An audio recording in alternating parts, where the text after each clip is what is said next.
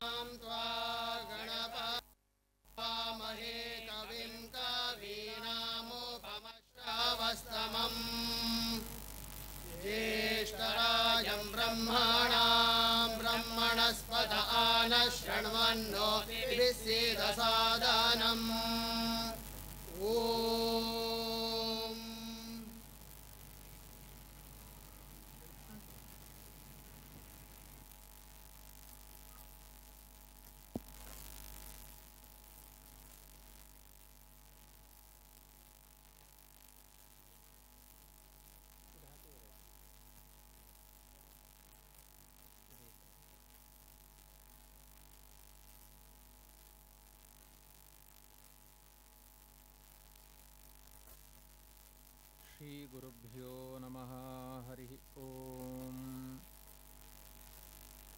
सृष्टिस्थित्यप्ययेह नियतिदृशितमो बन्धमोक्षाश्च यस्मात्। अस्य श्रीब्रह्मरुद्रप्रभृतिसुरनरद्वीषशत्रुत्मकस्य विष्णोर्व्यस्ताः समस्ताः सकलगुणनिधिः सर्वदोषव्यपेतः पूर्णानन्दो व्ययो यो गुरुरपि परमः चिन्तये तं महान्तम् जन्माद्यस्य यतोऽन्वयादितरतश्चार्तेष्वभिज्ञस्वराट् तेने ब्रह्महृदाय आदिकवये मुह्यन्ति यं सूरयः।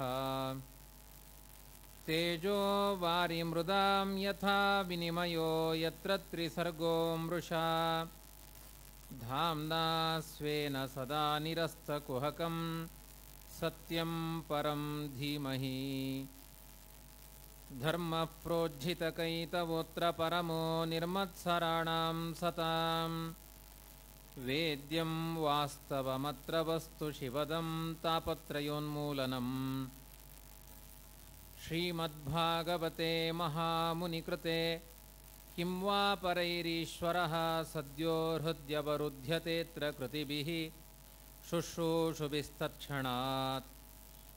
निगमकल्पतरोर्गलितं फलं शुकमुखादमृतद्रवसंयुतं। पिबत भागवतं रसमालयं मुहुरहो रसिका भुवि भावुकाः यं प्रव्रजन्तमनुपेतमपेतकृत्यं द्वैपायनो विरहकातर आजुहाव। पुत्रेति तन्मयतया तरवोऽभिनेदुः तं सर्वभूतहृदयं मुनिमानतोऽस्मि। ब्रह्मान्ता गुरवः साक्षातिष्ठं दैवं श्रियः पतिः। आचार्याः श्रीमदाचार्याः सन्तु मे जन्मजन्मनि भवति यदनुभावात्। एडमूकोऽपि वाग्मी जडमतिरपि जन्तुर्जायते प्राज्ञमौलिः सकलवचनचेतो देवता भारती सा। मम वचसि निधत्तां सन्निधिं मानसे च अस्मद्गुरुसमारम्भां टीकाकृत्पादमध्यगां श्रीमदाचार्यपर्यन्तां वन्दे गुरुपरम्पराम् आपादमौलिपर्यन्तं गुरूणाम् आकृतिं स्मरेत्। तेन विघ्नाः प्रणश्यन्ति सिद्ध्यन्ति च मनोरथाः। स्वस्त्यस्तु सताम्। अशेषसन्मङ्गलानि भवन्तु। सम्यक् श्लोकैकश्रवणपठनमात्रेण वक्तुश्च श्रोतॄणां कलिकृतनिखिलकल्मषापनोदनपटुतरे श्रीमद्भागवते महापुराणे अद्य कथानुवादे किञ्चित् पूर्वकथानुवादः हरिः ॐ हरिः ॐ हरिः ॐ ಶ್ರೀಮದ್ಭಾಗವತದಲ್ಲಿ ಸ್ವಾಯಂಭೋ ಮನುವಿನ ಮೊದಲನೆಯ ಮಗನಾದ ಪ್ರಿಯವ್ರತ ರಾಜನ ಕಥೆಯನ್ನ ಪಂಚಮಸ್ಕಂದದಲ್ಲಿ ನಿರೂಪಣೆಯನ್ನು ಮಾಡ್ತಾ ಪ್ರಿಯವ್ರತ ರಾಜನ ಪರಂಪರೆಯಲ್ಲಿ ಆಗ್ನೇಧ್ರ ಅಂತ ಒಬ್ಬ ರಾಜ, ಅವನಿಗೆ ನಾಭಿ, ಅವನಿಗೆ ಋಷಭ ಅಂತ ಸಾಕ್ಷಾತ್ ಭಗವಂತನ ಒಂದು ಅವತಾರ. ಋಷಭರೂಪಿಯಾದ ಪರಮಾತ್ಮನಿಗೆ ನೂರು ಜನ ಮಕ್ಕಳಾಗುತ್ತಾರೆ. ಮೊದಲನೆಯವನಿಗೆ ಭರತ ಅಂತ ಹೆಸರು. ಇನ್ನು ಒಂ ಎಂಬತ್ತ ಒಂದು ಜನಗಳು ಕರ್ಮತಂತ್ರದಲ್ಲಿ ನಿಷ್ಣಾತರಾಗ್ತಾರೆ. ಕರ್ಮತಂತ್ರ ಅಂದರೆ ಯಜ್ಞ ಯಾಗಗಳು ಪೌರೋಹಿತ್ಯದ ಭಾಗ. ಆ ಕರ್ಮಗಳನ್ನೆಲ್ಲ ಹೇಗೆ ಮಾಡಿಸಬೇಕು ಅನ್ನುವುದರಲ್ಲಿ ಪ್ರಾವೀಣ್ಯವನ್ನು ಪಡೆದವರು ಎಂಬತ್ತೊಂದು ಜನ. ಮತ್ತೆ ಒಂಬತ್ತು ಜನಗಳನ್ನು ನವದ್ವೀಪಗಳಿಗೆ ರಾಜನನ್ನಾಗಿ ಮಾಡ್ತಾನೆ. ಎಂಬತ್ತೊಂದು, ಒಂಬತ್ತು, ತೊಂಬತ್ತಾಯಿತು. ಮೊದಲನೇ ಮಗ ಭರತ, ತೊಂಬತ್ತೊಂದಾಯಿತು. ಇನ್ನು ಒಂಬತ್ತು ಜನ ಅವರು ಜ್ಞಾನಿಗಳು, ಯೋಗಿಗಳಾಗುತ್ತಾರೆ. ಕವಿರ್ಹರಿರ್ ಅಂತರಿಕ್ಷ ಪ್ರಬುದ್ಧ ಪಿಪ್ಪಲಾಯನಃ, ಆವಿರ್ಹೋತ್ರೋತ ದ್ರುಮಿಲಃ ಚಮಸಃ ಕರಭಾಜನಃ ಅಂತ ಒಂಬತ್ತು ಜನ. ಕವಿ, ಹರಿ, ಅಂತರಿಕ್ಷ, ಪ್ರಬುದ್ಧ, ಪಿಪ್ಪಲಾಯನ, ಆವಿರ್ಹೋತ್ರ, ದ್ರುಮಿಲ, ಚಮಸ, ಕರಭಾಜನ ಅಂತ. ಅವರ ಹೆಸರು ಕೇಳಿದ್ರೆ ಸಾಕಂತೆ. ನಮ್ಮ ಎಲ್ಲ ಪಾಪನಾಶವಾಗುತ್ತೆ ಅಂತ ಹೇಳಿದ್ದಾರೆ. ಯಾರಾದರೂ ನಾವು ಬೇರೆ ಊರಿಗೆ ಹೋದಾಗ ನಮ್ಮ ಅಪ್ಪಯ್ಯನ ಹೆಸರು ಹೇಳಿದ್ರೆ ನಮಗೆ ಖುಷಿ ಆಗುತ್ತಾ ಇಲ್ವಾ? ಹಾಗೆ ಕೆಲವರ ದೇವತೆಗಳ, ಋಷಿಗಳ ಹೆಸರನ್ನು ಹೇಳಿದ್ರೆ ಸಾಕು. ಅವರಿಗೆ ಅಷ್ಟು ಸಂತೋಷ ಆಗುತ್ತಂತೆ. ಅಂಥ ದೊಡ್ಡ ಜ್ಞಾನಿಗಳು ಕವಿ ಮೊದಲಾದ ಜ್ಞಾನಿಗಳು. ವೃಷಭ ನೂರು ಜನ ಮಕ್ಕಳನ್ನು ಕೂಡಿಸಿಕೊಂಡು ಈ ಬದುಕಿನ ಕರ್ತವ್ಯಗಳೇನು ಅಂತ ಅವರಿಗೆಲ್ಲ ಪಾಠ ಮಾಡಿದನಂತೆ. ಅವನ ಮನೆಯಲ್ಲಿ ಪ್ರವಚನಕ್ಕೆ ಕೊರತೆಯೇ ಇಲ್ಲ. ಒಂದು ಬಾರಿ ಪ್ರವಚನ ಕೂತ್ರೆ ನೂರು ಜನ ಮಕ್ಕಳು ಕೂತ್ಕೊಳ್ತಾ ಇದ್ರು. ಮತ್ತೆ ನೂರು ಜನ ಸೊಸೆಯಂದಿರು ಮತ್ತೆ ಮಕ್ಕಳು, ಮುನ್ನೂರು ಜನ ಗ್ಯಾರಂಟಿ. ಮನೆಯಲ್ಲೇ ಪ್ರವಚನ. ಆ ಮಕ್ಕಳಿಗೆಲ್ಲ ಪಾಠ ಮಾಡ್ತಾ ಇದ್ದಂತೆ ನೋಡಿ, ದೇವರು ಕೊಟ್ಟ ಈ ದೇಹದಲ್ಲಿ ಆಹಾರ, ನಿದ್ರೆ, ಮೈಥುನ ಇವುಗಳಿಗೋಸ್ಕರ ಸೀಮಿತವಾಯಿತು ಅಂದರೆ ಪ್ರಾಣಿಗಳಿಗೂ ಮಾನವರಿಗೂ ಏನು ವ್ಯತ್ಯಾಸ? ಎಲ್ಲ ಪ್ರಾಣಿಗಳ ಬಾಯಲ್ಲಿ ಒಂದು ಶಬ್ದ ಬರುತ್ತೆ, ಮೇ ಮೇ ಮೇ ಅಂತ. ಈ ಆಡು, ಕುರಿ, ಇವುಗಳ ಬಾಯಲ್ಲಿ ಬರುವ ಶಬ್ದ ಅದು, ಮೇ ಅಂತ. ಅಂದರೆ ಸ್ವಾರ್ಥ ಎಲ್ಲವೂ ನನಗೆ ಬೇಕು ಅಂತ. ಅದೇ ಶಬ್ದಗಳು ನಮ್ಮ ಬಾಯಲ್ಲಿ ಬಂದರೆ ಅದೇನು ವ್ಯತ್ಯಾಸ? ಮಾನವರಾಗಿ ತ್ಯಾಗಕ್ಕೆ ತಯಾರಾಗಬೇಕು. ಇಲ್ಲಿ ಯಜ್ಞ ನಡೆದಿದೆ. ಯಜ್ಞದಲ್ಲಿ ಆಹುತಿಗಳನ್ನು ನೀಡುತ್ತಾರೆ ಏನಂತ ನೀಡುತ್ತಾರೆ ಇಂದ್ರಾಯ ಸ್ವಾಹ, ಚಂದ್ರಾಯ ಸ್ವಾಹ, ಋಷಿಭ್ಯ ದೇವ, ದೇವೇಭ್ಯ ಎಲ್ಲ ದೇವತೆಗಳಿಗೆ, ಋಷಿಗಳಿಗೆ, ಇಂದ್ರ, ಚಂದ್ರ, ತ್ಯಾಗ. ನಮ್ದ ಹಾಗಲ್ಲ, ನಮ್ದೆಲ್ಲ ಸ್ವಲ್ಪ ಮಂತ್ರ ವ್ಯತ್ಯಾಸ ಇದೆ ನಮ್ದು. ನಮ್ದು ದೇವತೆಗಳಿಗೆ, ಋಷಿಗಳಿಗೆ ಆಹುತಿಗಳಲ್ಲ. ಸ್ವಾರ್ಥಕ್ಕೆ ಆಹುತಿಗಳು. ಏನು? ಪತ್ನಿ ಸ್ವಾಹ, ಮೊದಲನೆಯದ್ದು, ಮದುವೆ ಆದ ಮೇಲೆ. ಎಲ್ಲ ಹೆಂಡತಿಗೆ ಮಾಡಿಡಬೇಕು ಅಂತ. ಆಮೇಲೆ ಪುತ್ರಾಯ ಸ್ವಾಹ. ಆಮೇಲೆ ಆತ್ಮನೇ ಸ್ವಾಹ, ನನಗೆ. ಆಮೇಲೆ ಗೃಹಾಯ ಸ್ವಾಹ. ಮನೆ, ಮಡದಿ, ಮಕ್ಕಳು, ನಾನು, ಇದೆಲ್ಲ ಸ್ವಾರ್ಥ ಇದು. ಇದು ಮೇ ಮೇ ಮೇ ಅಂತ ಪ್ರಾಣಿಗಳು ಕಿರಿಚಿದ ಹಾಗೆ. ಕೊನೆಗೆ ಭಗವಂತ ಒಂದು ಆಹುತಿ ಕೊಡ್ತಾನೆ. ಮನುಷ್ಯ ಯೋನಿಯನ್ನು ಕೊಟ್ಟಿದ್ದು ಮತ್ತೊಬ್ಬರಿಗೆ ತ್ಯಾಗ ಮಾಡು ಅನ್ನುವ ಭಾವನೆಯಿಂದ. ನೀನು ಅನುಭವಿಸು, ಇನ್ನೊಬ್ಬರಿಗೆ ಉಪಕಾರ ಮಾಡು. ನಿಜವಾದ ಗೃಹಸ್ಥ ಧರ್ಮ ಅದು. ಎಲ್ಲವೂ ನನಗೇ ಬೇಕು ಅನ್ನುವ ಚಿಂತನೆ ಏನಿದೆ ಇದು ತುಂಬ ದೊಡ್ಡ ಸ್ವಾರ್ಥ. ಈ ಸ್ವಾರ್ಥ ಒಳ್ಳೆಯದಲ್ಲ ಅಂತ ನಮ್ಮ ಮಂತ್ರಗಳೇ ಬದಲಾದದ್ದನ್ನು ನೋಡಿ ದೇವರು ಕೂಡ ಕೊನೆಗೊಂದು ಆಹುತಿಯನ್ನು ಕೊಡ್ತಾನೆ, ಅನರ್ಥಾಯ ಸ್ವಾಹ ಅಂತ. ನೀನು ಮನುಷ್ಯನಾಗಿ ಹುಟ್ಟಬೇಡ, ಪ್ರಾಣಿಗಳಾಗಿ ಹುಟ್ಟು ಅಂತ. ಅದಕ್ಕೆ ನೋಡಿ ಮನುಷ್ಯರನ್ನು ಕೆಲವೊಮ್ಮೆ ಬೈಯೋದುಂಟು. ತುಂಬ ಅಪರಾಧ ಮಾಡಿದ ಮನುಷ್ಯರಿಗೆ ತು ನಾಯಿ ಅಂತ ಬೈತಾರೆ. ಬೈಸ್ಕೊಳ್ಬೇಡಿ ಯಾರೋ. ತು ಕತ್ತೆ ಅಂತನೂ ಬೈತಾರೆ. ಪಿಶಾಚಿ ಅಂತನೂ ಬೈತಾರೆ. ತು ಮನುಷ್ಯ ಅಂತ ಬೈಯೋದಿಲ್ಲ. ದೇವಲೋಕದ ಪದ್ಧತಿ ಹೇಗೆ ಗೊತ್ತೋ ತುಂಬ ಅಪರಾಧ ಮಾಡಿದವರಿಗೆ ತು ಮನುಷ್ಯ ಅಂತಲೇ ಬೈತಾರೆ ಅವರು. ಯಾಕೆಂದರೆ ಮನುಷ್ಯ ಯೋನಿ ತುಂಬ ಎತ್ತರದ ಯೋನಿ ಅದು. ಇಲ್ಲಿ ಅಪರಾಧ ಮಾಡಲಿಕ್ಕೆ ಅವಕಾಶ ಇಲ್ಲ. ಮನುಷ್ಯನಾಗಿಯೂ ಅಪರಾಧ ಮಾಡುವುದು ತುಂಬ ದೊಡ್ಡ ಅಪರಾಧ ಅಂತ ದೇವತೆಗಳು ದೇವಲೋಕದಲ್ಲೇನಾದರೂ ಅಪರಾಧ ಮಾಡಿದರೆ, ಇಲ್ಲಿ ಆದರೆ ಒಂದು ಶಾಪ ಕೊಡ್ತಾರೆ, ನಾಯಿಯಾಗಿ ಹೋಗಿ ಹುಟ್ಟು ಅಂತ. ದೇವಲೋಕದಲ್ಲಿ ಒಂದು ಶಾಪ ಇದೆ, ಮನುಷ್ಯ ಯೋನಿ ಇಲ್ಲಿ ಹುಟ್ಟು ಅಂತ. ಅಂದರೆ ದೇವತೆಗಳಿಗೆ ನಾಯಿ ಇಸ್ ಈಕ್ವಲ್ ಟು ಮನುಷ್ಯ. ಅಂದರೆ ನಾವು ಸ್ವಾರ್ಥಗಳನ್ನು ಪಡೆದಾಗ ಪ್ರಾಣಿಗಳಿಗಿಂತ ಕಡೆ ಆಗುತ್ತೇವೆ. ಮನುಷ್ಯ ಯೋನಿಯಲ್ಲಿ ನಾವು ಹುಟ್ಟಿದ್ದೇವೆ. ಈ ಮನುಷ್ಯ ಯೋನಿಯಲ್ಲಿ ಏನು ಮಾಡಬೇಕು? ಲಿಂಗಂ ವ್ಯಪೋಹೇತ್ ಕುಶಲೋ ಅಹಮಾಖ್ಯಂ. ವೃಷಭನ ಉಪದೇಶ, ಅನಾದಿ ಕಾಲದಿಂದ ಜೀವರಿಗೆ ಕರ್ಮದ ಸಂಬಂಧ ಇದೆ. ಹುಟ್ಟುತ್ತಾ ಇರ್ತೇವೆ, ಸಾಯ್ತಾ ಇರ್ತೇವೆ. ದೊಡ್ಡ ಕ್ಯಾನ್ಸರ್ ಅದು. ಜನನ ಮರಣಗಳು ಅನ್ನುವುದು ಕ್ಯಾನ್ಸರ್. ಅದರ ಪರಿಹಾರಕ್ಕೊಂದು ಚಿಕಿತ್ಸೆ ಇದೆ. ಏನು ಅಂದರೆ ದೇವರ ಕಥಾಶ್ರವಣ ಮಾಡ್ತಾ ಇದ್ರೆ ಸ್ವತಂತ್ರನಾದವನು ಭಗವಂತ ಮಾತ್ರ. ಉಳಿದ ಎಲ್ಲಾ ಜೀವರಾಶಿಗಳು ಅಸ್ವತಂತ್ರರು. ಪ್ರತಿಯೊಬ್ಬರಿಗೂ ದುಃಖ ಇದೆ. ಯಾರಾದರೂ ಒಬ್ರು ಕೈ ಎತ್ತಿ, ನನಗೆ ದುಃಖ ಇಲ್ಲ ಅಂತ ಕೈ ಎತ್ತಿ ನೋಡೋಣ. ಅವರದ್ದೇ ಅವರದ್ದೇ ಆದ ದುಃಖಗಳಿದೆ. ಸಾಮೂಹಿಕವಾಗಿ ಎಲ್ಲರಿಗೂ ಏನು ದುಃಖ ಅಂದರೆ ಕಾಲು ನೋವಿದೆ. ಎರಡೆರಡು ಗಂಟೆ ಪ್ರವಚನ ಕೆಳಗಡೆ ಕೂತ್ಕೊಳ್ಳಿಕ್ಕಾಗಲ್ಲ. ಅದಕ್ಕೆಲ್ಲರಿಗೂ ಚೇರ್ ಹಾಕಿ ಅವರು ಕೆಳಗಡೆ ಕೂತಿದ್ದಾರೆ.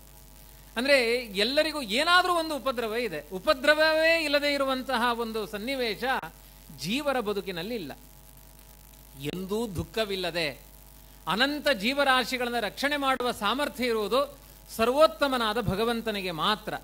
ಆದ್ದರಿಂದ ಮಧ್ವಾಚಾರ್ಯ ಹೇಳಿಕೊಡ್ತಾರೆ, ಭಗವಂತ ಸ್ವತಂತ್ರ, ಎಲ್ಲ ಜೀವರಾಶಿಗಳು ಅಸ್ವತಂತ್ರರು. ಅಂದರೆ ಅವನೊಬ್ಬನಲ್ಲಿ ಏನನ್ನು ಮಾಡಬೇಕಾದರೂ ಕೂಡ ಇನ್ನೊಬ್ಬರ ಸಹಕಾರ ಬೇಡ, ಸಹಾಯ ಬೇಡ, ಸ್ವತಂತ್ರವಾಗಿ ಮಾಡ್ತಾನೆ. ಅವನು ಇನ್ನೊಬ್ಬರಿಗೆ ಡಿಪೆಂಡ್ ಆಗಲ್ಲ.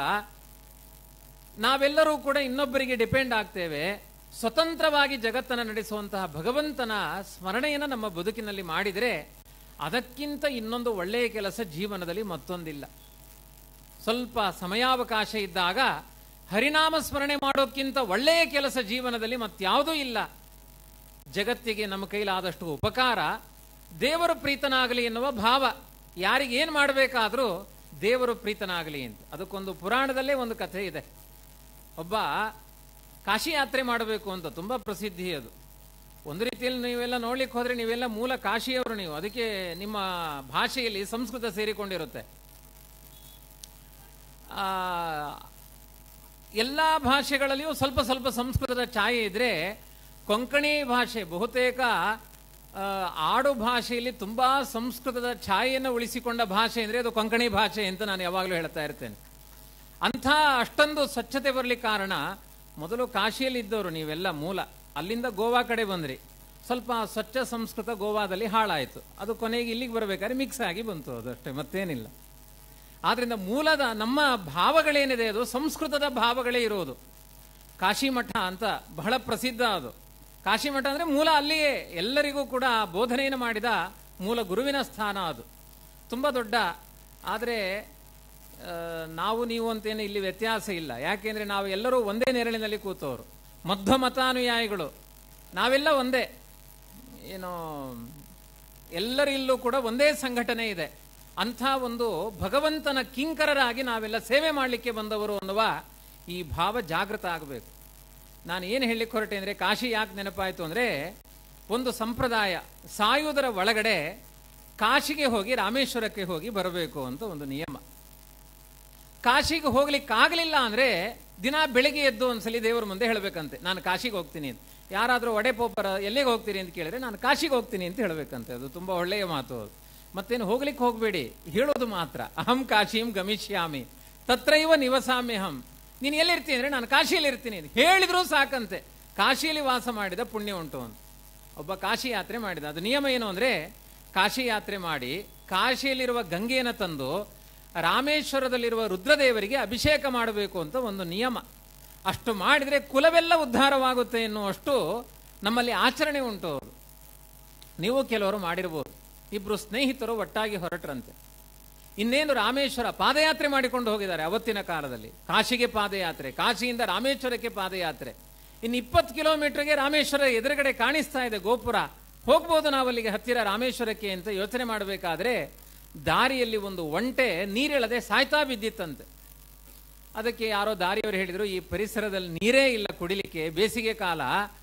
ಅವರು ಕೊಪ್ಪರಿಗೆ ಕೊಪ್ಪರಿಗೆಯಲ್ಲಿ ನೀರನ್ನು ತುಂಬಿಕೊಂಡು ಪಾದಯಾತ್ರೆ ಮಾಡಿಕೊಂಡು ಬರ್ತಾ ಇದ್ರು. ರುದ್ರದೇವರಿಗೆ ಅಭಿಷೇಕ ಮಾಡಬೇಕು ಅಂತ.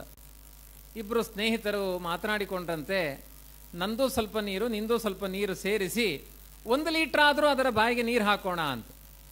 ಸ್ನೇಹಿತ ಒಬ್ಬ ಹೇಳಿದಂತೆ, ಇಷ್ಟು ದೂರ ಯಾತ್ರೆ ಮಾಡಿ ಎರಡು ಮೂರು ತಿಂಗಳ ಕಾಲ ನಮ್ಮ ಕಾಲನ್ನು ಹರಿದುಕೊಂಡು ಆ ನೀರನ್ನ ಆ ಒಂಟೆಯ ಬಾಯಿಗೆ ಹಾಗಲಿಕ್ಕೆ ಈ ಗಂಗೆ ನೀರನ್ನ ತಂದಿದ್ದಲ್ಲ. ಅದೊಂದು ಪ್ರಾಣಿ. ನಾನು ಆ ರುದ್ರದೇವರ ಮಂಡೆಗೆ ಆ ನೀರನ್ನು ಹಾಕಬೇಕು. ನಾನು ಒಂದು ಹನಿ ನೀರನ್ನು ಕೂಡ ನಾನು ಆ ಒಂಟೆಗೆ ಹಾಕಲಿಕ್ಕೆ ಸಾಧ್ಯ ಇಲ್ಲ ಅಂತ ಅವ ಹೇಳಿದ. ಆದರೆ ಇವನಿಗೆ ಅದು ಸರಿ ಅನ್ನಿಸಲಿಲ್ಲ. ಒಂದು ಪ್ರಾಣಿಗೆ ಪ್ರಾಣ ಹೋಗ್ತಾ ಇದೆ. ಇದು ಮಾನವೀಯತೆ ಅಲ್ಲ ಅಂತ ಸ್ವಲ್ಪ ನೀರನ್ನು ಒಂಟೆಗೆ ಹಾಕಿದ. ಅದು ಸ್ವಲ್ಪ ಚಪ್ಪರಿಸಿ ಕುಡಿತಾ ಕುಡಿತಾ ದಾಹವನ್ನು ತೀರಿಸಿಕೊಳ್ತಾ ಇನ್ನೂ ಸ್ವಲ್ಪ ನೀರು ಬೇಕು ಅಂತ ಬಯಸ್ತು ಅದು. ಅದನ್ನು ನೋಡ್ತಾ ಅವನಿಗೆ ಅನ್ನಿಸ್ತು, ಇದಕ್ಕೆ ಎಷ್ಟು ಸಂತೋಷ ಆಗ್ತಾ ಇದೆ. ಇಲ್ಲೇ ರುದ್ರದೇವರಿದ್ದಾರೆ ಅಂತ ಅನುಸಂಧಾನ ಮಾಡಿ ಸ್ವಲ್ಪ ಬಾಯಿಗೆ ನೀರು ಹಾಕಿದ. ಅಲ್ಲಿ ರಾಮೇಶ್ವರನ ದರ್ಶನ ಆಯಿತು ಅವನ ಪಾಲಿಗೆ. ಪೂರ್ಣ ನೀರನ್ನು, ಇದು ರಾಮದೇವರಿಗೆ ರಾಮೇಶ್ವರನಿಗೆ ಅಭಿಷೇಕ ಅಂತ ಪೂರ್ಣ ನೀರನ್ನು ಹಾಕಿದ. ಅದು ಒಂಟೆ ಆಗಿರಲಿಲ್ಲ. ರುದ್ರದೇವರೇ ಒಂಟೆ ರೂಪದಲ್ಲಿ ಬಂದು ಪರೀಕ್ಷೆ ಮಾಡಿದರು ಅಂತ ರುದ್ರದೇವರು ಅವನಿಗೆ ದರ್ಶನ ಕೊಟ್ಟರು ಅಂತ. ಅಲ್ಲಿಂದ ನೀರು ಹೊತ್ತು ತಂದಿದ್ನಲ್ಲ, ರುದ್ರದೇವರ ಮಂಡೆಗೆ ಹಾಕಬೇಕು ಅಂತ ತಂದಿದ್ನಲ್ಲ, ಅವನಿಗೆ ವಿಶ್ವೇಶ್ವರನ ಅನುಗ್ರಹ ಆಗಲಿಲ್ಲ. ಆ ಹಸಿದ ಒಂಟೆಗೆ ನೀರಡಿಕೆ ಆಯಿತು ಅಂತ ನೀರು ಕೊಟ್ಟನಲ್ಲ ಅವನಿಗೆ ರುದ್ರದೇವರ ಅನುಗ್ರಹ ಆಯಿತು. ಇದನ್ನೇ ಕೃಷ್ಣ ಹೇಳ್ತಾನೆ, ಎಲ್ಲ ಜೀವರಾಶಿಗಳ ಒಳಗೆ ಶುನಿಚೈವ ಶಪಾಕೇಚ ಪಂಡಿತಾಹ ಸಮದರ್ಶಿನಃ.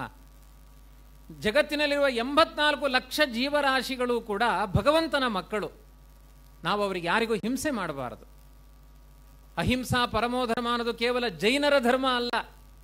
ಇದು ಆಚೆ ಈಚೆ ಇಲ್ಲ ಅವರದ್ದೇ ಹೆಚ್ಚು ಪರಿಸರ ಉಂಟು. ಅಹಿಂಸಾ ಪ್ರಥಮಂ ಪುಷ್ಪಂ ಅನ್ನೋದು ಹಿಂದೂಗಳ ಧರ್ಮವೂ ಹೌದು. ಯಾವ ಪ್ರಾಣಿ ಪಕ್ಷಿಗಳಿಗೂ ಹಿಂಸೆ ಮಾಡಬಾರದು ಅಂತ. ಇವತ್ತೆಲ್ಲ ಜಾಸ್ತಿ ಆಗಿದೆ ಅದು. ಹಿಟ್ಟು, ಸ್ಪ್ರೇ ಎಲ್ಲ ಜಾಸ್ತಿ ಬಂದಿದೆ ಅದು. ಅದನ್ನು ಸ್ಪ್ರೇ ಮಾಡಿಬಿಟ್ರೆ ಎಲ್ಲ ಒಂದಷ್ಟು ಪ್ರಾಣಿ ಪಕ್ಷಿಗಳ ಸಂಹಾರಗಳಾಗುತ್ತೆ ಅಂತ. ಸ್ಪ್ರೇ ಮಾಡಿ ಎಲ್ಲ ಸಂಹಾರ ಮಾಡಬಾರ್ದು. ಒಂದು ಇರುವೆಯನ್ನು ಕೊಂದರೆ ಸಾವಿರ ವರ್ಷ ನರಕ ಆಗುತ್ತೆ ಅಂತ ಹೇಳಿದ್ದಾರೆ ನೋಡಿ, ನಂಗೆ ಗೊತ್ತಿಲ್ಲ ಮತ್ತೆ. ಮತ್ತೆ ನಾಳೆಯಿಂದ ಪುರಾಣಕ್ಕೆ ಬರಲಿಲ್ಲ ಅಂದರೆ ಕಷ್ಟ ಆಗುತ್ತೆ. ಅದಕ್ಕೆ ಪ್ರಾಯಶ್ಚಿತ್ತವೂ ಹೇಳಿದ್ದಾರೆ. ಇರಬೇಕೊಂದ ಪಾಪಕ್ಕೆ ದೇವ ಮಂದಿರಕ್ಕೆ ಹತ್ತು ಹೆಜ್ಜೆ ನಡೆದು ಹೋದರೆ ಆ ಪಾಪ ಪರಿಹಾರ ಆಗುತ್ತೆ ಅದಕ್ಕೆ ಹಿಟ್ಟು ತಂದಿಟ್ಟುಕೊಂಡವರೆಲ್ಲ ಸ್ಪ್ರೇ ಮಾಡಲಿಕ್ಕೆ ದೇವಸ್ಥಾನಕ್ಕೆ ಹೋಗಬೇಕು ಪಾಪ ಪರಿಹಾರಕ್ಕೆ. ಇಲ್ಲದೇ ಇದ್ರೆ ಅವುಗಳನ್ನು ಕೊಂದ ಪಾಪ ಬರುತ್ತೆ. ನಹಿಂಸ್ಯಾ ಸರ್ವಾಭೂತಾನೆ. ಯಾವ ಪ್ರಾಣಿಗಳಿಗೂ ಹಿಂಸೆ ಮಾಡಬಾರದು ಅಂತ ಹೇಳಿದ್ದಾರೆ. ಈ ರೀತಿಯಾದ ಒಂದು ಅದ್ಭುತವಾದ ಒಂದು ವೇದಾಂತವನ್ನ ಆ ಋಷಭರೂಪಿಯಾದ ಪರಮಾತ್ಮ ನೀವೆಲ್ಲ ಜಗತ್ತಿನ ಒಳಗಡೆ ಭಗವಂತ ಇದ್ದಾನೆ ಅಂತ ಅಂತರ್ಯಾಮಿಯ ಪೂಜೆಯನ್ನು ಮಾಡಿಕೊಂಡು ಆತ್ಮೋದ್ಧಾರದ ಕಡೆಗೆ ಗಮನ ಹರಿಸಬೇಕು ಅನ್ನುವ ಉಪದೇಶವನ್ನ ಆ ಎಲ್ಲ ಮಕ್ಕಳಿಗೂ ಮಾಡಿದ. ಅವರಿಗೆಲ್ಲ ಉಪದೇಶ ಮಾಡಿ ತಾನು ವಿರಕ್ತನಾಗಿ ತನ್ನ ಮನೆಯಿಂದ ನೇಪಾಳದಲ್ಲಿ ಮಾಡಿದ ಉಪದೇಶಗಳು ಇದೆಲ್ಲ. ಅಲ್ಲಿಂದ ಮನೆಯಿಂದ ಹೊರಟು ಅವ ಈಚೆ ಬಂದುಬಿಟ್ಟ. ಎಲ್ಲಿಗೆ? ಕಾಂಕಟ ಕರ್ಣಕ, ಕರ್ನಾಟಕ, ದಕ್ಷಿಣ ದೇಶಾನಾಗತ್ಯ ಕುಟಜಾಚಲೋಪವನೆ ಅಂತ. ಋಷಭನ ಅವತಾರ ಪರಿಸಮಾಪ್ತ ಆಗಿದ್ದು ಕೊಲ್ಲೂರು ಮೂಕಾಂಬಿಕಾ ಅಂತ ಏನು ಕರಿತೇವೆ? ಕುಟಜಾದ್ರಿ, ಅದರ ಮೇಲೆ ಒಂದು ಬೆಟ್ಟ ಇದೆ. ಆ ಬೆಟ್ಟದಲ್ಲಿ ಋಷಭರೂಪಿಯಾದ ಪರಮಾತ್ಮ ತನ್ನ ರೂಪವನ್ನು ಮರೆಮಾಚಿದ, ಅಲ್ಲಿಗೆ ಅಂತರ್ಧಾನಗೊಳಿಸಿದ. ಇವತ್ತು ಅದು ಬದರಿಗೆ ಸಮಾನವಾದ ಕ್ಷೇತ್ರ ಅಂತ ಹೇಳಿದ್ದಾರೆ. ಕುಟಜಾದ್ರಿಗೆ ನೀವು ನಡೆದು ಹೋದರೆ ಬದರಿ ಯಾತ್ರೆ ಮಾಡಿದ ಪುಣ್ಯ ಉಂಟು ಅಂತ ಹೇಳಿದ್ದಾರೆ. ನಿಮ್ಮ ಈ ಪರಿಸರದಲ್ಲಿ ಇರುವ ಒಂದು ಒಳ್ಳೆಯ ಬದರಿ ಕ್ಷೇತ್ರ ಅದು ಕುಟಜಾದ್ರಿ ಅದು. ಅದು ಭಾಗವತದಲ್ಲಿ ಅದರ ಬಗ್ಗೆ ಉಲ್ಲೇಖ ಮಾಡ್ತಾರೆ. ಮತ್ತೆ ನೂರು ಜನ ಮಕ್ಕಳಲ್ಲಿ ಎಂಬತ್ತೊಂದು ಜನ ಪೌರೋಹಿತ್ಯಾದಿ ಕರ್ಮಗಳನ್ನು ಮಾಡ್ತಾ ಜಗತ್ತಿಗೆ ಒಳ್ಳೆಯದನ್ನು ಮಾಡುವ ಭಾವನೆಯಿಂದ ಮನೆ ಬಿಟ್ಟು ಹೊರಟು ಹೋಗ್ತಾರೆ. ಒಂಬತ್ತು ಜನ ನವದ್ವೀಪಗಳಿಗೆ ರಾಜರಾಗಿ ಈ ದೇಶವನ್ನು ರಕ್ಷಣೆ ಮಾಡ್ತಾರೆ.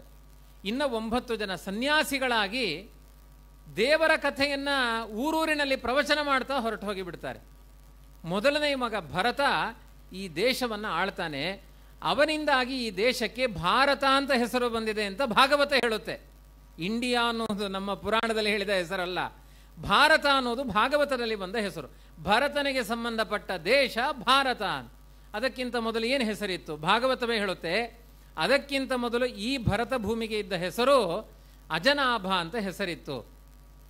ಭರತನಿಂದಾಗಿ ಭಾರತ ಅಂತ ಹೆಸರು ಬಂತು. ಅವನು ತುಂಬಾ ಪ್ರಾಮಾಣಿಕವಾಗಿ ಈ ದೇಶವನ್ನೆಲ್ಲ ರಕ್ಷಣೆ ಮಾಡಿದ. ದೇವರು ಧರ್ಮಗಳ ಬಗ್ಗೆ ಪ್ರಜೆಗಳಿಗೆ ಪಾಠ ಹೇಳಿದ. ಬೆಳಿಗ್ಗೆ ಸಂಧ್ಯಾಕಾಲಗಳಲ್ಲಿ ಸಾಯಂ ಪ್ರಾತರ್ ನಮಸ್ಯಂತಿ.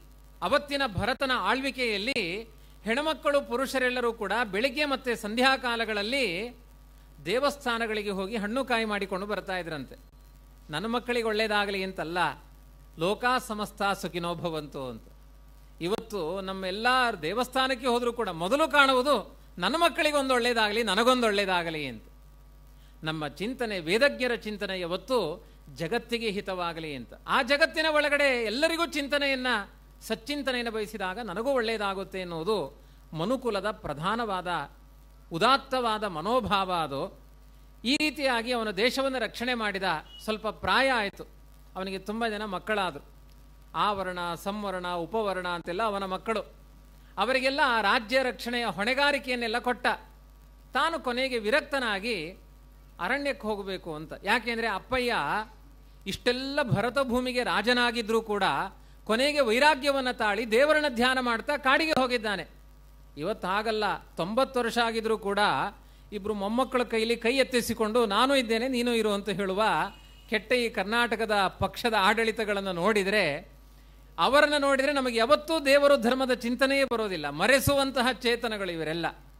ನಮ್ಮ ಪ್ರಾಚೀನರ ಯಾರೇ ಕಥೆಯನ್ನು ಕೇಳಿ, ಪರೀಕ್ಷಿತ ರಾಜ ತನ್ನ ಮಗನಾದ ಜನಮೇಜನಿಗೆ ರಾಜ್ಯವನ್ನು ಕೊಟ್ಟು ಅರಣ್ಯಕ್ಕೆ ಹೋದ ದೇವರನ್ನ ಧ್ಯಾನ ಮಾಡಲಿಕ್ಕೆ ವೃಷಭರೂಪಿಯಾದ ಪರಮಾತ್ಮ ನೂರು ಜನ ಮಕ್ಕಳಿದ್ರು ಅವರು. ಒಬ್ಬೊಬ್ಬರ ಮನೆಯಲ್ಲಿ ಒಂದೊಂದು ದಿನ ಆದರೂ ಕೂಡ ಮೂರು ತಿಂಗಳಿಗೆ ಒಬ್ಬರ ಮನೆಯಲ್ಲಿ ಊಟ ಮಾಡ್ಬೋದಾಗಿತ್ತು. ಚಂದ ಇದ್ದು ಇರ್ಬೋದಿತ್ತು ಕೊನೆಯ ತನಕ. ನನಗದು ಯಾವುದೂ ಬೇಡ ಅಂತ ಕುಟಜಾದ್ರಿಗೆ ತುಂಬ ದೂರ ಬಂದ, ಮತ್ತೆ ಮಕ್ಕಳ ಸಂಬಂಧವೇ ಇಲ್ಲದೆ ಇರುವಂತಹ ಜಾಗ ಕರ್ನಾಟಕ ಪ್ರದೇಶಕ್ಕೆ ಋಷಭ ಬಂದ ಅಂತ ಕಥೆ ಇದೆ. ಇದನ್ನೆಲ್ಲ ಚಿಂತನೆ ಮಾಡಿದ ಭರತ ತನ್ನ ರಾಜ್ಯದ ರಕ್ಷಣೆಯ ಹೊಣೆಗಾರಿಕೆಯನ್ನೆಲ್ಲ ತನ್ನ ಮಕ್ಕಳಿಗೆಲ್ಲ ಹಂಚಿ ತಾನು ನೇಪಾಳಕ್ಕೆ ಹೊರಟು ಹೋದಂತೆ. ಅವತ್ತು ನೇಪಾಳ ಅನ್ನೋದು ಭಾರತ ಭೂಮಿಯೇ ಆಗಿತ್ತು, ಇವತ್ತು ವಿಭಜಿತವಾಗಿದೆ ಅಷ್ಟೇ. ಅದು ವಿದೇಶ ಅವತ್ತು ಸ್ವದೇಶ ಅದು. ನೇಪಾಳದಲ್ಲಿ ಗಂಡಕಿ ನದಿ, ಶಾಲಗ್ರಾಮ ಕ್ಷೇತ್ರ ಅದು. ಶಾಲಗ್ರಾಮಗಳನ್ನು ಮನೆಯಲ್ಲಿ ಇಟ್ಟು ಪೂಜೆ ಮಾಡಿದರೆ ಆ ಮನೆಯ ಸುತ್ತದ ಪರಿಸರದ ಎಲ್ಲ ವಾಸ್ತು ದೋಷಗಳು ಪರಿಹಾರವಾಗುತ್ತೆ ಅಂತ ಹೇಳಿದ್ದಾರೆ. ಚಕ್ರಾಂಕಿತ ಶಾಲಗ್ರಾಮಗಳು ಮನೆಯಲ್ಲಿದ್ದರೆ ಅದು ದ್ವಾರಕೆಗೆ ಸಮಾನ ಅಂತ ಹೇಳಿದ್ದಾರೆ. ದ್ವಾರಕೆಯ ಕೃಷ್ಣನ ಸನ್ನಿಧಾನಕ್ಕೆ ಎಷ್ಟು ಮಹತ್ವ ಇದೆಯೋ ಚಕ್ರಾಂಕಿತ ಶಾಲಗ್ರಾಮಗಳಿದ್ದದ್ದಕ್ಕೂ ಅಷ್ಟೇ ಮಹತ್ವ ಇದೆ ಅಂತ ಹೇಳಿದ್ದಾರೆ. ಆ ಶಾಲಗ್ರಾಮಗಳನ್ನು ನಿರ್ಮಾಣ ಮಾಡುವ ಗಂಡಕಿ ನದಿಯ ತೀರಕ್ಕೆ ಹೋಗಿ ಭಗವಂತನ ಸನ್ನಿಧಾನಯುಕ್ತವಾದ ಆ ಪ್ರದೇಶದಲ್ಲಿ ದೇವರನ್ನ ಧ್ಯಾನ ಮಾಡೋಣ ಅಂತ ಆ ಭರತ ಜಪ ಮಾಡಲಿಕ್ಕೆ ಆರಂಭ ಮಾಡಿದ. ನೋಡಿ, ಒಂದು ಜಗತ್ತನ್ನು ಆಳಬಹುದು, ಹೃದಯದಲ್ಲಿ ದೇವರ ಬಗ್ಗೆ ಏಕಾಗ್ರತೆ ಬಹಳ ಕಷ್ಟ. ಕೆಲವು ದಾಸರ ಪ್ರಾರ್ಥನೆ ಇದೆ. ಈ ಆಡು ಅಂತ ಒಂದು ಪ್ರಾಣಿ ನೋಡಿದ್ದೇವೆ ನಾವು, ಅಜ, ಆಡು. ಅದಕ್ಕೆ ಆಡು ಅಂತ ಹೆಸರು ಯಾಕೆ ಅಂದರೆ, ಅದರ ಮಂಡೆ ನಿಲ್ಲೋದೇ ಇಲ್ಲ, ಅದು ಯಾವಾಗಲೂ ಆಡ್ತಾ ಇರುತ್ತೆ ಅದು. ಅದಕ್ಕೋಸ್ಕರ ಅದಕ್ಕೆ ಆಡು ಅಂತಲೇ ಹೆಸರು. ಆ ಆಡಿನ ಕೊಂಬಿನ ತುದಿಯ ಮೇಲೆ ಒಂದು ಸಾಸಿವೆ ನಿಲ್ಲುವುದು ಅಸಂಭವ ಅದು. ಸಾಸಿವೆ ಕಾಳು ಆಡಿನ ಕೊಂಬಿನ ತುದಿಯಲ್ಲಿ ನಿಲ್ಲುವಷ್ಟು ಕಾಲ ಆದರೂ ದೇವರೇ ನಿನ್ನಲ್ಲಿ ಮನಸ್ಸನ್ನು ಕೊಡು ಅಂತ ದಾಸರ ಪ್ರಾರ್ಥನೆಗಳಿದೆ. ದೇವರ ಬಗ್ಗೆ ಏಕಾಗ್ರತೆ ತುಂಬ ಕಷ್ಟ. ನಮ್ಮ ಏಕಾಗ್ರತೆ ಇಲ್ಲ ಜಗತ್ತಿನ ಬಗ್ಗೆ. ದೇವರನ್ನ ಧ್ಯಾನ ಮಾಡೋದು ತುಂಬ ಕಷ್ಟ. ಅದಕ್ಕೆ ಏನು ಉಪಾಯ ಹೇಳಿಕೊಟ್ಟಿದ್ದಾರೆ ಮಧ್ವಾಚಾರ್ಯರು ಅಂದರೆ ದೇವರನ್ನ ಧ್ಯಾನ ಮಾಡಲಿಕ್ಕೆ ಎರಡು ಉಪಾಯ. ಒಂದು ಜಪ ಮಾಡ್ತಾ ಒಂದು ಧ್ಯಾನದ ಕ್ರಮ. ಅದು ತುಂಬ ಕಷ್ಟ, ಅದು ನಮ್ಮಿಂದ ಸಾಧ್ಯ ಆಗಲಿಕ್ಕಿಲ್ಲ.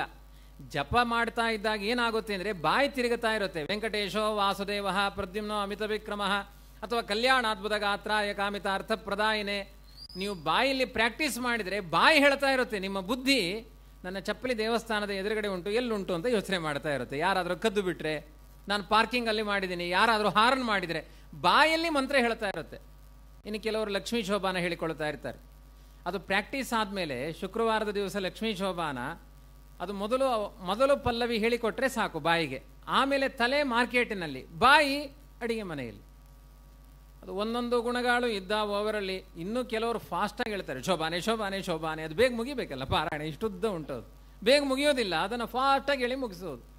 ಅದು ಕೊನೆಗೆ, ಎಂದೆಂದೂ ಬಾಡದ ಅರವಿಂದ ಮಾಲೆಯ ಅಂತ ಲಕ್ಷ್ಮೀದೇವಿ ಒಂದು ಸುಂದರವಾದ ಪುಷ್ಪದ ಮಾಲೆಯನ್ನು ದೇವರ ಕೊರಳಿಗೆ ಹಾಕ್ಲಿಕ್ಕೆ ಹೋಗ್ತಾ ಇದ್ದಾಳೆ ಅಂತ ಅಲ್ಲಿ ಕಥೆ ನಡೀತಾ ಇರುತ್ತೆ. ಇವರು ಆ ಚೆನ್ನಾಗಿ ಎಣ್ಣೆ ಕಾಯಿಸಿ ಪಟಪಟ ಸಾಸಿವೆ ಸಿಡಿಸ್ತಾ ಇರ್ತಾರೆ. ಆ ಚಿಂತನೆಗೂ ಇವರ ಕೆಲಸಗಳಿಗೂ ಸಂಬಂಧವೇ ಇರೋದಿಲ್ಲ. ಇದು ದೇವರ ಧ್ಯಾನ ಅಲ್ಲ. ಅದಕ್ಕೆ ಮಧ್ವಾಚಾರ್ಯ ಉಪಾಯ ಹೇಳಿಕೊಟ್ಟಿದ್ದಾರೆ. ದೇವರ ಕಥೆ ಕೇಳಿ. ಕಥೆ ಕೇಳಬೇಕಾದ್ರೆ ಏಕಾಗ್ರತೆ ಬಂದೇ ಬರುತ್ತೆ. ಯಾಕೆಂದ್ರೆ ಕಥೆಯಲ್ಲಿ ಒಂದು ಆಸಕ್ತಿ ಇರುತ್ತೆ. ಆ ಕಥೆಯ ಆಸಕ್ತಿಯಿಂದ ನಮ್ಮ ಮನಸ್ಸೇನಾಗುತ್ತೆ ಅಂದರೆ ಭಾಗವತದ ಕಥೆಯನ್ನು ಒಂದು, ಒಂದೆರಡು ಗಂಟೆ ಕೇಳಿದರೆ ಎರಡು ಗಂಟೆ ಜಗತ್ತಿನ ಬಗ್ಗೆ ವಿಚಾರ ಹೋಗಲ್ಲ. ಅಷ್ಟು ಏಕಾಗ್ರತೆ ಬರುತ್ತೆ ದೇವರ ಕಥೆ ಕೇಳೋದ್ರಲ್ಲಿ. ಅಕಸ್ಮಾತ್ ಕಥೆ ಕೇಳಲಿಕ್ಕೆ ಇಂಟ್ರೆಸ್ಟ್ ಇಲ್ಲ ಅಂದರೆ ಒಂದು ನಿದ್ರೆ ಆದರೂ ಬರುತ್ತೆ. ಹೊರತು ನಿಮ್ಮ ಮನಸ್ಸಂತೂ ಮಾರ್ಕೆಟಿಗೆ ಹೋಗೋದಿಲ್ಲ. ಆದ್ದರಿಂದ ದೇವರ ಕಥೆಯ ನೆಪದಿಂದ ಬಂದು ಕೂತ್ಕೊಂಡ್ರೂ ಪುಣ್ಯ ಉಂಟು ಅಂತ ಹೇಳಿದ್ದಾರೆ. ನೋಡಿ, ಎಷ್ಟು ನಿನ್ನೆ ಗುರುಗಳು ಹೇಳಿದರು, ಸಂಕಲ್ಪ ಮಾಡಿದರೂ ಪುಣ್ಯ ಉಂಟು. ನಾನು ಹತ್ತು ಕೋಟಿ ಬ್ಯಾಂಕಲ್ಲಿ ಹಾಕ್ತೀನಿ ಅಂದರೆ ನನಗೆ ಇಂಟ್ರೆಸ್ಟ್ ಬರಲ್ಲ. ಆದರೆ ನಮ್ಮ ಧರ್ಮದಲ್ಲಿ ಎಷ್ಟು ಶಕ್ತಿ ಇದೆ ಅಂದರೆ, ನಾನು ಭಾಗವತದ ಕಥೆ ಕೇಳ್ತೇನೆ ಅಂತ ಹೋಗಿ ಕೂತ್ಕೊಳ್ಳಿ. ಎರಡು ಗಂಟೆ ನಿದ್ದೆ ಮಾಡಿ. ಮಾಡಬೇಡಿ ಮತ್ತೆ. ಅದಕ್ಕೂ ಪುಣ್ಯ ಉಂಟು ಅಂತ ಹೇಳಿದೆ. ಇನ್ಯಾರು ನಿದ್ರೆ ಮಾಡಲಿಕ್ಕೆ ಹೋಗಬೇಡಿ. ಅದು ಅಷ್ಟು ಮಹತ್ತರವಾದ ಒಂದು ಸುಕೃತ ದೇವರ ಚಿಂತನೆಯಲ್ಲಿದೆ ಅಂತ ಶಾಸ್ತ್ರದಲ್ಲಿ ಹೇಳಿದ್ದಾರೆ. ಅಷ್ಟು ದೊಡ್ಡ ರಾಜ, ಋಷಭನ ಮಗ, ಭರತ ದೇವರನ್ನ ಧ್ಯಾನ ಮಾಡಬೇಕು ಅಂತ ದಂಡ ಕಮಂಡಲುಗಳನ್ನು ಹಿಡಿದು, ತುಳಸಿ ಮಣಿಯನ್ನು ಹಿಡಿದು ಗಂಡಕಿ ನದಿಯ ತೀರದಲ್ಲಿ ಜಪಕ್ಕೆ ಅಂತ ಕೂತಿದ್ದಾನೆ. ಅವನಿಗೆ ಮನಸ್ಸಿಗೆ ಏಕಾಗ್ರತೆ ಇಲ್ಲ. ಆಚೆ ನೋಡ್ತಾನೆ, ಈಚೆ ನೋಡ್ತಾನೆ ಜಪಮಣಿ ಎಣಿಸ್ತಾನೆ.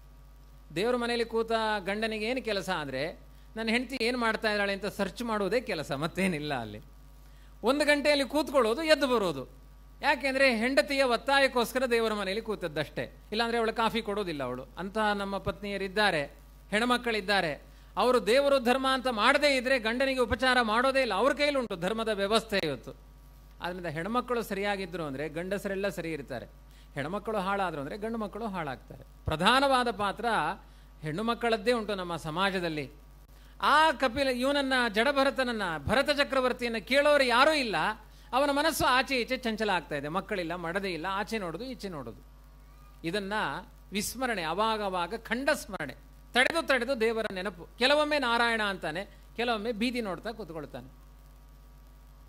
ಆ ಪರಿಸರದಲ್ಲಿ ಹೀಗೆ ಅವನ ಕಾಲ ಕಳಿಬೇಕಾದ್ರೆ ಒಂದು ತುಂಬು ಗರ್ಭವನ್ನು ಧರಿಸಿದ ಒಂದು ಜಿಂಕೆ ಅಲ್ಲಿ ನೀರು ಕುಡಿಬೇಕು ಅಂತ ಬಂದಿದೆ. ಆ ಪ್ರವಾಹದಲ್ಲಿ ಆ ಜಿಂಕೆ ಇನ್ನೇನು ನೀರು ಕುಡಿಬೇಕು ಅಂತ ಹೊರಟಾಗ ಅದೇ ಪರಿಸರದಲ್ಲಿರುವ ಒಂದು ಸಿಂಹದ ಘರ್ಜನೆ ಕೇಳಿಸಿದೆ. ಆ ಜಿಂಕೆಗೆ ಮೊದಲೇ ಸಿಂಹಗಳು ಅಂದರೆ ಭಯ. ಸಿಂಹ ಬಂತು ಅನ್ನುವ ಗಾಬರಿಯಲ್ಲಿ ಜಿಂಕೆ ಆ ಪ್ರವಾಹದಲ್ಲಿ ಜೋರಾಗಿ ಹಾರಿತು, ಆಚೆ ಹಾರಿತು. ಹಿಂದೆ ಸಿಂಹ ಇದೆ, ಮುಂದೆ ಪ್ರವಾಹ ಇದೆ. ಹಿಂದೆ ಸಿಂಹ ತಿನ್ನುತ್ತೆ ಎನ್ನುವ ಭಯದಲ್ಲಿ ಮುಂದೆ ಹಾರಿದಾಗ ತುಂಬು ಗರ್ಭವನ್ನು ಧರಿಸಿದ ಜಿಂಕೆಯ ಗರ್ಭ ವಿಪರೀತ ಗರ್ಭಸ್ರಾವ ಆಗಿ ಆ ಜಿಂಕೆ ಮರಿ ನೀರಿನಲ್ಲಿ ಬೀಳ್ತು ತಾಯಿ ಜಿಂಕೆ ತೆವಳಿಕೊಂಡು ರಕ್ತಸ್ರಾವ ಆಗಿ ಅವನ ಕಣ್ಣು ಮುಂದೆ ಸತ್ತೋಯ್ತು. ಎಲ್ಲ ಎರಡು ನಿಮಿಷದ ಒಂದು ಘಟನೆ. ಕೆಟ್ಟ ಒಂದು ಆಕ್ಸಿಡೆಂಟ್ ನಡೀತು ಅವನ ಕಣ್ಣು ಮುಂದೆ. ತಾಯಿ ಜಿಂಕೆ ಸಾಯ್ತಾ ಇದೆ, ವಿಲಿ ವಿಲಿ ಒದ್ದಾಡ್ತಾ ಇದೆ. ಮರಿ ಜಿಂಕೆ ಹುಟ್ಟಿದೆ, ಅದಕ್ಕೆ ಚೆನ್ನಾಗಿ ಅದಕ್ಕೆ ದಷ್ಟಪುಷ್ಟವಾಗಿ ಬೆಳೆದ ಜಿಂಕೆಯ ಮರಿ, ಆದರೆ ಪ್ರವಾಹದಲ್ಲಿ ಕೊಚ್ಚಿಕೊಂಡು ಹೋಗ್ತಾ ಇದೆ. ನಾನು ಈಗ ತಾನೇ ಹೇಳಿದೆ ಭೂತ ದಯಾಪರನಾಗಿರಬೇಕು ಅಂತ ದಾಸರೆಲ್ಲ ಹೇಳಿಕೊಟ್ಟಿದ್ದಾರೆ. ಪ್ರಾಣಿಗಳಲ್ಲಿ ದಯೆ ಇರಬೇಕು.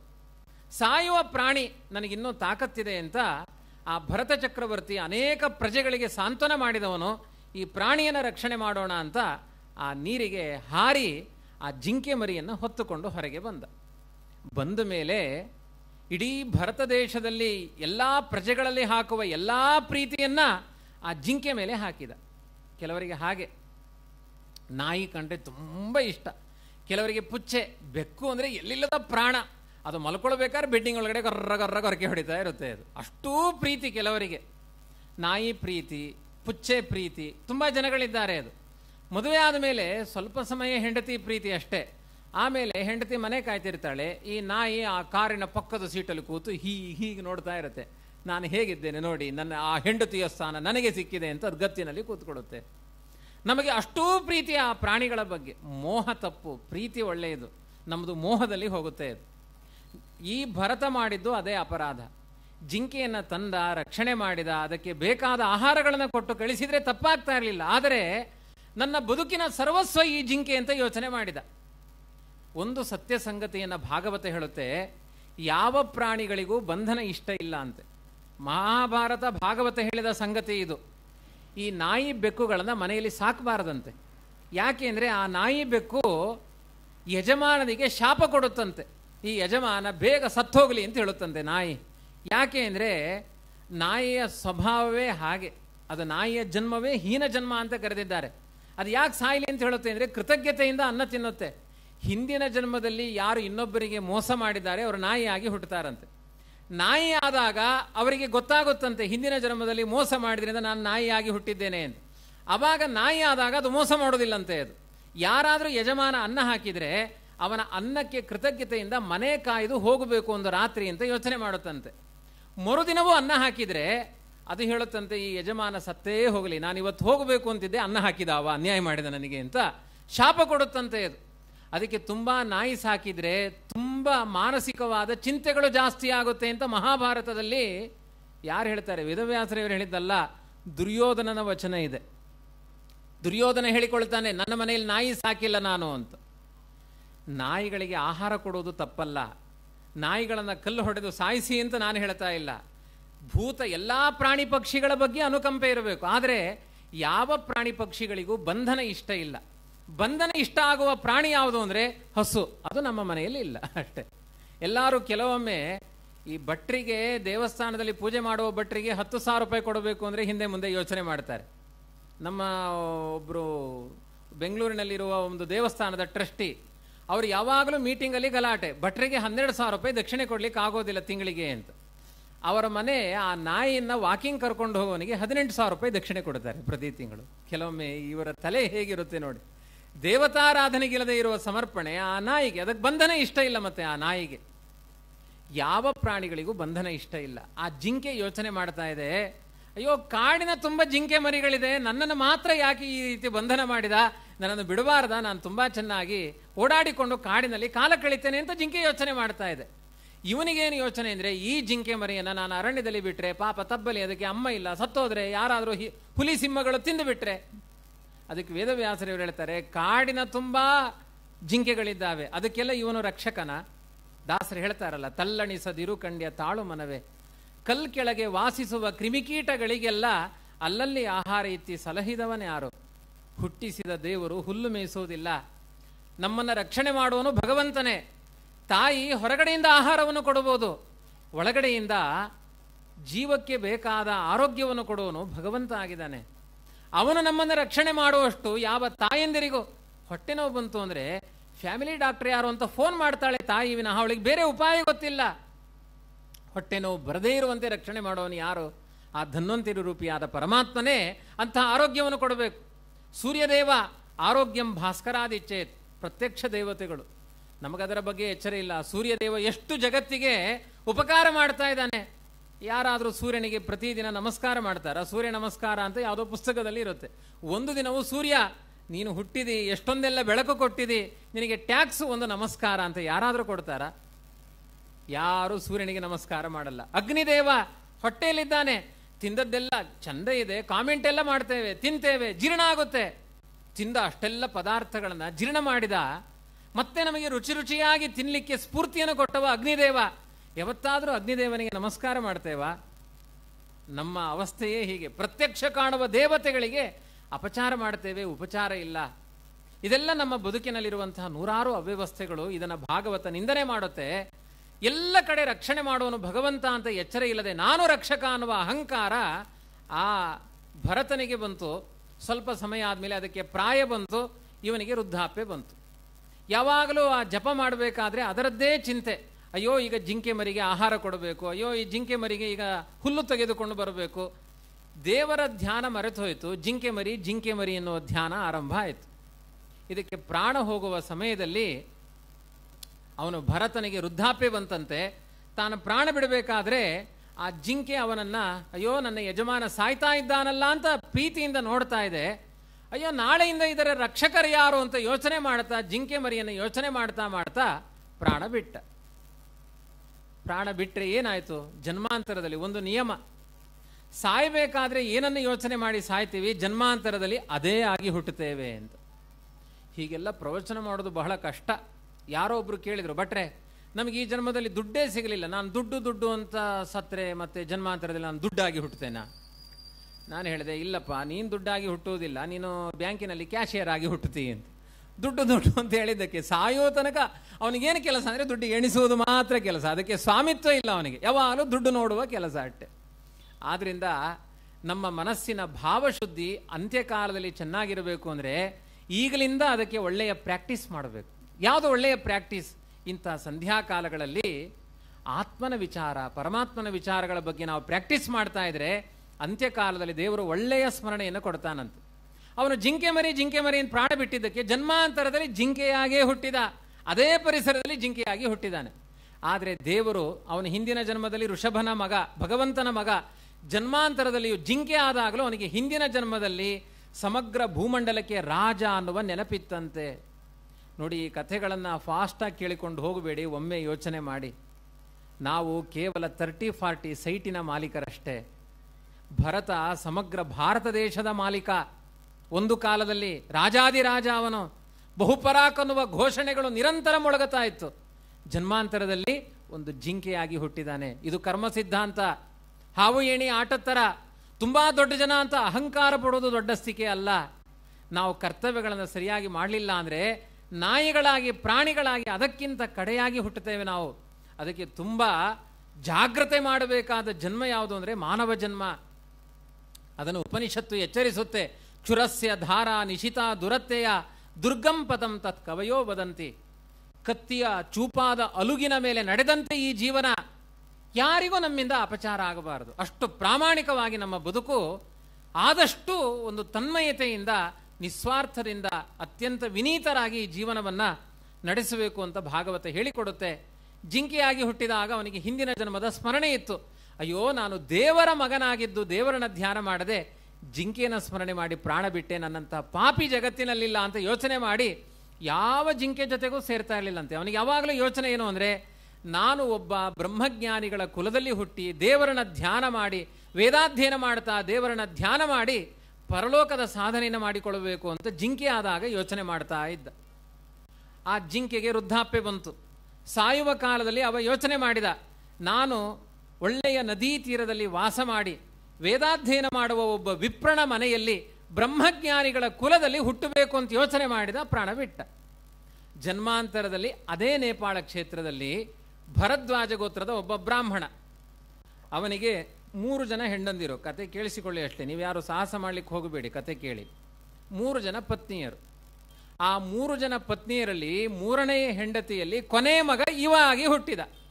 ಯಾಕೆ ಅಂದರೆ ತುಂಬ ಅಪ್ಪನಿಗೆ ಪ್ರಾಯ ಆದಮೇಲೆ ಮಕ್ಕಳು ಹುಟ್ಟಿದರೆ, ಆ ಅಪ್ಪನಿಗೆ ಅಷ್ಟು ತಾಕತ್ತು ಇರುವುದಿಲ್ಲ ಆ ಮಕ್ಕಳ ಬಗ್ಗೆ ಏಕಾಗ್ರತೆ ಇರುವುದಿಲ್ಲ ಅಂತ ಕೊನೆಯ ಮಗನಾಗಿ ಹುಟ್ಟಿದ. ತುಂಬ ಮಕ್ಕಳಿದ್ರೆ ಅಪ್ಪನ ಮನಸ್ಸು ವಿಶಾಲವಾಗುತ್ತೆ ಅಂತ ಒಂದು ನಿಯಮ. ಅಷ್ಟು ಜನ ಮಕ್ಕಳು, ಮನೆಯಲ್ಲಿ ಹನ್ನೆರಡು, ಹದಿಮೂರು ಜನ ಮಕ್ಕಳು. ಅಪ್ಪನ ಎಪ್ಪತ್ತನೆಯ ಶಾಂತಿಯ ಗಿಫ್ಟ್ ಏನು ಅಂದರೆ ಇವನ ಜನ್ಮ ಅಷ್ಟೇ, ಮತ್ತೇನಲ್ಲ. ಅವನು ಎಪ್ಪತ್ತನೇ ವರ್ಷದಲ್ಲಿ ಹುಟ್ಟಿದವ ಅವ. ಅವನಿಗೆ ಉಪನಯನ ಸಂಸ್ಕಾರ ಮಾಡಿದ. ಅವನಿಗೆಲ್ಲ ಮಕ್ಕಳ ಥರ ಇಲ್ಲ. ಇವನೊಂದು ವಿಲಕ್ಷಣ ಮಗ. ಆ ಮಕ್ಕಳ ಜೊತೆಗೆ ಊಟಕ್ಕೆ ಕೂತ್ಕೊಳ್ಳೋದಿಲ್ಲ, ಆ ಮಕ್ಕಳ ಜೊತೆಗೆ ಆಟ ಆಡೋದಿಲ್ಲ. ಎಲ್ಲಿ ನೋಡಿದ್ರು ಹೀಗೆ ಸುಮ್ಮನೆ ಕೂತಿರ್ತಾನೆ, ಗುಮ್ಮ ಕೂತಿರ್ತಾನೆ. ಅಪ್ಪನಿಗೆ ಮಂಡೆ ಬಿಸಿ, ಉಪನಯನ ಮಾಡಿದ, ವೇದಾಧ್ಯಯನ ಮಾಡ್ತಾನ ಅಂತ. ವೇದವನ್ನೂ ಓದಲಿಲ್ಲ, ಗಾಯತ್ರಿ ಜಪ ಮಾಡ್ತಾನ, ಗಾಯತ್ರಿಯನ್ನು ಜಪ ಮಾಡಲಿಲ್ಲ. ಒಂದು ರೀತಿ ಅದರಲ್ಲೆಲ್ಲ ನಾವು ಹಾಗೆ ಬಿಡಿ. ಅದೆಲ್ಲ ಮಾಡೋದ್ರಲ್ಲಿ ಸ್ವಲ್ಪ ಹಿಂದೆ. ಯಾವುದನ್ನೂ ಮಾಡಲಿಲ್ಲ ಅವ, ಕರ್ತವ್ಯಗಳೇ ಮಾಡಲಿಲ್ಲ. ಕೊನೆಗೆ ಅಪ್ಪನಿಗೆ ತಲೆ ಬಿಸಿಯಾಗಿ ಆ ಮಗನ ಬಗ್ಗೆಯೇ ಯೋಚನೆ ಮಾಡ್ತಾ ಅವನು ಪ್ರಾಣವೇ ಹೊರಟೋಯ್ತು. ಒಳ್ಳೇದಾಯ್ತು ಅಂತ ಅನ್ಕೊಂಡೆ. ಯಾಕೆಂದ್ರೆ ನನಗೆ ಅವ ಏನು ಅಪ್ಪ ಅಲ್ಲ. ನನ್ನ ಅಪ್ಪ ಬೇರೆ. ಇಲ್ಲಿರುವುದು ಸುಮ್ಮನೆ, ಅಲ್ಲಿರುವುದು ನಮ್ಮ ಮನೆ. ಈ ಅಪ್ಪಂದಿರೆಲ್ಲ ಬದಲಾಗ್ತಾರೆ. ನಿನ್ನೆ ನಮ್ಮ ಗುರುಗಳು ಹೇಳಿದ್ರಲ್ಲ, ಬದಲಾವಣೆ ಉಂಟು ಈ ಅಪ್ಪಂದಿರಲ್ಲಿ. ತಿಮ್ಮಪ್ಪನಲ್ಲಿ ಬದಲಾವಣೆ ಇಲ್ಲ. ಅವನು ಈವಾಗಲೂ ಅವನೇ ಗತಿ. ನಾಳೆಯೂ ಅವನೇ ಗತಿ. ತಂದೆ ವಿಠಲ, ತಾಯಿ ವಿಠಲ, ಬಂಧು ವಿಠಲ, ಬಳಗ ವಿಠಲ. ವಿಠಲ ಸಲಹೋ ಸ್ವಾಮಿ ನಮ್ಮನು ವಿಠಲ ಜಗದಂತರಿಯಾಮಿ ಅಂತ ಎಲ್ಲ ಈ ಜಗತ್ತನ್ನು ರಕ್ಷಣೆ ಮಾಡುವ ಭಗವಂತ ಅವನು ನಿತ್ಯ ನಮಗೆ ತಂದೆಯಾಗಿದ್ದಾನೆ.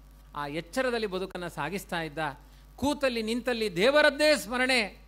ಯಾಕೆಂದರೆ ಅವನು ದೇವರಿಂದ ಉಪದೇಶ ಪಡೆದವನು ಗಾಯತ್ರಿಯನ್ನು. ಹೊರಗಡೆಯಿಂದ ಜಪಮಣಿ ಎಣಿಸಿದರೆ ಗಾಯತ್ರಿ ಅಲ್ಲ, ಮನಸ್ಸಿನ ಒಳಗಡೆಯೇ ಆ ಗಾಯತ್ರಿಯ ಮೂಲಕ ಭಗವಂತನನ್ನ, ಪರಬ್ರಹ್ಮನನ್ನು ಧ್ಯಾನ ಮಾಡ್ತಾ ಇದ್ದ. ಕೊನೆಗೆ ವಿಧಿಚೋದಿತವಾಗಿ ಅವನಿಗೂ ಭರತ ಅಂತಲೇ ಹೆಸರಿಟ್ಟ. ಜನಗಳೆಲ್ಲ ಬರೀ ಭರತ ಅಂತ ಕರಿತಾ ಇರಲಿಲ್ಲ ಜಡ ಭರತ ಅಂತ ಕರಿತಾ ಇದ್ರು. ಯಾಕೆ ಅಂದರೆ, ಇವನಿಗೆ ಜಗತ್ತಿನ ಬಗ್ಗೆ ಜಾಡ್ಯ ಇದೆ. ನಮಗೆ ಜಗತ್ತಿನ ಬಗ್ಗೆ ಚೈತನ್ಯ ಇದೆ, ದೇವರ ಬಗ್ಗೆ ಜಾಡ್ಯ ಇದೆ. ಅವನಿಗೆ ದೇವರ ಬಗ್ಗೆ ಚೈತನ್ಯ ಇದೆ, ಜಗತ್ತಿನ ಬಗ್ಗೆ ಜಾಡ್ಯ ಇದೆ. ಕೊನೆಗೆ ಇವನು ಮನೆಗೆ ಕೆಲಸಕ್ಕೆ ಬಾರದೇ ಇದ್ದವನು ಅಂತ ಈ ಕೆಲವೊಂದು ಎತ್ತುಗಳನ್ನು ಬಿಟ್ಟುಬಿಡ್ತಾರೆ, ಹೋರಿಗಳನ್ನು, ಬೀದಿ ಬಸವ ಅಂತ. ಹಾಗೆ ಅವನನ್ನು ಬಿಟ್ಟುಬಿಟ್ರು ಮನೆಯಲ್ಲಿ. ಸಿಕ್ಕ ಸಿಕ್ಕ ಕಡೆ ಅನ್ನ ತಿಂತಾ ಇದ್ದ ಅವನು. ಕೆಲವರು ಮೃಷ್ಟಾನ್ನ ಕೊಡ್ತಾ ಇದ್ರು, ಕೆಲವರು ಹಳಿಸಿದ ಅನ್ನ ಕೊಡ್ತಾ ಇದ್ರು. ಏನು ಕೊಟ್ಟರು ತೆಗೆದು ತಿಂತಾ ಇದ್ದ. ದೇವರು ಕೊಟ್ಟ ಪ್ರಸಾದ ಅಂತ. ಆರಾಮಾಗಿದ್ದ. ಕೆಲವರೆಲ್ಲ ಗದ್ದೆ ಕಾಯಲಿಕ್ಕೆ ಹೇಳ್ತಾ ಇದ್ರು, ಹೊಲಗಳನ್ನೆಲ್ಲ ರಕ್ಷಣೆ ಮಾಡು ಅಂತ ಅವನನ್ನು ಕೂಡಿಸ್ತಾ ಇದ್ರು. ಅಲ್ಲೂ ದೇವರ ಧ್ಯಾನ ಮಾಡ್ತಾ ಕೂತಿದ್ದ, ಅವನ ಮಂಡೆ ಮೇಲೆ ಹಕ್ಕಿಗಳೆಲ್ಲ ಕೂತು ಆ ಧಾನ್ಯಗಳನ್ನು ತಿಂದು ಹೋಗ್ತಾ ಇದ್ದು. ಎಂಜಾಯ್ ಮಾಡ್ತಾ ಇದ್ದ, ಈ ಪ್ರಾಣಿಗಳಿಗೆ ಒಳ್ಳೇದಾಗಲಿ ಅಂತ. ಯಾವಾಗಲೂ ದೇವರ ಸ್ಮರಣೆ. ಒಂದು ದಿವಸ ಇಕ್ಷುಮತಿ ನದಿಯ ತಟದಲ್ಲಿರುವಂತಹ ಸಿಂಧು ಸೌವೀರ ದೇಶದ ರಾಜ ರಹುಗಣ ಅಂತ ಒಬ್ಬ ರಾಜ. ಅವನು ನೇಪಾಳ ಕ್ಷೇತ್ರದಲ್ಲಿ ಒಬ್ಬರು ಒಳ್ಳೆ ಆಚಾರ್ಯ ಪುರುಷ ಭಾಗವತ ಪ್ರವಚನ ಮಾಡ್ತಾ ಇದ್ರಂತೆ ನೋಡಿ. ಯಾವುದು ಭಾಗವತದ ಕಾಲ? ಪುರಾಣದಲ್ಲಿ ಬಂದಿರುವ ಕಥೆ ಇದು. ಕೋಟಿ ಕೋಟಿ ವರ್ಷಗಳ ಇತಿಹಾಸ ಇದೆ ಭಾಗವತಕ್ಕೆ. ಅವರು ಭಾಗವತವನ್ನು ಕೇಳ್ತಾ ಇದ್ದನಂತೆ ಪ್ರತಿದಿನ ಹೋಗಿ ಭಾಗವತ ಕೇಳಬೇಕು. ಕೇಳಲಿಕ್ಕೆ ಹೋಗಲಿಕ್ಕೆ ಪಲ್ಲಕ್ಕಿಯಲ್ಲಿ ಹೋಗ್ತಾ ಇದ್ದಂತೆ ಅವನು. ಪಲ್ಲಕ್ಕಿ ಹೊರಲಿಕ್ಕೆ ಜನ ಯಾರು? ಯಾವ ಯಾವ ಊರಿಗೆ ಪಲ್ಲಕ್ಕಿ ಹೋಗುತ್ತೋ ಆ ಊರಿನವರು ಪಲ್ಲಕ್ಕಿ ಹೊತ್ಕೊಂಡು ಹೋಗಬೇಕು. ಮುಂದಿನ ಊರಿಗೆ ಹೋದಾಗ ಇವರು ಪಲ್ಲಕ್ಕಿ ಬಿಡಬೇಕು. ಆ ಊರಿನವರು ಪಲ್ಲಕ್ಕಿ ಹೊತ್ಕೊಳ್ಬೇಕು. ಇಕ್ಷುಮತಿ ನದಿಯ ತಟದಿಂದ ಸಿಂಧೂ ನದಿಯ ತೀರಕ್ಕೆ ಬಂದಾಗ ಈ ಜಡಭರತ ಸಿಕ್ಕಿದನಂತೆ. ಮೂರು ಜನ ಇದ್ರು ಪಲ್ಲಕ್ಕಿ ಹೊರಲಿಕ್ಕೆ, ನಾಲ್ಕನೇ ವ್ಯಕ್ತಿ ಸಿಗಲಿಲ್ಲ. ಕೊನೆಗೆ ಇವನು ಗಟ್ಟುಮುಟ್ಟಿಯಾಗಿದ್ದಾನೆ ಅಂತ ಕಾಣಿಸ್ತು ಆ ರಹುಗಣನಿಗೆ ಅವನನ್ನು ಎಳ್ಕೊಂಡು ಬನ್ನಿ ಅಂತ ಅವನ ಭುಜದಲ್ಲಿ ಪಲ್ಲಕ್ಕಿ ಇಟ್ಟ. ಇಟ್ಟ ಮೇಲೆ ಅಲ್ಲೇ ನಿಂತಿದ್ದ ಅವ. ಕೆಲವರು ಬೋದಾಳ ಅಂತ ಕರೀತಾರಲ್ಲ, ಹಾಗೆ ನಿಂತಿದ್ದ ಅವನು. ಅವ ಹೇಳಿದ, ನಡಿ ಅಂತ ಹೇಳಿದ. ಯದ್ವಾ ತದ್ವಾ ನಡಿಲಿಕ್ಕೆ ಆರಂಭ ಮಾಡಿದ. ಅವ ಹಾರ್ತಾನೆ. ನಡಿಬೇಕಾದ್ರೆ ಅವನು ಜಂಪ್ ಮಾಡ್ಕೊಂಡು ಹಾರ್ತಾನೆ. ಇದ್ದಕ್ಕಿದ್ದಾಗಿ ಜಂಪ್ ಮಾಡಿದ್ರೆ ಆ ಪಲ್ಲಕ್ಕಿಯಲ್ಲಿ ಕೂತರು ಹೋಗೋಣ ಆಚೆ ಈಚೆ ಎಲ್ಲ ಡಿಕ್ಕಿ ಹೊಡೆದು ತಲೆಯೆಲ್ಲ ಗುಮಟಿ ಬಂತು ಅವನಿಗೆ. ಅವ ಹೇಳಿದ, ಇವನು ಸರಿ ಇಲ್ಲ ಅಂತ ಅವ್ರಿಗೆಲ್ಲರಿಗೂ ಬೈದ ಪಲ್ಲಕ್ಕಿ ಸರಿಯಾಗಿ ಹೊತ್ಕೊಂಡು ಹೋಗಿ. ಜೊತೆಗಿದ್ದ ಸಪೋರ್ಟರ್ಸ್ ಹೇಳಿದರು, ನಾವು ಮೂರು ಜನ ಪರ್ಫೆಕ್ಟ್ ಆಗಿದ್ದೇವೆ. ಇದು ಒಂದು ಅಂಡೆ ಪಿರಿಕಿ, ಇದು ಸರಿ ಇಲ್ಲ, ಇದು ಮಂಡೆ ಇಲ್ಲ ಇದಕ್ಕೆ. ಹೇಗೇಗೋ ನಡೀತಾ ಇದೆ ಅಂತ. ಜಡಭರತ ಯೋಚನೆ ಮಾಡಿದ, ನಾನೊಬ್ಬ ಸರಿಯಾಗಿದ್ದೇನೆ, ಇವರು ಯಾರೂ ಸರಿಯಾಗಿಲ್ಲ. ಯಾಕವ ಹಾರ್ತಾ ಇದ್ದ ಅಂದರೆ, ಒಟ್ರಾಸಿ ನಡಿಬಾರದಂತೆ. ಭೂಮಿಯನ್ನು ನಡಿಬೇಕಾದ್ರೆ ಪ್ರಾಣಿ ಅಲ್ಲಿ ಏನಾದರೂ ಇರುವೆಗಳಿದ್ದಾವ, ಕ್ರಿಮಿಕೀಟಗಳಿದ್ದಾವ ಅಂತ ಕಣ್ಣಿನಿಂದ, ದೃಷ್ಟಿಯಿಂದ ಆ ಭೂಮಿಯನ್ನು ಪವಿತ್ರ ಮಾಡಿಕೊಂಡು ನಡಿಬೇಕಂತೆ ನಾವು ಒಟ್ರಾಸಿ ಹೀಗೆ ನಡೆದುಕೊಂಡು ಹೋಗೋದಲ್ಲ. ಅವ ಇರುವೆಗಳು ಬಂದರೆ ಅವ ಯೋಚನೆ ಮಾಡ್ತಾ ಇದ್ದ. ನಾನು ಕಾಲಿಟ್ಟರೆ ಇರುವೆ ಸತ್ತೇ ಹೋಗುತ್ತೆ. ಹಾರಿದರೆ ಅವನಿಗೆ ಸುಮ್ಮನೆ ಮಂಡೆ ಸ್ವಲ್ಪ ತಾಗುತ್ತೆ ಅಷ್ಟೇ. ಸಾಯಿಸುವುದು ಒಳ್ಳೆಯದಲ್ಲ ಅಂತ ಹಾರ್ತಾ ಇದ್ದ. ಅವನಿಗೆ ಮಂಡೆ ತಾಗ್ತಾ ಇತ್ತು. ಕೊನೆಗೆ ಸಿಟ್ಟು ಬಂತು ರಹುಗಣನಿಗೆ ನಿಲ್ಲು ಅಂತ ಹೇಳಿದ. ಏನನ್ಕೊಂಡಿದೆ ನಾನು ಇಕ್ಷುಮತಿ ನದಿಯ ತಟದಲ್ಲಿರುವ ಸಿಂಧು ಸೌವೀರ ದೇಶದ ರಾಜ. ನನಗೆ ಗೌರವವನ್ನು ಕೊಡಬೇಕು ಅನ್ನೋ ಒಂದು ಸಾಮಾನ್ಯ ಕಾಮನ್ ಸೆನ್ಸ್ ಅಂತ ಹೇಳ್ತಾರಲ್ಲ, ಸಾಮಾನ್ಯ ಪ್ರಜ್ಞೆ ನಿನಗಿಲ್ವಾ? ಅಪಚಾರ ಮಾಡ್ತಾ ಇದೆ ಒಬ್ಬ ರಾಜನಿಗೆ? ಅವ ಯೋಚನೆ ಮಾಡಿದ, ನಾನು, ನೀನು ಸಿಂಧು ಸೌವೀರ ದೇಶಕ್ಕೆ ರಾಜ, ನಾನು ಸಮಗ್ರ ಭರತ ದೇಶಕ್ಕೆ ರಾಜ ಆಗಿದ್ದೆ, ಈ ಜನ್ಮದಲ್ಲಿ ಈ ಬ್ರಾಹ್ಮಣನಾಗಿ ಹುಟ್ಟಿದ್ದೇನೆ. ಸಮಗ್ರ ದೇಶಕ್ಕೆ ರಾಜ ಯಾರೂ ಅಲ್ಲ, ಸ್ವತಂತ್ರನಾದ ರಾಜಾದಿರಾಜ ಭಗವಂತನೇ ಆಗಿದ್ದಾನೆ, ಮನಸ್ಸಿನಲ್ಲಿ ಯೋಚನೆ ಮಾಡಿದ. ಮತ್ತೆ ಮತ್ತೆ ನಿಂದನೆ ಮಾಡಿದಾಗ ಬಾಯಿ ತೆಗಿತಾನೆ, ಜಡಭರತ ರಹುಗಣ ಏನಂತ ಭಾವಿಸಿದಿ? ಸ್ವತಂತ್ರ ಭಗವಂತ ಮಾತ್ರ, ನಾವೆಲ್ಲ ಸ್ವತಂತ್ರರು ನೀನು ರಾಜ ಅಂತ ಹೇಳಿದಾಗ ನಿನ್ನಲ್ಲಿ ಸ್ವಾತಂತ್ರ್ಯ ಇರಬೇಕು. ನಿನ್ನಲ್ಲಿ ಏನು ಸ್ವಾತಂತ್ರ್ಯ ಇದೆ? ಈ ಭೂಮಿ ಅಳ್ಳಾಡಿದ್ರೆ ಪಲ್ಲಕ್ಕಿ ಕೆಳಗೆ ಬೀಳುತ್ತೆ. ನನ್ನ ಕಾಲು ಅಳ್ಳಾಡಿದ್ರೆ ನೀನು ಕೆಳಗೆ ಬೀಳುತ್ತಿ. ನನ್ನ ಭುಜ ಸರಿಸಿದ್ರೆ ನಿನ್ನ ಪಲ್ಲಕ್ಕಿ ಕೆಳಗೆ ಬೀಳುತ್ತೆ. ಪಲ್ಲಕ್ಕಿಯಲ್ಲಿಟ್ಟ ಅಡ್ಡ ಬಡಿ, ಏನು ಆ ಮರ ಇದೆ, ಆ ಮರದ ಪೀಸು ತುಂಡಾದರೆ ಕೆಳಗೆ ಬೀಳುತ್ತಿ. ಹಾಗಾಗಿ ನೀನು ಮರವನ್ನು ಆಶ್ರಯಿಸಿಕೊಂಡಿದೆ. ಮರ ನನ್ನ ಹೆಗಲನ್ನು ಆಶ್ರಯಿಸಿಕೊಂಡಿದೆ. ನನ್ನ ಹೆಗಲು ನನ್ನ ಸೊಂಟವನ್ನು ಆಶ್ರಯಿಸಿಕೊಂಡಿದೆ. ನನ್ನ ಸೊಂಟ ನನ್ನ ಕಾಲನ್ನು ಆಶ್ರಯಿಸಿಕೊಂಡಿದೆ. ನನ್ನ ಕಾಲು ಈ ಭೂಮಿಯನ್ನು ಆಶ್ರಯಿಸಿಕೊಂಡಿದೆ. ಇಷ್ಟೆಲ್ಲರ ಗುಲಾಮನಾದ ನೀನು ರಾಜನಾಗಲಿಕ್ಕೆ ಸಾಧ್ಯವಾ? ಇಷ್ಟು ಹೇಳಿದಾಗ ಅವನಿಗೆ ಸ್ವಲ್ಪ ವ್ಯತ್ಯಾಸ ಕಾಣಿಸ್ತು. ಯಾಕೆಂದರೆ ಸಾಮಾನ್ಯ ಪ್ರಜೆಗಳು ಹೀಗೆಲ್ಲ ಮಾತನಾಡಲ್ಲ. ಇದೊಂದು ಬೇರೆ ಥರ ಮಾತು ಬಂತು ಅಂತ ಒಮ್ಮೆ ಹೀಗೆ ನೋಡಿದ ಇಣಕಿ. ಅವನ ಕಾಲಿನಿಂದ ತಲೆಯ ತನಕ ನೋಡಿದ. ಕಸ್ತಂ ನಿಗೂಢಶ್ಚರಸಿ ಯಾರೋ ಗುಪ್ತವಾಗಿ ಸಂಚಾರ ಮಾಡುವ ಬ್ರಹ್ಮಜ್ಞಾನಿಯಾಗೇ ಇದೆ ನೀನು. ನೀನು ಯಾರು ಅಂತ ಗಮನಿಸಿದ? ಜನಿವಾರ ಕಾಣಿಸ್ತು. ಜನಿವಾರ ಕಂಡಾಗ ಗೊತ್ತಾಯಿತು, ಇವನೊಬ್ಬ ಬ್ರಾಹ್ಮಣ. ಇವನು ಸಾಮಾನ್ಯ ಅಲ್ಲ, ತುಂಬ ದೊಡ್ಡ ಬ್ರಹ್ಮಜ್ಞಾನಿ ಅಂತ ಪಲ್ಲಕ್ಕಿಯಿಂದ ಕೆಳಗೆ ಹಾರಿದ, ಕಾಲಿಗೆ ಎರಗಿದ, ನೀನು ಯಾರು ನನಗೆ ಹೇಳು ಅಂತ ಕೇಳಿದ. ಅವಾಗ ಅವನು ಹೇಳಿದ, ನೀನು ಯಾರು ಅಂತ ಪ್ರಶ್ನೆ ಮಾಡೋಕ್ಕಿಂತ ಮೊದಲು ನಾನು ಯಾರು ಅಂತ ಯೋಚನೆ ಮಾಡು. ಇವತ್ತೆಲ್ಲ ನಮ್ಮ ವೈಭವಗಳನ್ನು ಹೇಗೆ ಗುರುತಿಸಿಕೊಳ್ತೇವೆ? ನೀನು ಯಾರು ಅಂತ ಕೇಳಿದ ತಕ್ಷಣ, ಕೆಲವರಿಗೆ ಹೇಳಲಿಕ್ಕೆ ಬಾಯೇ ಬರುವುದಿಲ್ಲ. ಯಾಕೆಂದರೆ ನಾಲ್ಕು ಪಿ ಎಚ್ ಡಿ ಮಾಡಿರ್ತಾರೆ ಯೂನಿವರ್ಸಿಟಿಯಲ್ಲಿ ಕೆಲಸದಲ್ಲಿರ್ತಾರೆ, ದೊಡ್ಡ ಒಂದು ಕುಲಪತಿಯ ಸ್ಥಾನದಲ್ಲಿರ್ತಾರೆ. ಅವರನ್ನು ಹೋಗಿ ಯಾರೋ ಬಂದು, ನೀವು ಯಾರು ಅಂತ ಕೇಳಿದರೆ, ಅವ್ರ ಹತ್ರ ಹೋಗಿ ಕೇಳು, ನಾನು ಯಾರು ಅಂತ ಗೊತ್ತಾಗುತ್ತೆ ಅಂತ ಅಷ್ಟು.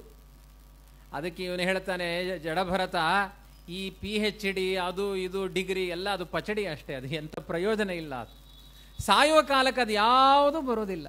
ಕೊಂಡು ಹೊಯ್ಯುವಾಗ ಯಾರಿಲ್ಲವಂತೆ ಕುರುಡನಾಯಿ ಸಂತೆಗೆ ಬಂತಂತೆ ಸುಮ್ಮನೆ ಇದೆಲ್ಲ ವ್ಯರ್ಥ. ಆ ಸ್ಥಾನ, ಈ ಮಾನ, ನಮ್ಮ ಮರಣ ಕಾಲದಲ್ಲಿ ಯಾವುದು ಬರುತ್ತೆ, ಅದೇ ನಮ್ಮ ಬದುಕಿಗೆ ಬೇಕಾಗಿರುವಂತಹದ್ದೇವಿನ ಇದು ಯಾವುದು ನಮ್ಮ ಮರಣೋನ್ಮುಖವಾಗಿ ಯಾವುದೂ ಬರುವುದಿಲ್ಲ ದಾಸರು ಕೇಳ್ತಾರಲ್ಲ, ಯಾರು ಬರುವರು ನಿನ್ನ ಹಿಂದೆ? ಇದ್ದ ಯಮಭಟರು ಬಾಯೆಂದು ಸೆಳೆದೊಯ್ಯುವಾಗ ಸತಿಸುತರುಗಳು ಬರುವುದಿಲ್ಲ. ಜನನಿ ಜನಕರೂ ಬರುವುದಿಲ್ಲ. ಹಿತಮಾನ್ಯ ಕ್ಷೇತ್ರ ಬರುವುದಿಲ್ಲ. ಹನುಮಯ್ಯನ ಹೊರತು ಬೇರೆ ಗತಿ ಇಲ್ಲ ಅಂತ. ಎಲ್ಲ ಶ್ಮಶಾನದ ತನಕ ಬಂದಾರಷ್ಟೇ. ರುದ್ರಭೂಮಿಯ ತನಕ ಬಂದಾರು. ಆಮೇಲೆ ನಾಲ್ಕು ಕಣ್ಣೀರು ಹಾಕಿ ಹೊರಟೋಗ್ತಾರೆ. ಇತ್ತೀಚೆಗೆ ಕಣ್ಣೀರು ಹಾಕಲಿಕ್ಕೂ ಜನ ಇರೋದಿಲ್ಲ. ಈ ಚೆನ್ನೈ ಕಡೆಯಲ್ಲೆಲ್ಲ ಒಂದು ಟೀಮ್ ಶುರು ಆಗಿದೆ ಭಜನಾ ಮಂಡಳಿ ಥರ ಸತ್ತಾಗ ಅಳುವ ಒಂದು ಟೀಮ್. ಅವ್ರು ಬಳತ, ಬರ್ತಾರೆ, ಒಂದು ಗಂಟೆ ಚಂದ ಹತ್ತು ಬಿಟ್ಟು ಹೋಗ್ತಾರೆ. ಅವ್ರಿಗೆ ದಕ್ಷಿಣೆ ಕೊಡಬೇಕು. ಎಂಥ ಘೋರವಾದ ಕಲಿಯುಗ ಇದು. ಸತ್ತಾಗಲೂ ಅಳುವುದಿಲ್ಲ ಅಂದರೆ ಕಥೆ ಏನು? ಇನ್ನು ಕೆಲವರು ಅಳ್ತಾರೆ ಸ್ವಲ್ಪ ಅವತ್ತು ಮಾತ್ರ ಸ್ಟೈಲಾಗಿ ಹತ್ತು ಖರ್ಚಿಪಲ್ಲೆಲ್ಲ ಒರೆಸಿಕೊಂಡು, ಆಯ್ತಪ್ಪ, ಹತ್ತು ಬಿಟ್ಟಿದ್ದೀನಿ, ನನ್ನ ಕೆಲಸ ಮುಗೀತು ಅಂತ. ಅವತ್ತಿನ ದಿನ ಮಾತ್ರ ದುಃಖ. ಕೆಲವರು ಹೇಳ್ತಾರೆ, ಅವರು ಹೋದರು, ತುಂಬ ದುಃಖ. ಅವಳು ಯಾರು ಬಂದು ಸಾಂತ್ವನ ಮಾಡಬೇಕಾದ್ರೂ ದುಃಖ. ಆರು ತಿಂಗಳು ಬಿಟ್ಟು ಹೋಗಿ ನೋಡಿ ಫಸ್ಟ್ ಕ್ಲಾಸ್ ಕುರುಕುರೆ ತಿಂತಾ ಇರ್ತಾರೆ, ಕಾಫಿ ಕುಡಿತಿರ್ತಾರೆ, ಎಲ್ಲ ಮರೆತು ಹೋಗಿರುತ್ತೆ. ಏನು ನಿಮ್ಮ ಮನೆಯವರೆಲ್ಲಿ ಅಂತ ಕೇಳಿ. ಅಯ್ಯೋ, ನಿಮಗೆ ಗೊತ್ತಾಗಲಿಲ್ವಾ? ಅವರು ಹೋದರು. ಭಾಳ ಖುಷಿ ಅವರಿಗೆ. ಹೇಗಿದೆ ಈ ಜೀವನ? ಎಲ್ಲರ ಬದುಕು ಅಷ್ಟೆ. ಮನುಷ್ಯನಿಗೆ ತನ್ನ ಸುಖಗಳೇ ಬೇಕೇ ವಿನಃ ಯಾರ ಹಿಂದೆ ಯಾರೂ ಹೋಗಲಿಕ್ಕೆ ತಯಾರಿಲ್ಲ. ಆದರೆ ಪ್ರತಿಯೊಬ್ಬ ಜೀವರಾಶಿಗಳನ್ನು ಪ್ರತಿ ಜನ್ಮಗಳಲ್ಲಿ ಆಯಾ ಜ ಯೋನಿಗಳಲ್ಲಿ ಹುಟ್ಟಿಸಿ ಅವರ ಹಿತಚಿಂತನೆ ಮಾಡುವ ಪರಮಚೇತನ ಅದು ಭಗವಂತ ಮಾತ್ರ. ರಹುಗಣ ಇದನ್ನು ಅರ್ಥ ಮಾಡಿಕೋ. ನನ್ನಪ್ಪ ಋಷಭರೂಪಿಯಾದ ಭಗವಂತ. ಅವನ ಮಗನಾಗಿ ಹುಟ್ಟಿದವನು. ಹಿಂದಿನ ಜನ್ಮದಲ್ಲಿ ಜಿಂಕೆಯಾಗಿ ಹುಟ್ಟಿದೆ. ಇಷ್ಟೆಲ್ಲ ಕರ್ಮ ಸಿದ್ಧಾಂತ ಇದ್ದಾಗ ದೇವರವನ್ನ ನಂಬದೆ ಯಾರು ಬದುಕ್ತಾರೆ? ಅವರಿಗೆ ಆಗುವ ಹಾನಿ, ತುಂಬ ದೊಡ್ಡ ಅನರ್ಥದ ಹಾನಿ, ತುಂಬ ದೊಡ್ಡ ಅನರ್ಥ ಇದರಿಂದ ಆಗುತ್ತೆ. ಆದ್ದರಿಂದ ನೀನು ಎಚ್ಚೆತ್ತುಕೊಂಡು ಯಾವಾಗಲೂ ದೇವರ ಸ್ಮರಣೆ ಮಾಡು. ಯಾರಿಗೆ ದೇವರ ಬಗ್ಗೆ ಎಚ್ಚರ ಇದೆ, ಅವರಲ್ಲಿ ಹೋಗು. ಹಂಸ ಮೊದಲು ಹದಿನೆಂಟು ರೂಪಗಳ ಸಂಸ್ಥಾನವ ತಿಳಿದನುದಿನದಿ ಸಂಸೇವಿಸುವ ಮಹಾಪುರುಷರ ಪದಪಾಂಸುವ ಧರಿಸಿ ಅಸಂಶಯನಪ್ಪುದೆ ಫಲವಿದು ಬಾಳ್ದುದಕ್ಕೆ ಅಂತ ದಾಸರ ಪದ್ಯ ಇದೆ. ದೇವರ ಗುಣಚಿಂತನೆ ಮಾಡುವವರ ಮನೆಗೆ ಹೋಗಿ ನಿಂತುಕೋ. ಅವರ ಮನೆ ಹರಿದಾಸನಾಗಿ ನಿಂತು ಅವರ ಸೇವೆ ಮಾಡಿ ಅವರಿಂದ ಕೊಡುವ ತತ್ವಜ್ಞಾನವನ್ನು ಪಡೆದು ಮೋಕ್ಷದ ಕಡೆ ಯೋಚನೆ ಮಾಡು. ಮುಕ್ತಿಯ ಚಿಂತನೆಯನ್ನು ಸಂಧ್ಯಾಕಾಲದಲ್ಲಿ ಮಾಡಬೇಕು ಅಂತ ಪ್ರಾಚೀನರ ಚಿಂತನೆ ಅದು. ಇದು ಮುಕ್ತಿಯ ಚಿಂತನೆ ಹೊರಟೋಯ್ತು, ಇದು ಕಲಿಯುಗ. ಮುಂಚೆ ಎಲ್ಲ ಒಂದು ಎರಡು ಮೂರು ವರ್ಷದ ಮುಂಚೆ ಮುಕ್ತ ಚಿಂತನೆ ಮಾಡ್ತಾ ಇದ್ರು, ಧಾರಾವಾಹಿ ಬರ್ತಿತ್ತು ಅದು. ಸಂಧ್ಯಾಕಾಲ ಆದ ತಕ್ಷಣ ಮುಕ್ತ ಅಂತ. ಆಮೇಲೆ ಅದು ಫೇಮಸ್ ಆದಮೇಲೆ ಮುಕ್ತ ಮುಕ್ತ ಆಯಿತು ಅದು ಡಬಲ್ ಇನ್ನೂ ಮುಂದುವರಿತು. ಆಮೇಲೆ ಈಗ ಅಗ್ನಿ ಸಾಕ್ಷಿಯಾಗಿ ಹೇಳಬೇಕಷ್ಟೆ. ಇನ್ಯಾವುದೂ ಇಲ್ಲ. ಈ ಥರ ಒಂದೊಂದೇ ನಮ್ಮ ಬಯಕೆಗಳು ಸಂಧ್ಯಾಕಾಲ ಬಂದಾಗ ಬೇಡದೇ ಇರುವ ವಿಚಾರಗಳು. ಯಾವುದೋ ಅತ್ತೆ, ಸೊಸೆ, ಗಲಾಟೆ ಆ ಟಿ ವಿಲಿ ಬರ್ತಿರುತ್ತೆ. ಅವಳು ಕುತ್ತಿಗೆ ಹಿಚುಕ್ತಾ ಇರ್ತಾಳೆ. ಅದರ ಬಗ್ಗೆ ಕುತೂಹಲ. ಕೆಲವರು ಟಿ ವಿ ನೋಡಿ ಕಣ್ಣೀರು ಹಾಕ್ತಿರ್ತಾರೆ. ಅಯ್ಯೋ, ಅವಳಿಗೆ ಹಂಗೆ ಆಗಬಾರ್ದಾಗಿತ್ತು ಅಂತ. ಅವಳು ದಾರವಾಗಿ ಮುಗಿದು ಮುಗಿದಲೆ ಐಸ್ ಕ್ರೀಮ್ ತಿಂತ ಕೂತಿರ್ತಾಳು ಅವಳು. ನೀವ್ಯಾಕೆ ಕಣ್ಣೀರು ಹಾಕ್ತೀರಿ ಅದಕ್ಕೋಸ್ಕರ? ಕರೆಂಟ್ ವೇಸ್ಟು, ಟೈಮ್ ವೇಸ್ಟು, ಮನಸ್ಸಿನ ಭಾವನೆಗಳ ವ್ಯರ್ಥ. ಇದು ಪುಣ್ಯದ ದೇಹ ಇದು. ಇದು ಬಾಣ ಇದ್ದ ಹಾಗೆ ಇದು. ನಮ್ಮ ಅಧ್ಯಾತ್ಮ ಜೀವನದ ಗುರಿ ಮುಟ್ಲಿಕ್ಕೆ ಇಂತಹ ದೇಹದಂತಹ ದೇಹ ಇನ್ನೊಮ್ಮೆ ಸಿಗೋದಿಲ್ಲ. ಆದ್ದರಿಂದ ಎಷ್ಟು ಒಳ್ಳೆಯದು ಮಾಡಬೇಕು, ಈ ಯೋನಿಯಲ್ಲಿ ಮಾಡಬೇಕಪ್ಪ. ನಿನ್ನ ಬದುಕನ್ನು ಸಾರ್ಥಕ ಮಾಡಿಕೊ ಅಂತ ರಹುಗಣನಿಗೆ ಜಡಭರತರ ಉಪದೇಶ ಮಾಡ್ತಾ ಇದ್ರೆ ಅದನ್ನು ಕೇಳ್ತಾ ಕೇಳ್ತಾ ತನ್ನ ರಾಜ್ಯವನ್ನೆಲ್ಲ ತೊರೆದು ಮಕ್ಕಳಿಗೆಲ್ಲ ಕೊಟ್ಟು ಈ ಜಡಭರತನ ಜೊತೆಗೆ ಸೇರಿ ಅವನು ನಿರಂತರ ಭಜನೆ ಮಾಡ್ತಾ ಕೂತನಂತೆ. ನೋಡಿ ನಮ್ಮ ದೇಶವನ್ನು ಆಳಿದ ಪ್ರಾಚೀನ ರಾಜರ ಎಷ್ಟು ಪವಿತ್ರವಾದ ಭಾವನೆಗಳಿದ್ದಾವೆ. ಅದರಿಂದ ಆತ್ಮನ ವಿಕಾಸನ ಆಗುವಂತಹ ವ್ಯವಸ್ಥೆಗಳಿದ್ದಾವೆ ಅನ್ನೋದನ್ನು ತೋರಿಸಿಕೊಟ್ಟಿದ್ದಾರೆ. ಯಾರಿದಕ್ಕೆ ವಿಮುಖವಾಗಿ ನಡೀತಾರೆ, ಅವರಿಗೆ ಭಯಂಕರವಾದ ನರಕಗಳ ವಾಸ ಆಗುತ್ತೆ ಅಂತ ಆ ನರಕದ ನಾನು ಮೊದಲನೇ ಹೇಳಿದೆ. ನರಕ ಇಲ್ಲೆಲ್ಲ ಯಾರಿಗೂ ಎಂಟು ಗಂಟೆಗೆದ್ದವರಿಗೆ ಪೊಲೀಸ್ ಸ್ಟೇಷನಿಗೆ ಕರ್ಕೊಂಡು ಹೋಗಿ ಕಾರಾಗೃಹ ಬಂಧನ ಮಾಡೋದಿಲ್ಲ. ನರಕಕ್ಕೆ ಹೋದರೆ ಮೊದಲನೇ ಪ್ರಶ್ನೆ ಏನು ಅಂದರೆ, ಮನುಷ್ಯನಾಗಿ ಹುಟ್ಟಿದಿ ಅಥವಾ ಗಾಯತ್ರಿ ಜಪ ಮಾಡುವ ಬ್ರಾಹ್ಮಣನಾಗಿ ಹುಟ್ಟಿದಿ ಗಾಯತ್ರಿ, ಜಪ ಮಾಡಿದೆಯಾ ಅಂತ ಮೊದಲನೇ ಅನ್ಕೊಯಿರಿ ಇಲ್ಲ ಅಂತ ಕ್ಷಣ ಒಂದು ಹತ್ತು ಸಾವಿರ ವರ್ಷದ ನರಕ ಫಿಕ್ಸ್ ಆಗುತ್ತೆ. ಆಮೇಲೆ ಕೇಳ್ತಾರೆ, ಏಕಾದಶಿ ಉಪವಾಸ ಮಾಡಿದ್ಯಾ ಅಂತ. ಕೆಲವರಿಗೆ ಏಕಾದಶಿ ಅಂದರೆ ಬಹಳ ಖುಷಿ. ಯಾಕೆ ಅಂದರೆ, ಏಕಾದಶಿ ಅಂದರೆ ಫಲಾರ ಮಾಡುವ ದಿನ ಅಂತ. ಕೆಲವರು ಬೆಳ್ತಕ್ಕಿ ತಿನ್ನೋದಿಲ್ಲ, ಕುಚ್ಚಲಕ್ಕಿ ತಿನ್ನೋದಿಲ್ಲ ಬೆಳ್ತಕ್ಕಿ ತಿಂತೇವೆ ಅಂತ. ಇನ್ನು ಕೆಲವರು ಏಕಾದಶಿ ಇವತ್ತು ಫಲಾರ ಮಾತ್ರ ಮಾಡೋದು ಅಂತ. ಏಕಾದಶಿ ಬಂದಾಗ ತಿನ್ನಬಾರದು ಮನುಷ್ಯರು. ನೋಡಿ, ಹಿಂದೂಗಳ ಆಚರಣೆಯದು ಬ್ರಾಹ್ಮಣರ ಆಚರಣೆ ಎಲ್ಲ ತಪ್ಪು ತಿಳ್ಕೊಳ್ಬೇಡಿ. ಯಾರ್ಯಾರು ಮಾನವರೋ ಅವರೆಲ್ಲ ಏಕಾದಶಿಯನ್ನು ಮಾಡಬೇಕು ಅಂತ ಅಂಬರೀಷ ಚಕ್ರವರ್ತಿ ತಾನು ರಾಜನಾಗಿದ್ದಾಗ ಆ ಪಟ್ಟಣದಲ್ಲಿರುವಂತಹ ಎಲ್ಲ ಪ್ರಜೆಗಳಿಂದ ಏಕಾದಶಿ ವ್ರತವನ್ನು ಅನುಷ್ಠಾನ ಮಾಡಿಸ್ತಾ ಇದ್ದಂತೆ. ಜಗತ್ತಿನಲ್ಲಿ ಯಾವ ದುಷ್ಟರ ಹಾವಳಿ ಆಗಿರಲಿಲ್ಲ.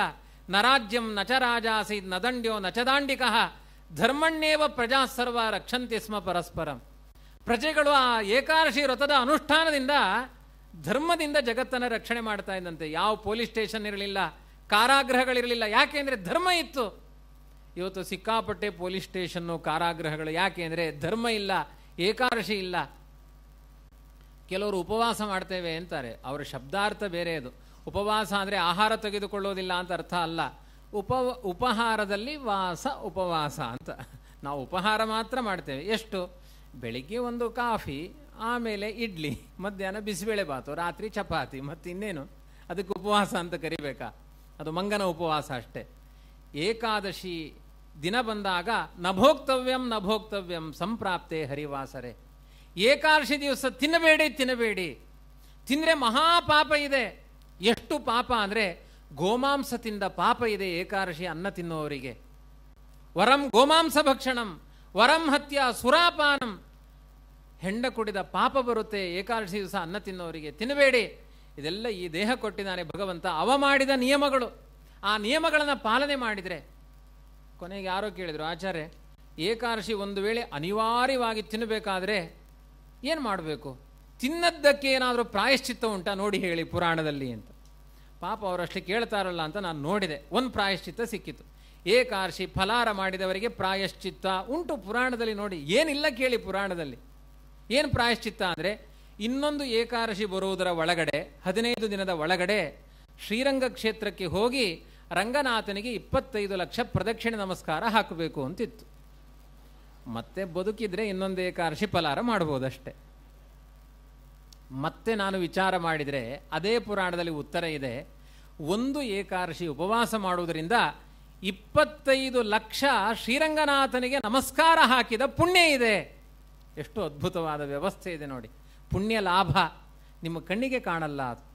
ತಿಳಿಯದೆ ಮಾಡದ ನೂರಾರು ಅಪರಾಧಗಳಿಗೆ ನೂರಾರು ಯಮದಂಡದಿಂದಲೇ ಶಿಕ್ಷೆ ಆಗುತ್ತೆ. ಖಂಡಿತ ನರಕ ಇದೆ. ಎಂಬತ್ನಾಲ್ಕು ಲಕ್ಷ ವೆರೈಟಿ ವೆರೈಟಿ ನರಕ ಇದೆ.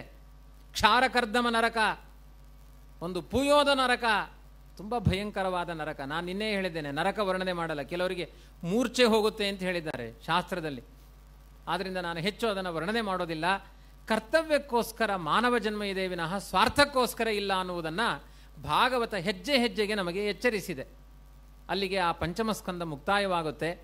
ಆರನೆಯ ಸ್ಕಂದದಲ್ಲಿ ಹರಿಣಾಮದ ಬಲ. ಇಲ್ಲಿಂದ ನೋಡಿ, ಆರನೆಯ ಸ್ಕಂದದಿಂದ ಭಾಗವತ ಮುಗಿಯೋ ತನಕನೂ ಹರಿಣಾಮದ ಮಹತ್ವ ಏನು ಅನ್ನುವುದನ್ನು ವಿಸ್ತಾರವಾಗಿ ವರ್ಣಿಸ್ತಾ ಹೋಗಿದ್ದಾರೆ.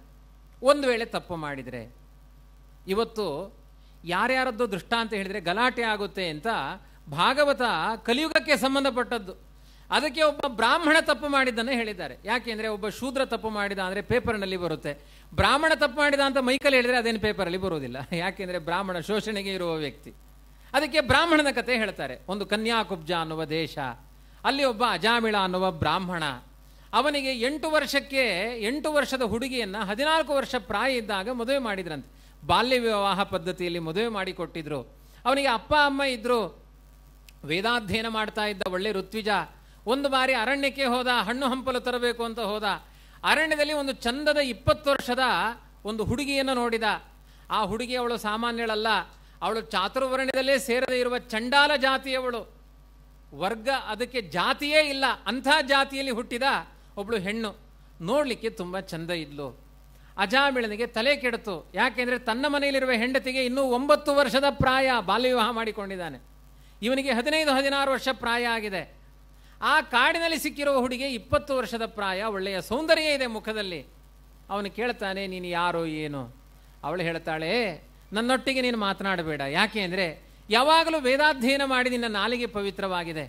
ಹರಿಪ್ರಸಾರದಿಂದ ನಿನ್ನ ಉದರ ಪವಿತ್ರವಾಗಿದೆ. ದೇವರಿಗೆ ನಮಸ್ಕಾರ ಮಾಡಿ ನಿನ್ನ ತಲೆ ಪವಿತ್ರವಾಗಿದೆ. ನಾನಂಥವಳಲ್ಲ. ದಿನಕ್ಕೊಬ್ಬ ಪುರುಷನ ಜೊತೆಗೆ ದೇಹವನ್ನು ಮಾರಿಕೊಂಡು ಬದುಕ್ತಾ ಇದ್ದೇನೆ. ಮಾಂಸ ಭಕ್ಷಣೆ ಮಾಡ್ತೇನೆ. ಮದ್ಯಪಾನ ಮಾಡ್ತೇನೆ. ಪಾಪಿಷ್ಠವಾದ ಜನ್ಮದಲ್ಲಿ ಹುಟ್ಟಿದ್ದೇನೆ. ನನ್ನ ಜೊತೆಗೆ ನಿನ್ನಂತಹ ಬ್ರಾಹ್ಮಣ ಸಂಘ ಮಾಡಬಾರ್ದು, ಮಾತನಾಡಬೇಡ. ಓಡಿ ಹೋದ. ಅದಕ್ಕೆ ಈ ಬ್ರಾಹ್ಮಣನಿಗೆ ತಲೆ ಹಾಳಾಗಿತ್ತು. ಅವ ಹೇಳ್ತಾನೆ, ಆ ಬ್ರಹ್ಮನಿಗೆ ತಲೆ ಸರಿಯಿಲ್ಲ. ಬ್ರಾಹ್ಮಣ, ಕ್ಷತ್ರಿಯ, ವೈಶ್ಯ, ಶೂದ್ರ, ಚಂಡಾಲ ಈ ಜಾತಿಯ ವರ್ಗೀಕರಣವೇ ಅಪರಾಧವಾಗಿದೆ. ಮಂಡೆ ಹಾಳಾದಾಗ ಯಾರು ಇಂತಹ ಪ್ರವಚನ ಮಾಡ್ತಾರೆ ಹೇಳಿ. ನೋಡಿ, ಅದು ಕಲಿ ಪ್ರವೇಶ ಆಯಿತು ಅವನಿಗೆ. ಅವ ಹೇಳ್ತಾನೆ ಇರೋದೇ ಎರಡು ಜಾತಿ, ಒಂದು ಗಂಡು, ಒಂದು ಹೆಣ್ಣು. ಇನ್ಯಾವ ಜಾತಿಯೂ ಇಲ್ಲ. ಗಂಡಿನ ಜಾತಿಗೆ ಹೆಣ್ಣಿನ ಜಾತಿ, ಹೆಣ್ಣಿನ ಜಾತಿಗೆ ಗಂಡಿನ ಜಾತಿ. ಇವತ್ತು ಇದೇ ತಾನೆ. ಅಂತರ್ಜಾತಿ ವಿವಾಹಕ್ಕೆ ಗೌರ್ಮೆಂಟೇ ಸಪೋರ್ಟ್ ಮಾಡ್ತಾ ಇದೆ. ಮಾಡಬೇಡಿದ್ರೆ ದೊಡ್ಡ ಅಪರಾಧ ಆಗುತ್ತೆ ಅದು. ಜಾತಿ ಧರ್ಮದ ರಕ್ಷಣೆಗೋಸ್ಕರ ಇದೆ. ಅನ್ಯಾಯ ಮಾಡಲಿಕ್ಕಿಲ್ಲ. ಇವತ್ತೆಲ್ಲ ಸರ್ಕಾರದವರಿಗೆ ಜಾತಿ ವೋಟ್ ಬ್ಯಾಂಕಿಗೋಸ್ಕರ ಇದೆ. ಧರ್ಮದ ರಕ್ಷಣೆಗಿಲ್ಲ ಅದು. ಈ ವ್ಯತ್ಯಾಸಗಳನ್ನು ಭಾಗವತ ಗಮನಿಸ್ತಾ ಹೋಗುತ್ತೆ. ಜಾತಿಗೆ ವಿರುದ್ಧವಾದ ನೀತಿಯನ್ನು ಅಳವಡಿಸಿಕೊಂಡು ಅವಳ ಮುಂದೆ ಕೆಟ್ಟ ಮಾತಾಡ್ತಾನೆ. ಅವಳೇ ಹೇಳ್ತಾಳೆ, ಅಯ್ಯೋ, ಇಂತಹ ಅನ್ಯಾಯದ ಮಾತಾಡಬೇಡ. ನೀನೊಬ್ಬ ಬ್ರಾಹ್ಮಣ, ಪವಿತ್ರವಾದ ಕುಲದಲ್ಲಿ ಹುಟ್ಟಿದವನು, ವೇದಾಧ್ಯಯನ ಮಾಡಿದವನು, ನನ್ನ ದೇಹದ ಬಯಕೆಯಿಂದಾಗಿ ನನ್ನ ಮೇಲೆ ಹಾರಬೇಡ ಅಂತ ತುಂಬ ತಿಳುವಳಿಕೆಯ ಮಾತನ್ನು ಹೇಳ್ತಾಳೆ. ಕೇಳೋದಿಲ್ಲ ಅವನು. ಕಾಮುಕನಾಗಿ ಅವಳನ್ನು ಭೋಗಿಸ್ತಾನೆ. ಅವಳು ಹೇಳ್ತಾಳೆ, ನಿನ್ನ ತ್ಯಜ ಯಜ್ಞೋಪವೀತಂ. ನಿನ್ನ ಯಜ್ಞೋಪವೀತವನ್ನು ತೆಗೆದು ಹಾಕು ಯಾಕೆ ಅಂದರೆ ಕೆಟ್ಟ ಸ್ತ್ರೀ ಸಂಘ ಮಾಡಿದವನು ನೀನು. ಬ್ರಾಹ್ಮಣ ಕುಲಕ್ಕೆ ಅವಮಾನ ಮಾಡಿದವನು. ನಿನ್ನ ಜುಟ್ಟನ್ನು ಕಟ್ಟು ಮಾಡು, ನಿನ್ನ ಯಜ್ಞೋಪವಿತವನ್ನು ತೆಗೆದುಹಾಕು. ಎಷ್ಟೋ ಕೋಟಿ ಕೋಟಿ ವರ್ಷಗಳ ಹಿಂದೆ ನಡೆದ ಇತಿಹಾಸವನ್ನು ಹೇಳುತ್ತೆ. ಒಬ್ಬ ಬ್ರಾಹ್ಮಣ ಹಾಳಾಗಿ ಹೋದ. ಅವಳ ಜೊತೆಗೆ ಸಂಘ ಮಾಡಿದ. ಹತ್ತು ಜನ ಮಕ್ಕಳನ್ನ ಪಡೆದ. ಇನ್ನೇನಾಗಬೇಕು? ಮದ್ಯ ಮಾಂಸಗಳನ್ನು ಭಕ್ಷಣೆ ಮಾಡಿದ. ಕಲಿಯುಗದಲ್ಲಿ ನಿಷೇಧ ಮಾಡಿದ್ದಾರೆ. ಮದ್ಯ ಮಾಂಸಗಳನ್ನು ಯಾರೂ ತಿನ್ನಬಾರದು ಅಂತ ಹೇಳಿದ್ದಾರೆ. ಯಾವ ವರ್ಗದವರು ತಿನ್ನಬೇಡಿ. ಮನಸ್ಸು ಬುದ್ಧಿಗಳನ್ನು ಹಾಳು ಮಾಡುವಂಥ ಮಹಾನ್ ನರಕ ಮದ್ಯ ಮಾಂಸಗಳಲ್ಲಿ ಆಗುತ್ತೆ ಅಂತ. ಎಲ್ಲ ಅನ್ಯಾಯಗಳನ್ನು ಮಾಡಿದ. ಬ್ರಾಹ್ಮಣನಾಗಿ ಮಾಡಬಾರದೆಲ್ಲ ಮಾಡಿದ. ಆದರೆ ಭಾಗವತ ಹೇಳುತ್ತೆ, ಅಜಾಮಿಳನನ್ನು ಇಷ್ಟು ಕೆಟ್ಟವ ಅಂತ ನೀವು ತಿಳ್ಕೊಳ್ಬೇಡಿ. ಅವನು ಮುನ್ನೂರು ಜನ್ಮಗಳಲ್ಲಿ ವೇದಾಧ್ಯಯನ ಮಾಡಿದ್ದಾನಂತೆ. ಒಂದು ಜನ್ಮದಲ್ಲಿ ಇಂಥ ಅಪರಾಧ ಮಾಡಿದ್ದಾನೆ. ಅಪರಾಧ ಮಾಡಲಿಕ್ಕೆ ಪ್ರಾರಬ್ಧ ಅನ್ನೋದು ಕಾರಣ. ಹಿಂದೆ ಯಾವತ್ತೋ ಒಂದು ಪ್ರಾರಬ್ಧ ಹಾಗೆ ಬಾಕಿ ಇದೆ ಅವನಿಗೆ. ಆ ಪ್ರಾರಬ್ಧ ಅನುಭವಿಸಬೇಕಾಗಿದೆ. ಉದ್ದೇಶ ಇಲ್ಲ. ಅವನ ಅರಣ್ಯಕ್ಕೆ ಹೋದಾಗ ತನ್ನ ತಂದೆ, ತನ್ನ ತಾಯಿ, ತನ್ನ ಹೆಂಡತಿ ಈ ಎಲ್ಲ ಬಂಧು ಪರಿವಾರದವರು ತಲೆಯಲ್ಲಿ ಮರೆತೇ ಹೋದ್ರಂತೆ. ನಮಗೆ ಹಾಗಲ್ಲ, ನಮಗೆ ಅಪರಾಧ ಮಾಡಬೇಕಾದ್ರೆ ಗೊತ್ತಿರುತ್ತೆ, ಮನೆಯಲ್ಲಿ ಹೆಂಡತಿ ಇದ್ದಾಳೆ ಅಂತ ನೆನಪಾಗುತ್ತೆ. ಅಜಾಮಿಳನಿಗೆ ಅದು ಗೊತ್ತಾಗಲಿಲ್ಲ. ತನ್ನ ಹೆಂಡತಿ, ತನ್ನ ತಂದೆ, ತಾಯಿ ಎಲ್ಲರೂ ಮನಸ್ಸಿನಿಂದಲೇ ಮರೆತು ಹೋಯಿತು. ನಿನ್ನೆ ಹೇಳಿದ್ನಲ್ಲ, ದೇವರು ವಿಸ್ಮರಣೆ ಕೊಟ್ಟರೆ ಎಲ್ಲ ಮರೆತು ಹೋಗುತ್ತೆ ಎಲ್ಲ ಮರೆತು ಹೋಯಿತು. ಇವಳೇ ನನ್ನ ಹೆಂಡತಿ ಅನ್ನುವ ಭಾವನೆ ಬಂತು. ಅವಳ ಸಂಘ ಮಾಡಿದ ಹತ್ತು ಜನ ಮಕ್ಕಳಾಯಿತು. ಅವರಿಗೆಲ್ಲ ಕೇಶವ, ನಾರಾಯಣ, ಮಾಧವ, ಗೋವಿಂದ ಅಂತ ನಾಮಕರಣ ಮಾಡಿದ. ಎಂಬತ್ತು ವರ್ಷ ಆಯಿತು. ನಿರಂತರ ಅವನ ಬದುಕಿನ ಚಟುವಟಿಕೆ ಏನು ಅಂದರೆ, ಮದ್ಯಪಾನ ಮಾಂಸಭಕ್ಷಣ ಮಾಡಬಾರದ ಕೆಲಸಗಳನ್ನು ಮಾಡೋದು, ಕಳ್ಳತನ, ಜೀವನಕ್ಕೋಸ್ಕರ ಕಳ್ಳತನ. ಎಂಬತ್ತು ವರ್ಷ ಆದಮೇಲೆ ಯಮಕಿಂಕರರಿಗೆ ಅನ್ನಿಸ್ತು ಇವನಿನ್ನ ಸಾಯ್ಲಿಕ್ಕೆ ತಯಾರಾಗಿದ್ದಾನೆ, ನರಕಲೋಕಕ್ಕೆ ಕರ್ಕೊಂಡು ಬಂದು ಇವನಿಗೆ ಒದಿಬೇಕು ಅಂತ ಅನ್ನಿಸ್ತು. ಅದೊಂಥರ ಪೊಲೀಸ್ ಸ್ಟೇಷನ್ ಥರನೇ ಚೆನ್ನಾಗಿ ವಿಮಾನ ಹತ್ತಿಸ್ತಾರೆ ಅಲ್ಲಿ. ಏರೋಪ್ಲೇನ್ ಹತ್ಸೋದು ಅಂತಾರಲ್ಲ. ಚೆನ್ನಾಗಿ ಹೊಗೆ ಕೊಡ್ತಾರೆ, ಒದಿತಾರೆ, ಹಾಕಿ, ಒದಿಬೇಕು ಇವನನ್ನ ಅಂತ ಅನ್ನಿಸ್ತು. ಆದರೆ ಮೊದಲು ಸೂಚನೆ ಬರುತ್ತಂತೆ, ಮೃತ್ಯು ಸೂಚನೆಗಳು ಅಂತ. ಕನ್ನಡಿ ಮುಂದೆ ಹೋಗಿ ನಿಂತರೆ ಮುಖ ಕಾಣಲ್ಲಂತೆ, ಅದು ಮೃತ್ಯು ಸೂಚನೆ. ಸೂರ್ಯಮಂಡಲವನ್ನು ನೋಡಿದರೆ ಅಲ್ಲೊಂದು ಹೊಳ್, ಒಂದು ಹೋಲ್ ಕಾಣುತ್ತಂತೆ, ಒಂದು ಗುಳಿ ಸೂರ್ಯಮಂಡಲದಲ್ಲಿ, ಅದು ಮೃತ್ಯು ಸೂಚನೆ. ಮತ್ತು ಅಕ್ಷರಗಳೆಲ್ಲ ಉಲ್ಟಾ ಕಾಣುತ್ತಂತೆ, ಅದು ಮೃತ್ಯು ಸೂಚನೆ. ನೀವು ಅದೆಲ್ಲ ಕಾಣೋ ತನಕ ಕಾಯ್ಲಿಕ್ಕೆ ಹೋಗಬೇಡಿ. ಮಂಡೆ ಹಣ್ಣಾಗುತ್ತೆ, ಅದು ಮೃತ್ಯು ಸೂಚನೆ ಅಷ್ಟೇ. ಮತ್ತೇನಿಲ್ಲ. ಹಲ್ಲು ಎಲ್ಲ ಅಳ್ಳಾಳಿಕ್ಕೆ ಆರಂಭ ಆಗುತ್ತೆ, ಅದು ಮೃತ್ಯು ಸೂಚನೆ. ಈ ರೀತಿಯಾದ ಒಂದು ಮೃತ್ಯು ಸೂಚನೆಗಳು ಬಂದಾಗ ಯಮಕಿಂಕರರು ಎದುರುಗಡೆ ಬಂದು ನಿಂತರಂತೆ. ಯಮಕಿಂಕರರು ಭಯಾನಕ, ಅವರ ಮೀಸೆ, ಕೋರೆ, ದಾಡೆಗಳೆಲ್ಲ ಇದೆ ಅವರಿಗೆ. ಅವರ ಮೀಸೆ ಗಡ್ಡೆಗಳೆಲ್ಲ ಈಟಿ ಭರ್ಚಿಗಳ ಹಾಗೆ ಇದೆಯಂತೆ. ಚೂಪು ಚೂಪು ಚುಚ್ಚುವಂತಹ ಮೀಸೆಗಳು ಅವರದ್ದು. ದುಸ್ಸಹಾಹ ಯಮಕಿಂಕರಾಹ, ಅವರು ನೋಡ್ಲಿಕ್ಕೆ ಸಾಧ್ಯ ಆಗ್ತಾ ಇಲ್ಲ. ಎಂಬತ್ತು ವರ್ಷದ ಪ್ರಾಯದ ಅಜಾಮಿಳ ತಾನು ಮಾಡಿದ ಪಾಪವನ್ನೆಲ್ಲ ನೆನೆದು ಆ ಮೃತ್ಯು ಕಿಂಕರರನ್ನು ನೋಡಿ ಮಲಮೂತ್ರಗಳನ್ನು ವಿಸರ್ಜನೆ ಮಾಡಿಕೊಂಡಂತೆ. ಅದೇ ಕ್ಷಣದಲ್ಲಿ ಆ ವೇದನೆಯನ್ನು ತಡಿಲಿಕ್ಕಾಗದೆ ಮುಂದೆ ನನಗೆ ನರಕ ಆಗುತ್ತೆ ಎನ್ನುವ ಮನಸ್ಸಿಗೆ ಆ ಭಾವ ಬಂದು ಕೂಡಲೇ ಬಾಯಲ್ಲಿ ಇನ್ಯಾರೂ ಇರಲಿಲ್ಲ ಅಕ್ಕಪಕ್ಕದಲ್ಲಿ. ತನ್ನ ಕೊನೇ ಮಗನಿಗೆ ನಾರಾಯಣ ಅಂತ ಜಗಾದ ಚತುರಕ್ಷರಂ ನಾಲ್ಕು ಅಕ್ಷರಗಳ ನಾಮ. ನಾರಾಯಣ ಅಂತ ಕರೆದನಂತೆ. ಮೊದಲು ಕರೆದದ್ದು ತನ್ನ ಮಗನನ್ನೇ. ಜೋರಾಗಿ ಕರೆದಾಗ, ಆ ಯಮಕಿಂಕರರು ಬಂದಾಗ ಮೊದಲು ಮಗನ ನೆನಪಾಯಿತು. ಎರಡನೇ ಕ್ಷಣದಲ್ಲಿ ದೇವರದ್ದೇ ನೆನಪಾಯಿತಂತೆ. ಮರುಕ್ಷಣದಲ್ಲಿ ದೇವರ ನೆನಪಾದ ಕೂಡಲೇ ದೇವರೇನು ಮಾಡಿದ ಅಂದರೆ ವಿಷ್ಣು ಕಿಂಕರರನ್ನು ಕೊಟ್ಟು ಕಳಿಸಿದಂತೆ ತನ್ನ ಮನೆಯ ಪರಿವಾರದವರನ್ನು ಕೊಟ್ಟು ಕಳಿಸಿದ. ಅವರು ತುಂಬ ಚಂದ ಇದ್ರಂತೆ. ಊರ್ಧ್ವ ಪುಂಡ್ರಧರಂ ಉದ್ದ ನಾಮ ಹಚ್ಚಿಕೊಂಡಿದ್ರಂತೆ. ತುಂಬ ದೊಡ್ಡ ಚರ್ಚೆ ಅದು ಸಮಾಜದಲ್ಲಿ. ನಾಮ ಉದ್ದ ಆದ್ರೇನು, ಅಡ್ಡ ಆದ್ರೇನು ಉದ್ದ ನಾಮವೇ ಹಚ್ಚಿಕೊಳ್ಳಬೇಕು ಅಂತ ಕೃಷ್ಣನ ಭಕ್ತರೆಲ್ಲ ಉದ್ದ ನಾಮ ಹಚ್ಚಿಕೊಳ್ಳಬೇಕು ಅಂತ ಭಾಗವತದಲ್ಲಿದೆ. ಯಾಕೆ ಉದ್ದ ಹಚ್ಚಿಕೊಳ್ಳಬೇಕು? ನಮ್ಮ ದೇಹದ ಏನೆಲ್ಲ ಹಣೆ ಭಾರ ಇದೆ, ಅದೆಲ್ಲ ಹಣೆಯಲ್ಲಿ ಬರ್ಕೊಂಡಿರುತ್ತಂತೆ. ನೋಟಿಸ್ ಬೋರ್ಡ್ ಇದು. ಬರೆದದ್ದೆಲ್ಲ ಅಡ್ಡಡ್ಡ ಬರೆದಿರುತ್ತೆ. ಅಡ್ಡಡ್ಡ ಬರೆದದ್ದನ್ನು ನೀವು ಹೀಗೀಗ ಅಂದರೆ ಇನ್ನೂ ಚಂದ ಕಾಣುತ್ತೆ ಅದು. ಅದಕ್ಕೇನು ಮಾಡಬೇಕು? ದೇವರ ಪಾರದ ಧೂಳನ್ನು ತೆಗಿಬೇಕಂತೆ. ಅದೇ ಗೋಪಿಚಂದನ ದೇವರ ಪಾರದ ಧೂಳನ ತೆಗೆದು ಒಮ್ಮೆ ಇಲ್ಲಿಗಿಟ್ಟು ಹೀಗೆ ತಿಕ್ಕಿದ್ರೆ ಅಡ್ಡ ಬರೆದದ್ದೆಲ್ಲ ಅಳಿಸಿ ಹೋಗುತ್ತೆ ಅಂತ. ನಮ್ಮ ಬದುಕಿನ ಕೆಟ್ಟತನವನ್ನೆಲ್ಲ ಅಳಿಸುವ ಸಾಮರ್ಥ್ಯ ದೇವರ ಪಾರದ ಧೂಳಿಗಿದೆ ಅಂತ ಹೇಳಿದ್ದಾರೆ. ಅಂತಹ ಊರ್ಧ್ವಪುಂಡಧರಂ ಚಕ್ರ ಶಂಕಾಂಕಿತ ಭುಜದ್ವಯಂ, ಪದ್ಮಾಕ್ಷ ತುಳಸೀಮಾಲಾ ವಿದ್ಯೋತಿತ ಶಿರೋಧರಂ. ತುಳಸಿ ಮಣಿಮಾಲೆಗಳನ್ನು ಧಾರಣೆ ಮಾಡಿದ್ರು, ಕಮಲಾಕ್ಷಿ ಮಣಿಯನ್ನು ಧಾರಣೆ ಮಾಡಿದ್ರು, ಊರ್ಧ್ವಪುಂಡವನ್ನು ಧರಿಸಿದರು, ಶಂಖಚಕ್ರಗಳನ್ನು ಹಿಡಿದುಕೊಂಡಿದ್ರು ನೋಡ್ಲಿಕ್ಕೆ ತುಂಬ ಚಂದ ಕಾಣಿಸ್ತಾ ಇದ್ರಂತೆ. ನಿಮ್ಮ ಥರ ಕಾಣಿಸ್ತಾ ಇದ್ರು ವಿಷ್ಣು ಕಿಂಕರರು. ನೋಡಿದ, ಆ ಅಜಾಮಿಳ, ಅಯ್ಯೋ ನಾನು ನಾರಾಯಣ ಅಂತ ಹೇಳಿದ ತಕ್ಷಣ ವಿಷ್ಣು ಕಿಂಕರರು ಪುಷ್ಪಕ ವಿಮಾನ ಹಿಡ್ಕೊಂಡು ಬಂದಿದ್ದಾರಲ್ಲ ಅಂತ ಬಲು ಖುಷಿ ಆಯಿತು ಅವನಿಗೆ. ಆ ಖುಷಿಯಿಂದ, ನೀವು ಬಂದಿದ್ದೀರಿ, ನನಗೆ ಸಂತೋಷ ಆಯಿತು ಅಂತ ಹೇಳುವ ಮೊದಲೇ ಯಮಕಿಂಕರರು ಕೇಳ್ತಾರೆ, ನೀವು ಯಾಕೆ ಬಂದ್ರಿ ಅಂತ ಕೇಳ್ತಾರೆ. ಯಾಕೆ ಅಂದರೆ, ಅವ ಎಂಬತ್ತು ವರ್ಷ ಕಳ್ಳು ಕುಡಿದಿದ್ದಾನೆ, ಗೋಮಾಂಸ ತಿಂದಿದ್ದಾನೆ ಅನ್ಯ ಸ್ತ್ರೀ ಸಂಘ ಮಾಡಿದ್ದಾನೆ ಇವನಿಗೆ ನರಕ ಆಗಬೇಕೇ ವಿನಃ ನೀವ್ಯಾಕೆ ವಿಮಾನ ಹಿಡಿದುಕೊಂಡು ಬಂದ್ರಿ? ಅದಕ್ಕೆ ವಿಷ್ಣು ಕಿಂಕರರು ಹೇಳ್ತಾರೆ, ನಮ್ಮದು ಒಂದೇ ರೂಲ್ಸ್. ಕೊನೆಯ ಕಾಲದಲ್ಲಿ ನಾರಾಯಣ ಅಂದವರಿಗೆ ಮೋಕ್ಷ. ಅವರಿಗೆ ಹಿಂದೆ ಏನು ಮಾಡಿದ್ದಾರೆ ಅಂತ ನಾವು ನೋಡಲ್ಲ. ಮತ್ತದು, ಕೆಲವರೆಲ್ಲ ಈ ಉತ್ತರ ಕರ್ನಾಟಕದಲ್ಲಿ ಇರ್ತಾರೆ, ನೀವು ಹುಬ್ಬಳ್ಳಿ ಕಡೆ ಎಲ್ಲ ಹೋಗಬೇಕು. ಅವರೆಲ್ಲ ಯಾವಾಗಲೂ ತಾಂಬೂಲ ಜಗಿದು ಜಗಿದು. ಮಧ್ಯರಾತ್ರಿ ತಾಂಬೂಲಾನಿ, ಜಗಿಲಿಕ್ಕೆ ಆರಂಭ ಮಾಡ್ತಾರೆ. ನಿದ್ದೆಗಣ್ಣಲ್ಲಿ ತಾಂಬೂಲ ಚರವಣ ಮಾಡಿ ಮಲ್ಕೊಳ್ಳೋರನ್ನ ತೋರಿಸ್ತೇನೆ ನಿಮಗೆ. ನನ್ನೊಟ್ಟಿಗೆ ಬರಬೇಕಷ್ಟೇ. ಅಷ್ಟು ಅದು ಅಭ್ಯಾಸ. ಏನು ಪ್ರಾಕ್ಟೀಸ್ ಮಾಡ್ತೇವೋ ಅದು ಬಾಯಿಲಿ ಬರುತ್ತೆ. ಇನ್ನು ಕೆಲವರಿಗೆ ಎಷ್ಟು ಪ್ರಾಕ್ಟೀಸ್ ಅಂದರೆ, ಈ ಹುಬ್ಬಳ್ಳಿ ಕಡೆ ಕಲ್ಯಾಣ ಮಂಟಪಕ್ಕೆಲ್ಲ ಬಣ್ಣ ಹೊಡೆಯೋ ಪದ್ಧತಿ ಇಲ್ಲ. ಅವರ ಆ ಪಿಚಕಾರಿಯೇ ಹೊಡೆಯುವುದು ಅದು. ತಾಂಬೂಲದ ರಸ ಹಾಕಿ ಹೊಡಿತಾರೋ ನಾನೊಂದು ಬಸ್ ಸ್ಟ್ಯಾಂಡಲ್ಲಿ ಹೋಗಿ ನಿಂತಿದ್ದೆ. ಒಬ್ಬ ಬಾಯಿ ತುಂಬ ತುಂಬಿಕೊಂಡಿದ್ದಾನೆ, ಉಗುಳುತ್ತಾ ಇದ್ದಾನೆ. ನಾನು ಗಾಬರಿಯಿಂದ ಬ್ಯಾಗ್ ಹಿಡ್ಕೊಂಡು ಓಡಿದೆ. ನಾನು ಅದೇ ಬಸ್ ಹತ್ತಬೇಕಾಗಿತ್ತು. ಒಳಗೆ ಬಂದ ಮೇಲೆ ತಮಾಷೆ ಮಾಡ್ತಾನೆ ಬಟ್ರೆ ನನ್ನ ಬಾಯಿಂದ ನಿಮ್ಮ ಮೇಲೆ ತಾಂಬೂಲ ರಸ ಬೀಳುತ್ತೆ ಅಂತ ಭಯ ಆಯಿತಾ? ಹಾಗೆಲ್ಲ ಭಯ ಪಡಬೇಡಿ ನಂದು ಪ್ರಾಕ್ಟೀಸ್ ಇಪ್ಪತ್ತು ವರ್ಷದ್ದುಂಟು. ಬನ್ನಿ ನನ್ನ ಪಕ್ಕ ಕೂತ್ಕೊಳ್ಳಿ ಅಂತ ಹೇಳಿದ. ಕೂತ್ಕೊಂಡೆ ನಾನು. ಅವ ಹೇಳಿದ, ನೋಡಿ, ಈಗ ಐದು ಜನ ಬರ್ತಾ ಇದ್ದಾರಲ್ವ ಲೈನಾಗಿ ಐದು ಜನ ಬರ್ತಾ ಇದ್ದಾರಲ್ವ ನನ್ನ ಪಿಚಕಾರಿ ನೋಡಿ ಅಂತ ಹೇಳಿದ. ಒಮ್ಮೆ ಪೊರ್ರ ಹೊಡೆದ. ನಲವತ್ತಡಿ ದೂರ ಹೋಗಿ ಬೀಳ್ತು. ಶಬಾಷ್ ಅಂತ ಹೇಳಿದೆ. ಅವನಿಗೆ ಒಂದು ಗಿನ್ನಿಸಿದ ಹಾಕಲಿ, ಕೊಡಬೇಕು ಅವನಿಗೆ. ಕೆಲವರಿಗೆ ಹಾಗೆ ಪ್ರಾಕ್ಟೀಸ್ ಆಗಿರುತ್ತೆ. ಏನು ಬದುಕಿನಲ್ಲಿ ಪ್ರಾಕ್ಟೀಸ್ ಆಗಿರುತ್ತೆ ಕೊನೆಯ ಕಾಲಕ್ಕೆ ಅದು ನೆನಪಾಗುತ್ತೆ ವಿನಃ, ಇದ್ದಕ್ಕಿದ್ದಾಗೆ ನಾರಾಯಣ ಅಂತ ನೆನಪಾಗಲಿಕ್ಕೆ ಪ್ರಾಕ್ಟೀಸ್ ಇರಲ್ಲಲ್ಲ. ಅದಕ್ಕೆ ಯಾವಾಗಲೂ ಮಧ್ವಾಚಾರ್ಯ ಹೇಳ್ತಾರೆ, ಸಂತತಂ ಚಿಂತೆಯೇನಂತಂ ಅಂತ್ಯಕಾಲೇ ವಿಶೇಷತಃ. ಯಾವಾಗಲೂ ನಿನ್ನ ಬಾಯಲ್ಲಿ ನಾರಾಯಣ ನಾರಾಯಣ ಅನ್ ಅಜಾಮಿಳ. ಮುನ್ನೂರು ಜನ್ಮ ಪೂರ್ತಿ ನಾರಾಯಣ ನಾರಾಯಣ ಅಂದಿದ್ದಾನೆ. ಒಂದು ಜನ್ಮದ ಪ್ರಾರಬ್ಧದಲ್ಲಿ ದೇವರನ್ನ ಮರೆತಿದ್ದಾನೆ. ಕೃಷ್ಣ ಹೇಳ್ತಾನೆ, ನಹಿ ಕಲ್ಯಾಣ ಕೃತ್ ಕಶ್ಚಿತ್ ದುರ್ಗತಿಂ ತಾತಗಚ್ಚತಿ. ಸ್ವಲ್ಪ ಒಳ್ಳೆ ಕೆಲಸ ಮಾಡಿ. ನಿಮ್ಮ ಅನಂತ ಅಪರಾಧಗಳನ್ನು ದಾಟಿಸುತ್ತೆ ಅದು ಒಳ್ಳೆ ಕೆಲಸ. ಒಂದು ಚಾಲೆಂಜ್ ಮಾಡಿ ಹೇಳ್ಬೋದು. ಗಣಪತಿ ಹೆಗಡೆಯವರ ಮನೆಯಲ್ಲಿ ಒಂದು ವಾರ ಭಾಗವತ ಸಪ್ತಾಹದಲ್ಲಿ ಹೋಗಿ ಕೂತಿದ್ದೇವೆ ಅಂದರೆ ನಮಗೆ ನರಕ ಆಗಲ್ಲ, ಯಮದೇವರ ಹತ್ರ ಇದನ್ನು ತೋರಿಸ್ಬೋದು. ನಾವು ಭಾಗವತ ಕೇಳಿದ್ದೇವೆ ಅಂದರೆ ಬಿಟ್ಬಿಡ್ತಾರೆ ಅವರು. ಇಲ್ಲ, ನೀವು ಸ್ವರ್ಗ, ಬನ್ನಿ, ನಮ್ಮ ಮನೇಲಿ ಪಂಚಾಮೃತ ಕುಡ್ಕೊಂಡು, ತೃಷೆ ತಗೊಂಡು ಸ್ವರ್ಗಕ್ಕೆ ಹೋಗಿ ಅಂತಾರೆ ಯಾಕೆಂದ್ರೆ ಭಾಗವತ ಕೇಳಬೇಕು ಅಂತ ಹೋಗಿದ್ದೇವಲ್ಲ. ಕೇಳಿದ್ದೇವೋ ಬಿಟ್ಟಿದ್ದೇವೋ ನಂತರ ವಿಚಾರ. ಕೇಳಬೇಕು ಅಂತ ಹೋಗಿದ್ದಕ್ಕೆ ಅಷ್ಟು ಫಲ ಇದೆ. ಕಲಿಯುಗದಲ್ಲಿ ಮಾಡಿದ ಧರ್ಮಗಳಿಗೆ ಕೋಟಿ ಕೋಟಿ ಫಲ ಅಂತ ಹೇಳಿದ್ದಾರೆ. ಯಾವ ಯುಗದಲ್ಲೂ ಇಷ್ಟು ಫಲ ಇಲ್ಲ. ಆದ್ದರಿಂದ ಪುರಾಣಗಳಲ್ಲಿ ಏನಿದೆ ಅಂದರೆ ಕಲಿಯುಗವನ್ನು ನಿಂದನೆ ಮಾಡಬೇಡಿ ಅಂತ ಹೇಳಿದ್ದಾರೆ. ಕಲಿ ಸಾಧು. ಕೃತಯುಗದಲ್ಲಿ ಸಾವಿರ ವರ್ಷ ತಪಸ್ಸು ಮಾಡಿದರೆ ಸಿಗುವ ಪುಣ್ಯ ಕಲಿಯುಗದಲ್ಲಿ ಒಂದು ದಿನದಲ್ಲಿ ಸಿಗುತ್ತಂತೆ. ಇನ್ನು ನಿಮ್ಮದು ಮೂರು ದಿನ ಆಯಿತು ಅಂತ ನಾಳೆ ಬರದೇ ಕೂತ್ಕೊಳ್ಬೇಡಿ. ಏಳು ದಿನವೂ ಬನ್ನಿ. ಹೀಗೆ ಆ ಪುಣ್ಯದ ಪ್ರಚಯ, ವ್ಯವಸ್ಥೆ. ನಾರಾಯಣ ಅಂತ ಕರೆದ ವಿಷ್ಣು ಕಿಂಕರರು ಬಂದರು. ಜಟಾಪಟಿ ಯಮಕಿಂಕರರಿಗೂ ವಿಷ್ಣು ಕಿಂಕರರಿಗೂ ಶುರು ಆಯಿತು. ಇವರು ಮಾಡದೇ ಇರುವ ಅನ್ಯಾಯ ಇಲ್ಲ. ನಾವು ಇವನನ್ನು ಜೊತೆಗೆ ಬಿಡೋದಿಲ್ಲ ಅಂತ ಅವರು ವಿಷ್ಣು ಯಮಕಿಂಕರರು ವಿಷ್ಣು ಕಿಂಕರರು ಇಲ್ಲ, ಇವನು ಮೋಕ್ಷಕ್ಕೆ ಬರಬೇಕು, ನಾವು ಬಿಡೋದಿಲ್ಲ ಅಂತ.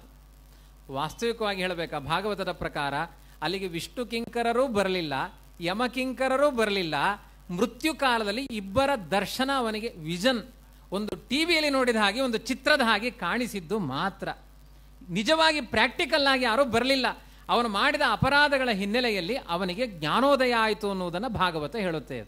ಕೆಲವರು ಮನಸ್ಸಿನಲ್ಲಿ ಏನು ಯೋಚನೆ ಮಾಡ್ತಾರೆ ಅಂತ ತೋರಿಸುವುದಿಲ್ಲ, ಧಾರಾವಾಹಿಯಲ್ಲಿ. ಅಷ್ಟೇ ಒಂದು ವಿಷನ್ ಇದು. ಅದನ್ನು ತೋರಿಸಿದೆ ಭಾಗವತ. ಕೊನೆಗೆ ಆ ಯಮಕಿಂಕರರೆಲ್ಲ ವಿಷ್ಣು ಕಿಂಕರರ ಮುಂದೆ ಏನು ಮಾಡಲಿಕ್ಕಾಗದೆ ಯಮದೇವರ ಹತ್ರ ಹೋಗಿ ಕೇಳುತ್ತಾರೆ. ಯಮದೇವರೇ, ಇದೇನು ಅನ್ಯಾಯ? ಮಾಡಬಾರದ ಪಾಪ ಮಾಡಿದ್ದಾನೆ. ಅವನಿಗೆ ಸ್ವರ್ಗ ಅಂತೆ, ಅವನಿಗೆ ವಿಷ್ಣುಲೋಕ ಅಂತೆ. ಎಷ್ಟೋ ಜನ ಅಂತ ಅಪರಾಧ ಮಾಡಿಲ್ಲ. ಅವರಿಗೆ ನರಕ ಅಂತೆ. ಇದೇನು ನ್ಯಾಯ ಅವಾಗ ಯಮದೇವರು ಹೇಳ್ತಾರೆ, ದೇವರ ಸ್ಮರಣೆ.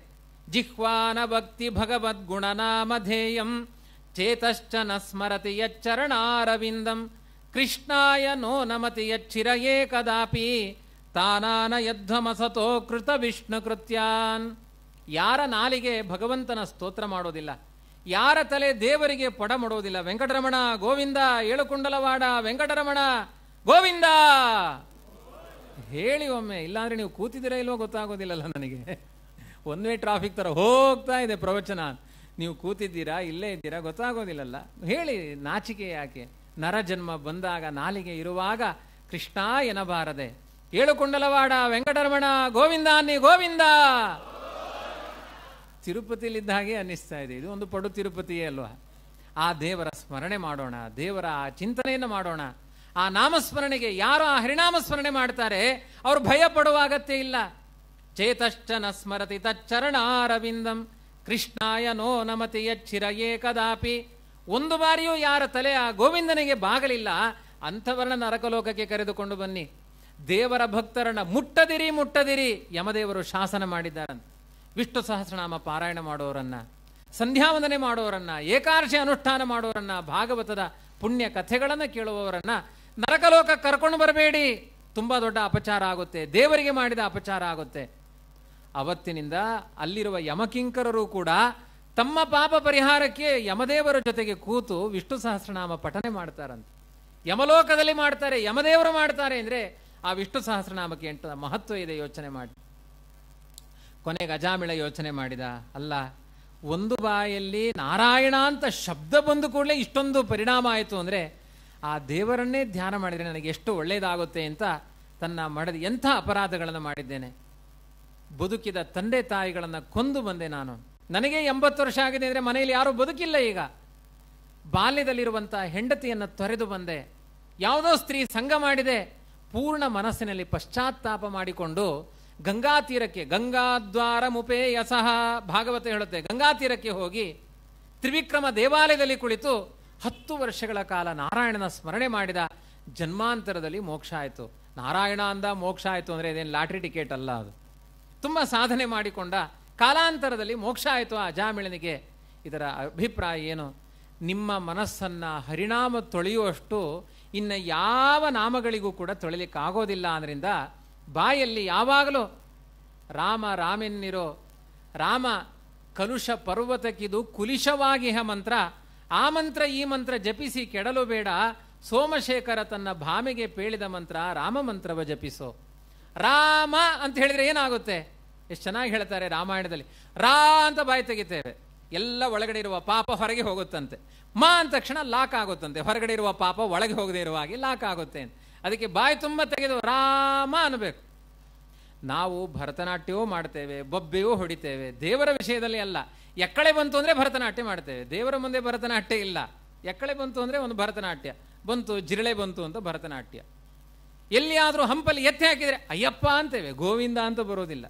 ರಾತ್ರಿ ಮಲಗಿದಾಗಲೂ ಯಾರಾದರೂ ತಟ್ಟಿ ಎಬ್ಬಿಸಿದ್ರೆ ಏನು ಏನು? ಅಂತೇವೆ. ಏನೇನು ಅನ್ನೋದಲ್ಲ. ಗೋವಿಂದ ಗೋವಿಂದ ಅಂತ ಹೇಳಿ ಮನಸ್ಸಿನ ನೈರ್ಮಲ್ಯವನ್ನು ಕಾಪಾಡಿಕೊಳ್ಳಿ ಅಂತ ಭಾಗವತ ನಾವು ಮಾಡಿದ ಪಾಪಗಳಿಗೆಲ್ಲ ಪ್ರಾಯಶ್ಚಿತ್ತ ಹರಿಣಾಮ ಅನ್ನುವ ಮಹತ್ವವನ್ನು ಸೂಚನೆ ಮಾಡಿದೆ. ಹೀಗೆ ತುಂಬ ಕಥೆಗಳಿದ್ದಾವೆ ಭಾಗವತದಲ್ಲಿ. ಪ್ರಧಾನವಾಗಿ ಒಂದೆರಡು ಕಥೆಗಳು. ಈ ಇಂದ್ರದೇವರು ಒಂದು ಬಾರಿ ಬೃಹಸ್ಪತ್ಯಾಚಾರ್ಯರಿಗೆ ಅವಮಾನ ಮಾಡಿದ್ರಂತೆ. ನೋಡಿ, ನಮ್ಮ ಬದುಕಿನಲ್ಲಿ ಭಾಗವತ ಹೆಜ್ಜೆ ಹೆಜ್ಜೆಗೆ ನಮ್ಮ ಕರ್ತವ್ಯಗಳು ಹೇಗಿರಬೇಕು ಅಂತ ಶಿಕ್ಷಣವನ್ನು ಕೊಡುತ್ತೆ ಇದು ದೇವಬ್ರಾಹ್ಮಣರಿಗೆ ಅಪಚಾರ ಮಾಡಬಾರದು. ದೇವಲೋಕದ ಗುರುಗಳು ಬೃಹಸ್ಪತ್ಯಾಚಾರ್ಯರು ಅವರೊಬ್ಬರು ಬ್ರಾಹ್ಮ ವಿಪ್ರಶ್ರೇಷ್ಠ.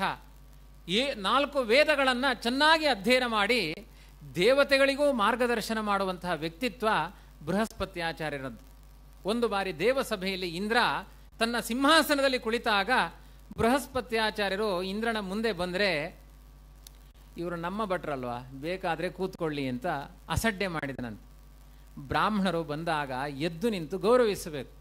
ಚಕ್ಷುರ್ ದದ್ಯಾತ್ ಮನೋದದ್ಯಾತ್, ವಾಚಂ ದದ್ಯಾತ್, ಸಮಾಹಿತ, ಉತ್ಥಾಯ, ಆಸನಂ ದದ್ಯಾತ್. ಒಬ್ಬ ವಿಪ್ರ ವಿಪ್ರ ಅಂತಲೇ ಆಗಬೇಕಾಗಿಲ್ಲ. ಹರಿಭಕ್ತ, ದೇವರನ್ನ ಸ್ಮರಣೆ ಮಾಡುವ ಒಬ್ಬ ಅತಿಥಿ ಮನೆಗೆ ಬಂದಾಗ, ಚಕ್ಷುರ್ದದ್ಯಾತ್ ಅರಳಿದ ಕಣ್ಣಿನಿಂದ ಸ್ವಾಗತ ಮಾಡಬೇಕಂತೆ. ಬನ್ನಿ ಬನ್ನಿ. ಬನ್ನಿ ನಮ್ಮ ಮನೆಗೆ ಬನ್ನಿ ಅಂತ ತೆರೆದ ಮನೆಯಲ್ಲಿ, ಆ ತೆರೆದ ಬಾಗಿಲಿನಿಂದ, ಮನಸ್ಸಿನಿಂದ ಚಕ್ಷುರ್ದದ್ಯಾತ್ ಅರಳಿದ ಕಣ್ಣಿನಿಂದ ಸ್ವಾಗತ ಮಾಡಬೇಕು. ಅವ್ರ ಮುಖ ನೋಡಿದ ತಕ್ಷಣ ಅವರಿಗೆ ಒಳಗಡೆ ಹೋಗುವ ಸ್ಫೂರ್ತಿ ಬರಬೇಕಂತೆ. ಇವತ್ತೆಲ್ಲ ಕೆರಳಿದ ಕಣ್ಣಿನಿಂದಲೇ ನೋಡೋದು. ನಮ್ಮನೆಗೆ ಯಾಕೆ ಬಂದರು? ಮಠ ಅಲ್ಲುಂಟಲ್ಲ, ದೇವಸ್ಥಾನ ಅಲ್ಲಿಗೆ ಹೋಗಬಾರ್ದ. ನಮ್ಮನೆಗೆ ಯಾಕೆ ಬಂದರು? ಅರಳಿದ ಕಣ್ಣಿನಿಂದ ಸ್ವಾಗತ ಮಾಡಬೇಕು. ಮನೋದದ್ಯಾತ್, ಮನಃಪೂರ್ವಕವಾಗಿ ಬನ್ನಿ ಅಂತ ಸ್ವಾಗತ ಮಾಡಬೇಕು. ವಾಚಂ ದದ್ಯಾತ್. ಆಮೇಲೆ ಏನು? ವಾಣಿ ಮನೆಗೆ ಬಂದವರಿಗೆ ಬನ್ನಿ ಬನ್ನಿ ಸ್ವಾಗತ. ಮನೆಗೆ ಬಂದ ಮೇಲೆ ತ್ರಿಷೆ ಬೇಕಾ. ಬಾಯಾರಿಕೆ ಏನಾದರೂ ತಗೊಳ್ತೀರಾ? ವಾಚಂ ದದ್ಯಾತ್. ಕೊಡು, ಅವರು ಬೇಡ ಅಂತ ಹೇಳ್ತಾರೆ. ಕೇಳಲಿಕ್ಕೆ ಏನು? ಕೆಲವರು ಸ್ವಲ್ಪ ಕೊಡಿ ಅಂತ ಕೇಳ್ತಾರೆ. ಅದು ಬೇರೆ ವಿಷಯ. ಆಯಿತಾ? ವಾಚಂ ದದ್ಯಾತ್. ಉತ್ಥಾಯ ಆಸನಂ ದದ್ಯಾತ್. ಎದ್ದು ನಿಂತು ಅವರಿಗೆ ಆಸನ ಕೊಡಬೇಕು. ಯಾವ ಈ ಉಪಚಾರಗಳನ್ನು ಮಾಡಲಿಲ್ಲಂತೆ ಇಂದ್ರ? ಹಾಗೆ ಕೂತಿದ್ದ. ಬೇಕಾದರೆ ಭಟ್ರು ಬಂದು ಮಣೆ ಹಾಕೊಂಡು ಕೂತ್ಕೊಳ್ಳಿ. ನಮ್ಮ ಮನೆ ಭಟ್ರಲ್ವಾ? ಅವರಿಗೆ ಸಂಬಳ ಕೊಡೋದಿಲ್ವಾ ಇದೊಂದು ಬ್ರಾಹ್ಮಣ ಹೇಳನ ಅವಮಾನ ಮಾಡಿದ. ಬೃಹಸ್ಪತ್ಯಾಚಾರ್ಯರು ವಿ ಆರ್ ಎಸ್ ಕೊಟ್ಟದ್ದಲ್ಲ, ಕೆಲಸಕ್ಕೆ ರಿಸೈನ್ ಮಾಡಿದ್ರಂತೆ ಅವರು.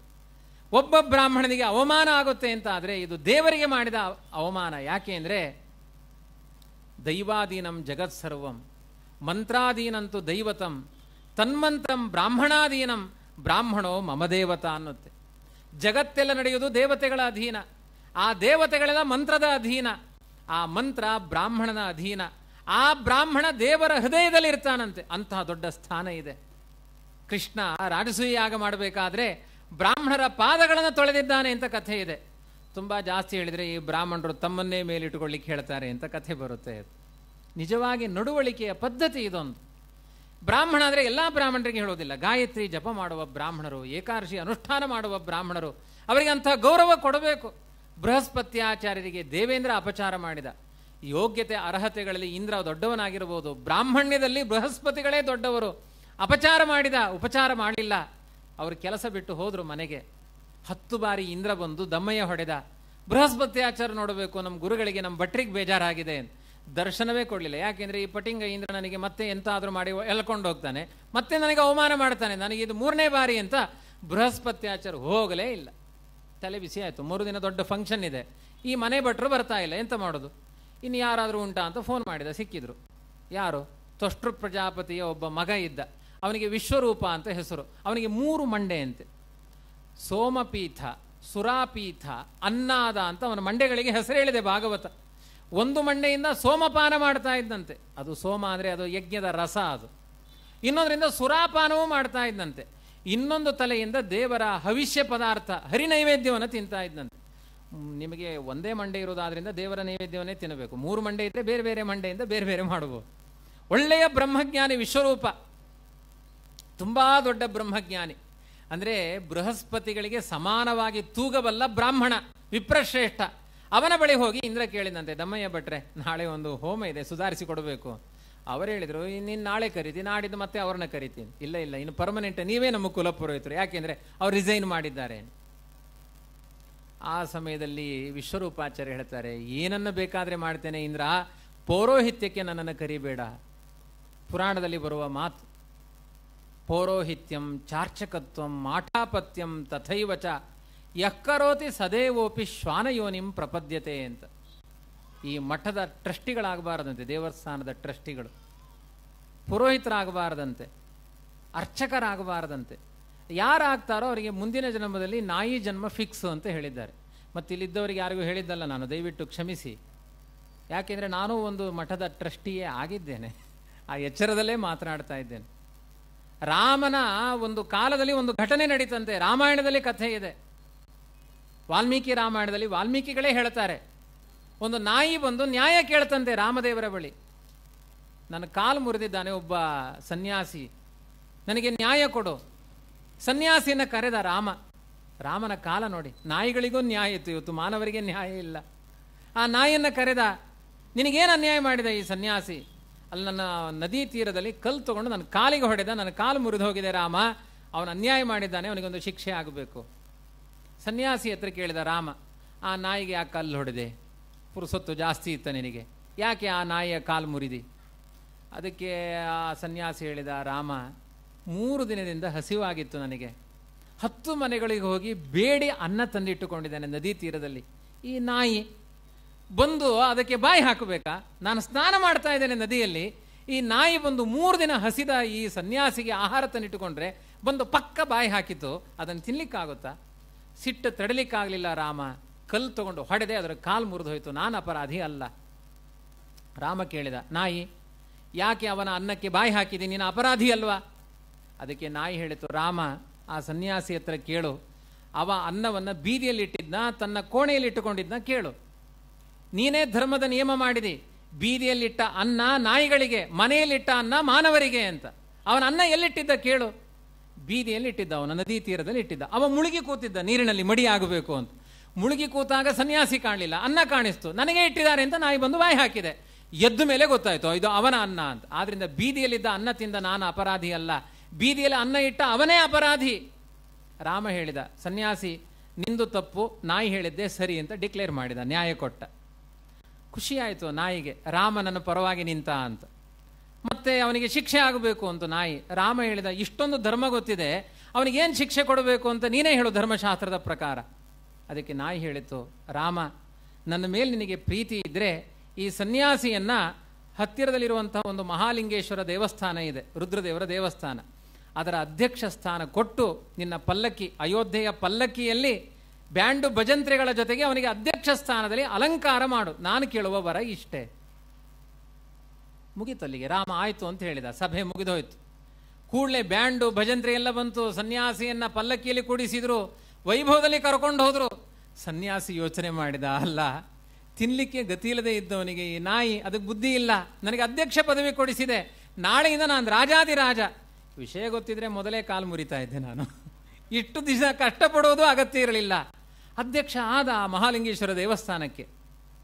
ರಾತ್ರಿ ಆಯಿತು, ಇದೆಲ್ಲ ಕಥೆ ಮುಗಿತು, ಸಮಾರಂಭ ಮುಗೀತು, ರಾತ್ರಿ ಆದಾಗ ಲಕ್ಷ್ಮಣ ಹೇಳಿದ, ರಾಮ, ನಿನ್ನ ಆಡಳಿತ ಚೆನ್ನಾಗಿಲ್ಲ ಅಂತ ಹೇಳಿದ. ಯಾಕೆ ಅಂದರೆ, ಆ ನಾಯಿಗೆ ಮಂಡೆ ಇಲ್ಲ.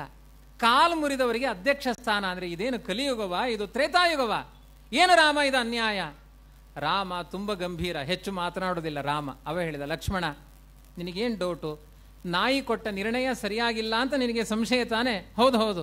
ಹಾಗಾದರೆ ಆ ನಾಯಿ ಹತ್ರನೇ ಹೋಗಿ ಕೇಳು, ಉತ್ತರ ಉಂಟು ಆ ನಾಯಿಯಲ್ಲಿ? ನಾನು ಹೇಳೋದಿಲ್ಲ ಅಂದ ರಾಮ. ಇಲ್ಲ ರಾಮ, ನೀನೇ ಹೇಳು. ನಾನು ಹೇಳೋದಿಲ್ಲ, ನಾಯಿ ಹತ್ರನೇ ಕೇಳು. ಲಕ್ಷ್ಮಣನಿಗೆ ಮೂರು ದಿನ ನಾಯಿ ಹುಡುಕುವ ಕೆಲಸ ಅದು ಎಲ್ಲಿದೆ ನಾಯಿ ಎಲ್ಲಿದೆ ಧರ್ಮ ಕೇಳಬೇಕಲ್ಲ ಅವ. ಅದು ಅಯೋಧ್ಯೆಯನ್ನು ಬಿಟ್ಟು ಯಾವುದೋ ಮರದ ಎಡೆಯಲ್ಲಿ ಹೋಗಿ ಕಾಲು ಮುರ್ಕೊಂಡು ಕೊಯ್ಯ ಮಲಗಿ ಕೂತಿತ್ತು. ಲಕ್ಷ್ಮಣ ಹೋಗಿ ಕೇಳಿದ, ನಾಯಿ, ಯಾಕೆ ಆ ನಿರ್ಣಯ ಕೊಟ್ಟಿ? ಅದಕ್ಕೆ ನಾಯಿ ಹೇಳಿತು, ತುಂಬ ಸಿಂಪಲ್. ಹೋದ ಜನ್ಮದಲ್ಲಿ ಅದೇ ದೇವಸ್ಥಾನದ ಟ್ರಸ್ಟಿ ನಾನು. ಮುಂದಿನ ಜನ್ಮದಲ್ಲಿ ಈ ಜನ್ಮದಲ್ಲಿ ನಾಯಿ, ಮುಂದಿನ ಜನ್ಮದಲ್ಲಿ ಈ ಸನ್ಯಾಸಿ ನಾಯಿ. ನಾನು ಕಲ್ಲು, ಕಾಲು ಮುರಿತೇನೆ ಅಷ್ಟೇ. ಇನ್ನೇನಿಲ್ಲ, ಮುಗೀತು. ಅದಕ್ಕೆ ಲಕ್ಷ್ಮಣ ಕೇಳಿದ, ನೀನು ಆ ದೇವಸ್ಥಾನದ ಟ್ರಸ್ಟಿಯಾಗಿ ನಾಯಿ ಯಾಕಾದಿ ಅದಕ್ಕೆ ಆ ನಾಯಿ ಹೇಳಿತು, ಏನಿಲ್ಲ, ನಾನು ಆ ದೇವಸ್ಥಾನದ ಅಧ್ಯಕ್ಷ ಸ್ಥಾನದಲ್ಲಿದ್ದೆ. ಸೋಮವಾರದ ದಿವಸ ನನ್ನ ಹೆಂಡತಿ ಮನೆಯಲ್ಲಿ ದೀಪ ಹಚ್ಚಬೇಕು, ಎಣ್ಣೆ ಬೇಕು ಅಂತ ಕೇಳಿದ್ಲು. ಸಾವಿರಾರು ಜನ ರುದ್ರದೇವರ ದೇವಸ್ಥಾನಕ್ಕೆ ಬರುವ ವ್ಯಕ್ತಿಗಳಿದ್ರು. ಅವರನ್ನೆಲ್ಲ ಬಿಟ್ಟು ನನ್ನಿಂದ ಹೋಗ್ಲಿಕ್ಕಾಗಲಿಲ್ಲ. ಯಾವನೋ ಒಬ್ಬ ಮಾಣಿಯನ್ನು ಕರೆದು ಐವತ್ತು ಗ್ರಾಮ್ ಎಣ್ಣೆಯನ್ನು ದೇವಸ್ಥಾನದ ಎಣ್ಣೆಯನ್ನು ಮನೆಗೆ ಕಳಿಸಿದೆ, ಈ ಜನ್ಮದಲ್ಲಿ ನಾಯಿಯಾಗಿ ಹುಟ್ಟಿದ್ದೇನೆ. ಇನ್ನು ಹುಂಡಿಯೇ ಮನೆಗೆ ಹೋದರೆ ಕತೆ ಏನ್ರಿ? ಏನೆಲ್ಲ ಅನ್ಯಾಯಗಳು? ವಿಷಂನ ವಿಷಮಿತ್ಯಾಹುಹು, ದೇವಸ್ವಂ ವಿಷಮುಚ್ಯತೆ. ವಿಷವನ್ನು ವಿಷ ಅಂತ ಕರೆಯೋದಿಲ್ಲ, ದೇವರ ಸೊತ್ತನ್ನ ವಿಷ ಅಂತ ಕರೀತಾರೆ. ದೇವಸ್ಥಾನ ಅಲ್ಲ, ನೀವು ಮನೆಗೆ ಒಂದು ಪ್ಯಾಕೆಟಲ್ಲಿ ಒಳ್ಳೆಯ ಗಣೇಶ ಆಯಿಲ್ ತಂದಿಟ್ಟಿದ್ದೀರಿ. ಎಳ್ಳೆಣ್ಣೆ, ದೇವರಿಗೆ ಹಾಕಬೇಕು ಒಂದು. ಇನ್ನು ದೀಪದ ಎಣ್ಣೆ, ದೇವರ ಎಣ್ಣೆ ಅನ್ನೋ ಹೆಸರಿರೋದು ತರಬೇಡಿ. ಒಳ್ಳೆಯ ಎಳ್ಳೆಣ್ಣೆನ ತೆಗೆದುಕೊಂಡು ಬಂದು ದೇವರ ದೀಪಕ್ಕೆ ಹಾಕಿ. ದೇವರ ದೀಪಕ್ಕೆ ಅಂತ ತಂದ ಎಣ್ಣೆಯನ್ನು ನೀವು ಅಡಿಗೆ ಮನೆಗೆ ತೆಗೆದುಕೊಂಡು ಹೋದರೆ ನಿಮ್ಮ ಕಣ್ಣು ಕುರುಡಾಗುತ್ತೆ ಎನ್ನುತ್ತೆ ಶಾಸ್ತ್ರ. ಅದಕ್ಕೆ ಕೆಲವರು ಜಾಣರು, ದೇವರಿಗೆ ದೀಪವೇ ಹಚ್ಚುವುದಿಲ್ಲ. ಯಾಕೆಂದ್ರೆ ಅದನ್ನು ತಗೊಂಡೋಗಿ ಅಲ್ಲಿ ಎಂತೆಂಥದೋ ಆದರೆ? ದೇವರಿಗೆ ಹಾಕಿದ ದೀಪ ಉರಿಯುವ ಜ್ಯೋತಿಯಲ್ಲಿ ನಮ್ಮ ಮನೆಯ ಪಂಚಾಂಗ ಓದಬಾರದು ಅಂತುಂಟು. ಯಾಕೆಂದ್ರೆ ದೇವರಿಗೆ ಮೀಸಲಾದ ಬೆಳಕನ್ನ ನಮ್ಮ ಸ್ವಾರ್ಥಕ್ಕೆ ಬಳಕೆ ಮಾಡಿಕೊಳ್ಳಬಾರದು. ದೇವರಿಗೆ ದೀಪ ಹಚ್ಚುತ್ತೇವೆ. ಎಲ್ಲ ಎಣ್ಣೆ ಹಾಕಿ ಆಯಿತು. ಆ ಕೈಯಲ್ಲಿ ಅಂಟಿಕೊಂಡ ಪಸೆಯನ್ನು ಮೈಗೆ ತಲೆಗೆ ಹೀಗೆ ಅನ್ನಬಾರದಂತೆ ಮಹಾ ಅಪರಾಧ ಅಂತ ಹೇಳಿದ್ದಾರೆ. ಅದಕ್ಕೆ ಕೆಲವರು ಕಂಬಕ್ಕೆ ಒರೆಸಿ ಹೋಗ್ತಾರೆ. ಅದು ತಲೆಗೆ ಹಚ್ಚಬಾರದು ಅಂತ ಹೇಳಿದ್ದಾರಲ್ಲ ಪುರಾಣದಲ್ಲಿ ಹೀಗೆ ದೇವರಿಗೆ, ದೇವರ ಮನೆಯ ಪಾತ್ರೆಗಳು ಅಡಿಗೆ ಮನೆಯಲ್ಲಿ ಸೇರಬಾರದು. ನಾವು ತಿನ್ನುವ ಪಾತ್ರೆಗಳು ದೇವರ ಮನೆಗೆ ಹೋಗಬಾರದು.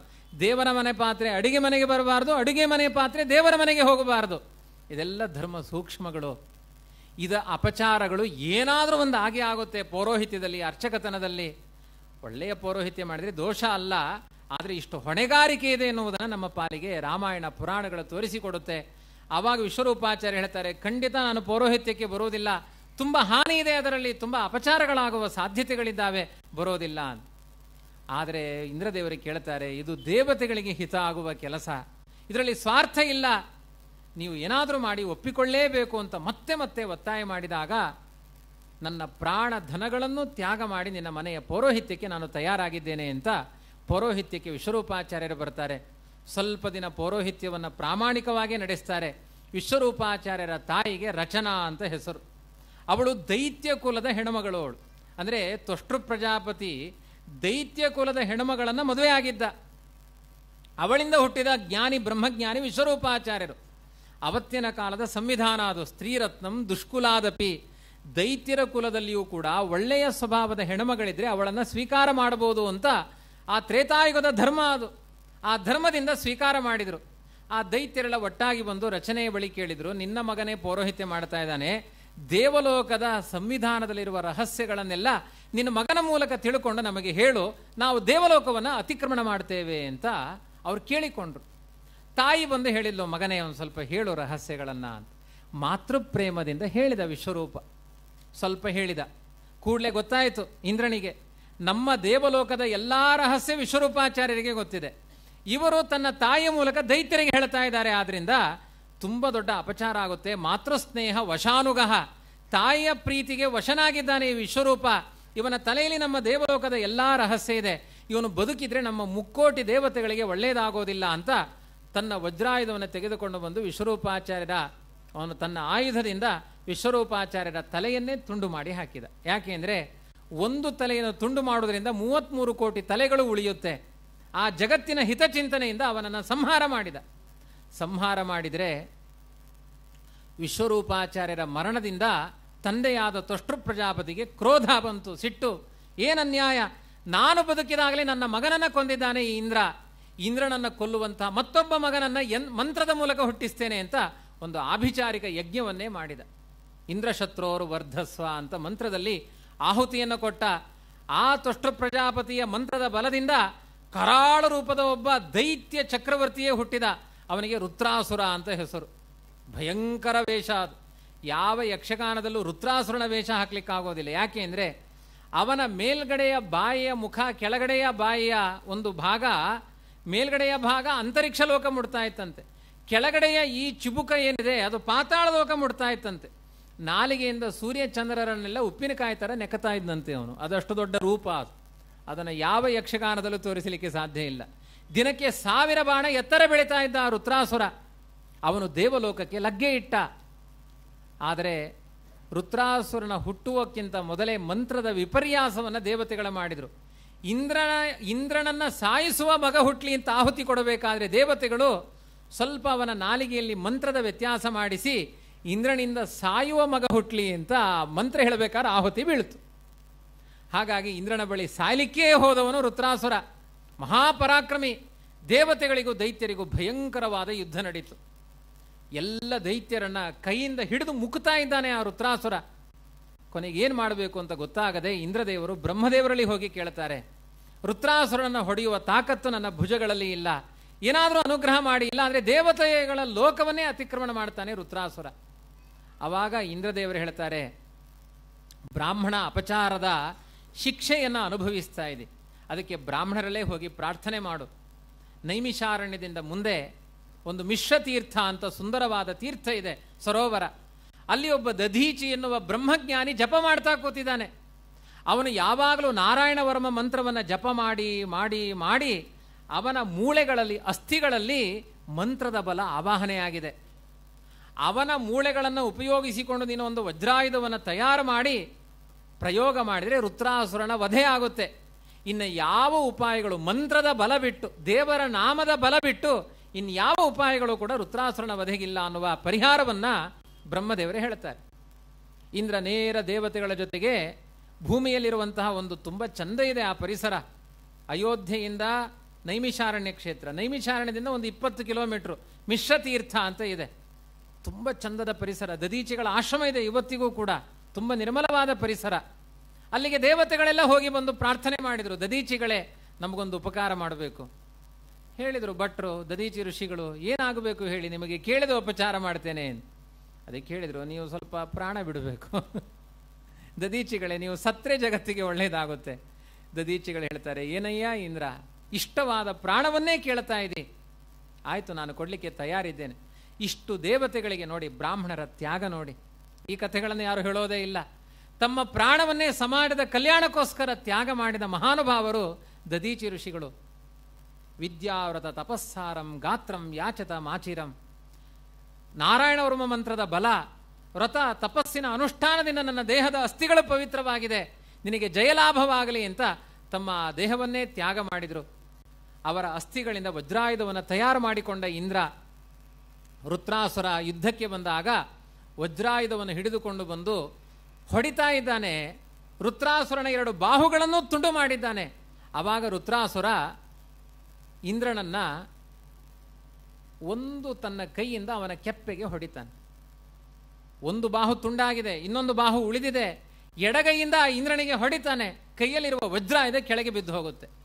ಇಂದ್ರ ಗಡಗಡ ನಡಗುತ್ತಾನೆ. ಒಂದು ಕೆಪ್ಪೆಗೆ ಹೊಡೆದರೆ ಕೈಯಲ್ಲಿರುವ ವಜ್ರಾಯುಧ ಕೆಳಗೆ ಬೀಳ್ತು. ಆ ವಜ್ರಾಯುಧ ತೆಗೆದುಕೊಳ್ಳಿ ಹೋಗಿ ಹೋಗ್ಲಿಕ್ಕೆ ನಾನು ಬಗ್ಲಿಕ್ಕೆ ಹೋದರೆ ನನ್ನ ಬೆನ್ನಿಗೆ ಗುದ್ದಿದ್ರೆ ನನ್ನ ಪ್ರಾಣವೇ ಹೊರಟೋಗುತ್ತೆ ಅಂತ ಗಡಗಡ ನಡಗುತ್ತಾ ಇದ್ದಾನೆ. ಆವಾಗ ರುದ್ರಾಸುರ ಹೇಳ್ತಾನೆ, ಹೆದರಬೇಡ ಇಂದ್ರ. ನಾವೆಲ್ಲ ದೇವರ ಮಕ್ಕಳು. ಜಯ ಪರಾಜಯಗಳೆಲ್ಲ ಭಗವಂತನ ಅಧೀನ. ನೀನು ಇಂದ್ರ ಆದ ತಕ್ಷಣ ನಿನಗೆ ಜಯ ಸಿಗುತ್ತೆ ಅಂತ ಎಣಿಸಬೇಡ. ನಾನು ಅಸುರ ಆದ ತಕ್ಷಣ ನಾನು ಗೆಲ್ತೇನೆ ಎನ್ನುವುದು ನನಗೂ ವಿಶ್ವಾಸ ಇಲ್ಲ. ಅವನ ಸಂಕಲ್ಪದಲ್ಲಿ ನಾವು ಗೆಲ್ಲಬೇಕು ಅಂತಿದ್ರೆ ಗೆಲ್ತೇವೆ. ಇಲ್ಲಾಂದರೆ ನಾವು ಸೋಲ್ತೇವೆ.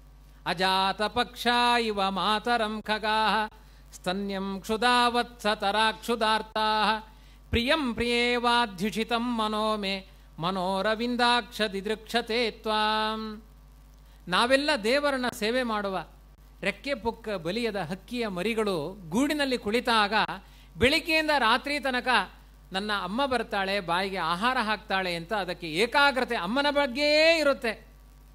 ಅಥವಾ ಹೊಸದಾಗಿ ಎಂಗೇಜ್ ಆದ ಹುಡುಗಿಗೆ ಯಾವ ಫೋನ್ ರಿಂಗ್ ಆದರೂ ನನ್ನ ಗಂಡ ಪ್ರಿಯತಮ ಫೋನ್ ಮಾಡ್ತಾನೆ ಎನ್ನುವ ಏಕಾಗ್ರತೆ ಹೇಗಿರುತ್ತೋ ನಮ್ಮ ಮನಸ್ಸು ಯಾವಾಗಲೂ ದೇವರಲ್ಲಿ ಅಷ್ಟು ಪ್ರೀತಿಯಿಂದ ಕೆಲಸ ಮಾಡ್ತಾ ಇದ್ರೆ ನಮ್ಮೆಲ್ಲ ಕಷ್ಟಗಳನ್ನು ಆ ಗೋವಿಂದ ಪರಿಹಾರ ಮಾಡ್ತಾನೆ. ಅವನನ್ನು ನಂಬು ಅನ್ನುವ ಅಧ್ಯಾತ್ಮ ಉಪದೇಶವನ್ನು ದೈತ್ಯನಾಗಿ ಇಂದ್ರನಿಗೆ ರುದ್ರಾಸುರ ಮಾಡ್ತಾನೆ.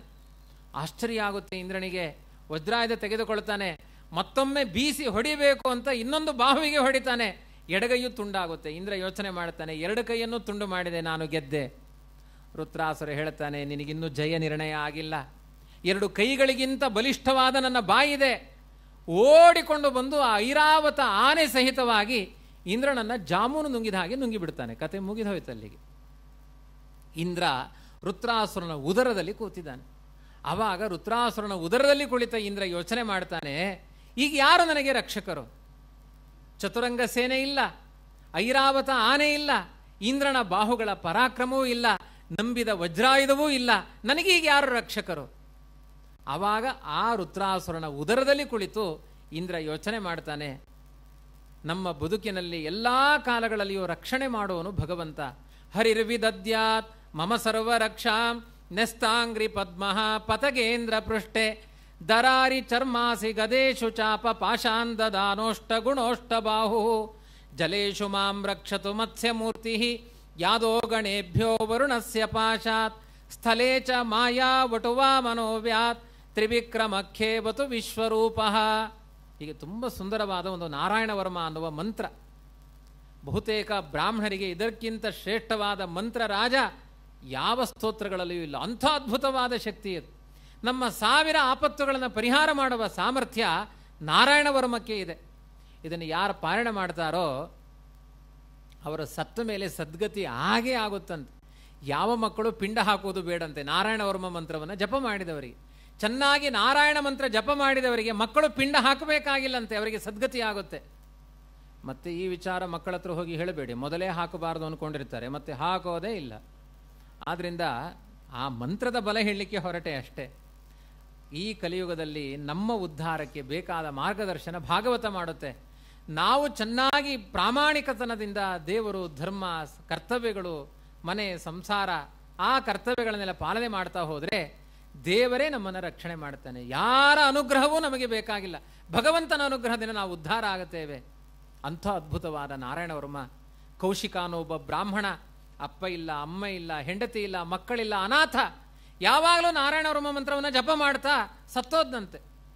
ಒಬ್ಬ ದೇವಲೋಕದ ಗಂಧರ್ವ ಅವನ ಸತ್ತ ಹೆಣದ ಮೇಲೆ ಅವನ ಫ್ಲೈಟ್ ಹೋಯ್ತಂತೆ, ವಿಮಾನ. ತಲೆ ಕೆಳಗಾಗಿ ಬೀಳ್ತಂತೆ. ಅವ ನೋಡಿದ ನನ್ನ ಫ್ಲೈಟ್ ಆಕ್ಸಿಡೆಂಟ್ ಆಗಲಿ ಕಾರಣ ಏನು? ಒಬ್ಬ ಬ್ರಾಹ್ಮಣನ ತಲೆಯನ್ನು ದಾಟಿದ್ದೇನೆ. ಜನಿವಾರ ಇತ್ತು ದೇಹದಲ್ಲಿ. ನೋಡಿದ? ಇದು ಸಾಮಾನ್ಯ ಬ್ರಾಹ್ಮಣ ಅಲ್ಲ ಪರಿಸರದವರು ಹೇಳಿದರು. ಅವನು ಸಾಯೋ ತನಕ ನಾರಾಯಣ ವರ್ಮ ಮಂತ್ರವನ್ನು ಜಪ ಮಾಡ್ತಾ ಇದ್ದ. ಅಯ್ಯೋ, ಇಂತಹ ಬ್ರಹ್ಮಜ್ಞಾನಿಯನ್ನ ದಾಟಿ ನನ್ನ ವಿಮಾನದ ನೆರಳು ಬಿದ್ದದ್ದಕ್ಕೆ ವಿಮಾನ ಕೆಳಗೆ ಬೀಳ್ತು ಅಂದರೆ ಇವನು ಸಾಮಾನ್ಯ ಅಲ್ಲ ಅಂತ ಅವನು ಪ್ರಾಶ್ಯ ಪ್ರಾಚಿ ಸರಸ್ವತ್ಯಾಂ ಸ್ನಾತ್ವ ಧಾಮ ಸ್ವಮನ್ವಗಾತ್. ಆ ಸರಸ್ವತಿ ನದಿಯ ದಂಡೆಯಲ್ಲಿ ಆ ಬ್ರಾಹ್ಮಣನಿಗೆ ಬೇಕಾದ ಔರ್ಧ್ವದೇಹಿಕ ವಿಧಿಗಳನ್ನೆಲ್ಲ ಮಾಡಿ ಅವನು ತನ್ನ ಮನೆಗೆ ಹೋದನಂತೆ. ದೇವತೆಗಳು ಬಂದು ಪಿಂಡದಾನ ಮಾಡಿ ಹೋದರು ಅಂದರೆ ನಾರಾಯಣ ಮಂತ್ರದ ಬಲ ಏನು ಅಂತ ಭಾಗವತ ನಮ್ಮನ್ನು ಪ್ರಶ್ನೆ ಮಾಡುತ್ತೆ ಅಂಥ ಶ್ರೇಷ್ಠವಾದ ಶಕ್ತಿ ಮಂತ್ರದ ಬಲಕ್ಕಿದೆ. ನಾರಾಯಣ ಮಂತ್ರದವನ್ನು ಪಾರಾಯಣ ಮಾಡಿದ ಉದರದಲ್ಲಿ ಕುಳಿತು. ಯಾವ ರಕ್ಷಣೆಯೂ ಇಲ್ಲ. ಕೇವಲ ಮಂತ್ರದ ಬಲ. ರುದ್ರಾಸುರನ ಉದರದಲ್ಲಿ ಕುಳಿತು ಜಪ ಮಾಡಿದ ಅವನ ದೇಹದಲ್ಲಿ ವಿದ್ಯುತ್ ಸಂಚಾರ ಆಯ್ತಂತೆ ಇಂದ್ರದೇವನಿಗೆ. ಅವನ ಉದರವನ್ನು ಸೀಳಿಕೊಂಡು ಬಂದ ರುದ್ರಾಸುರ ಸತ್ತ ಕಥೆ ಮುಗಿತಲ್ಲಿಗೆ. ಆರನೆಯ ಸ್ಕಂದ ಕಥೆ ಮುಗೀತು. ಇನ್ನು ಒಂದೇ ಕತೆ ಹತ್ತು ನಿಮಿಷದಲ್ಲಿ ನಮ್ಮ ಪ್ರವಚನ ಮುಗಿಯುತ್ತೆ ನೋಡಿ, ನಿಮಗೆ ಈಗ ಮೂರು ಧಾರಾವಾಹಿ ನೋಡಿದಷ್ಟು ಟೈಮ್ ಕಳೀತು. ಈಗ ನಾಲ್ಕನೇ ಧಾರಾವಾಹಿ ಟೈಮಿನಲ್ಲಿ ಇದ್ದೀರಿ ಮಧ್ಯೆ ಅಡ್ವರ್ಟೈಸ್ಮೆಂಟು ಇಲ್ಲ ನೋಡಿ. ಎಷ್ಟು ಏಕಾಗ್ರತೆ ನಿಮ್ಮದು? ಇಷ್ಟು ಏಕಾಗ್ರತೆಯಲ್ಲಿ ಒಂದು ಧಾರಾವಾಹಿ ನೋಡ್ಲಿಕ್ಕೆ ಸಾಧ್ಯ ಉಂಟಾ? ಅದು ಗೊತ್ತುಂಟು ಅವರಿಗೆ, ಆಗಲ್ಲ ಅಂತ. ಅದಕ್ಕೆ ಅರ್ಧ ಗಂಟೆ ತೋರಿಸಿ, ಮಧ್ಯದಲ್ಲಿ ನಾಲ್ಕು ಅಡ್ವರ್ಟೈಸ್ಮೆಂಟ್ ತೋರಿಸಿ, ನಿಮಗೆ ಚಾ ಕುಡಿಸಿ, ಏನೆಲ್ಲ ಮಾಡ್ತಾರೆ, ಕಷ್ಟಪಡ್ತಾರೆ. ಇಲ್ಲಿ ಚಾ ಇಲ್ಲ, ಕಾಫಿ ಇಲ್ಲ ಮನೇಲಿದ್ರೆ ಎಷ್ಟು ಬಾರಿ ಅಡಿಗೆ ಮನೆಗೆ ಹೋಗ್ತಾ ಇದ್ರಿ, ಗೊತ್ತು? ಎರಡು ಗಂಟೆ ಹೇಗೆ ಕೂತಿದ್ದೀರಿ ನೀವು? ಒಬ್ಬರು ತೂಕಡಿಸ್ತಾ ಇಲ್ಲ ಬೇರೆ, ಅದೇ ನನಗೆ ಸಮಸ್ಯೆ. ಆಯ್ತಾ? ಇಷ್ಟು ಏಕಾಗ್ರತೆ ಬರಲಿಕ್ಕೆ ಕಾರಣ ಹರಿನಾಮದ ಬಲ ಅದು. ಅಂತಹ ಸಾಮರ್ಥ್ಯ ಇದೆ ಹರಿನಾಮಕ್ಕೆ. ಆ ರುದ್ರಾಸುರ ಅಸುರನಾಗಿದ್ರು ಅಂತಹ ಜ್ಞಾನಿ ಯಾಕೆ ಅಂದರೆ ಜನ್ಮಾಂತರದಲ್ಲಿ ರುದ್ರದೇವರ ಅನುಗ್ರಹವನ್ನು ಪಡೆದುಕೊಂಡವನು. ಯಾರು ಮಹರುದ್ರದೇವರ ಅನುಗ್ರಹಕ್ಕೆ ಪಾತ್ರರಾಗ್ತಾರೆ, ಅವರಿಗೆ ಬ್ರಹ್ಮಜ್ಞಾನ ಯಾವತ್ತೂ ನಾಶ ಆಗೋದಿಲ್ಲ ಅಂತ ರುದ್ರದೇವರ ಮಹಿಮೆಯನ್ನು ಕೂಡ ಭಾಗವತ ವಿಷ್ಣುವಿನ ಮಹಿಮೆಯ ಜೊತೆಗೆ ರುದ್ರನ ಮಹಿಮೆಯನ್ನು ಕೂಡ ವಿಶೇಷವಾಗಿ ವರ್ಣನೆ ಮಾಡಿದೆ. ಹರಿನಾಮದಿಂದ ಒಳಗಡೆಯಿಂದ ಬರುವ ಆಪತ್ತು ಪರಿಹಾರ ಆಗುತ್ತೆ ಎನ್ನುವುದಕ್ಕೆ ಕಥೆ, ರುದ್ರಾಸುರನ ವಧೆಯ ಕತೆ ಇದು ಒಳಗಡೆಯಿಂದ ಹೊಟ್ಟೆ ಸೀಳಿದ ಕತೆ ಇನ್ನೊಂದು ಕತೆ ಇದೆ, ಹೊರಗಡೆಯಿಂದ ಹೊಟ್ಟೆ ಸೀಳಿದ ಕತೆ ಅದೇ ನರಸಿಂಹನ ಕತೆ ನಿಮಗೆ ಹೊರಗಡೆಯಿಂದ ಬರುವ ಉಪದ್ರವಕ್ಕೂ ಹರಿಣಾಮವೇ ಗತಿ. ಒಳಗಡೆಯಿಂದ ಬರುವ ಉಪದ್ರವಕ್ಕೂ ಹರಿಣಾಮವೇ ಗತಿ. ಹೊರಗಡೆಯಿಂದ ಉಪದ್ರವ ಆಯಿತು. ನಾರಾಯಣ ಗೋವಿಂದ ಅಂತ ಹೇಳಿ. ಒಳಗಡೆಯಿಂದ ಉಪದ್ರವ ಆಯಿತು. ನಾರಾಯಣ ಗೋವಿಂದ ಅಂತ ಹೇಳಿ. ತುಂಬ ಸುಲಭದ ಕೆಲಸ. ಮನಸ್ಸಿಗೆ ಮಾತ್ರ ಏಕಾಗ್ರತೆ ಇರುವುದಿಲ್ಲ. ಅಷ್ಟು ಅದ್ಭುತವಾದ ಕಥೆಯನ್ನು ಹೇಳಿದ್ದಾರೆ. ಕೇಳುತ್ತಾರೆ. ತೃತೀಯ ಸ್ಕಂದದಲ್ಲಿ ಹಿರಣ್ಯಾಕ್ಷ ವಧೆಯನ್ನು ವರಾಹರೂಪಿಯಾದ ಪರಮಾತ್ಮ ಮಾಡಿದ್ದ. ಅದಿತಿ ದ್ವಿತೀಯ ಮಕ್ಕಳು ಹಿರಣ್ಯಾಕ್ಷ ಹಿರಣ್ಯಕಶ್ಯಪು ಲೋಕಕಂಟಕರು. ನರಸಿಂಹ ರೂಪದಿಂದ ಹಿರಣ್ಯ ಕಶ್ಯಪುವಿನ ವಧೆಯನ್ನು ಮಾಡ್ತಾನೆ ಅಂತ ಶುಕಾಚಾರ್ಯರು ಆ ಪರೀಕ್ಷಿತ ರಾಜನಿಗೆ ಅಲ್ಲೇ ಒಂದು ಕಥೆಯನ್ನು ಹೇಳಿದರು. ಅವ ಕೇಳ್ತಾನೆ, ಕಥೆಯನ್ನು ಕೇಳ್ತಾ, ತುಂಬ ರಮಣೀಯವಾಗಿತ್ತು ಇಲ್ಲಿಯ ತನಕ ಹೇಳಿದ ಕಥೆ. ಹಿಂದೆ ಒಂದು ಕಥೆ ಬಾಕಿ ಇದೆ, ಅದನ್ನು ಹೇಳಿ ಅಂತ ಕೇಳ್ತಾನೆ. ಅವಾಗ ಹೇಳ್ತಾರೆ, ಶುಕಾಚಾರ್ಯರು, ನಿನಗೆ ಯೋಗ್ಯತೆ ಇದೆ ಪರೀಕ್ಷಿತ. ಯಾಕೆ ಅಂದರೆ ಹಿಂದೆ ಕೇಳಿದ ಕಥೆಯನ್ನು ನೀನು ಮರಿಲಿಲ್ಲ ನೋಡು. ನಾನು ಕತೆ ಹೇಳ್ತೇನೆ ಕೇಳು. ನರಸಿಂಹ ಸಾಮಾನ್ಯ ಅಲ್ಲ. ಭಗವಂತನ ರಕ್ಷಣೆ ಸಾಮಾನ್ಯ ಅಲ್ಲ. ಹಿರಣ್ಯಕಶ್ಯಪು ಲೋಕಕಂಟಕ ಅವನು. ಹಿರಣ್ಯಾಕ್ಷನ ವಧೆಯಿಂದ ದೇವರ ವಿರುದ್ಧ ಸಮರ ಸಾರಿದವನು.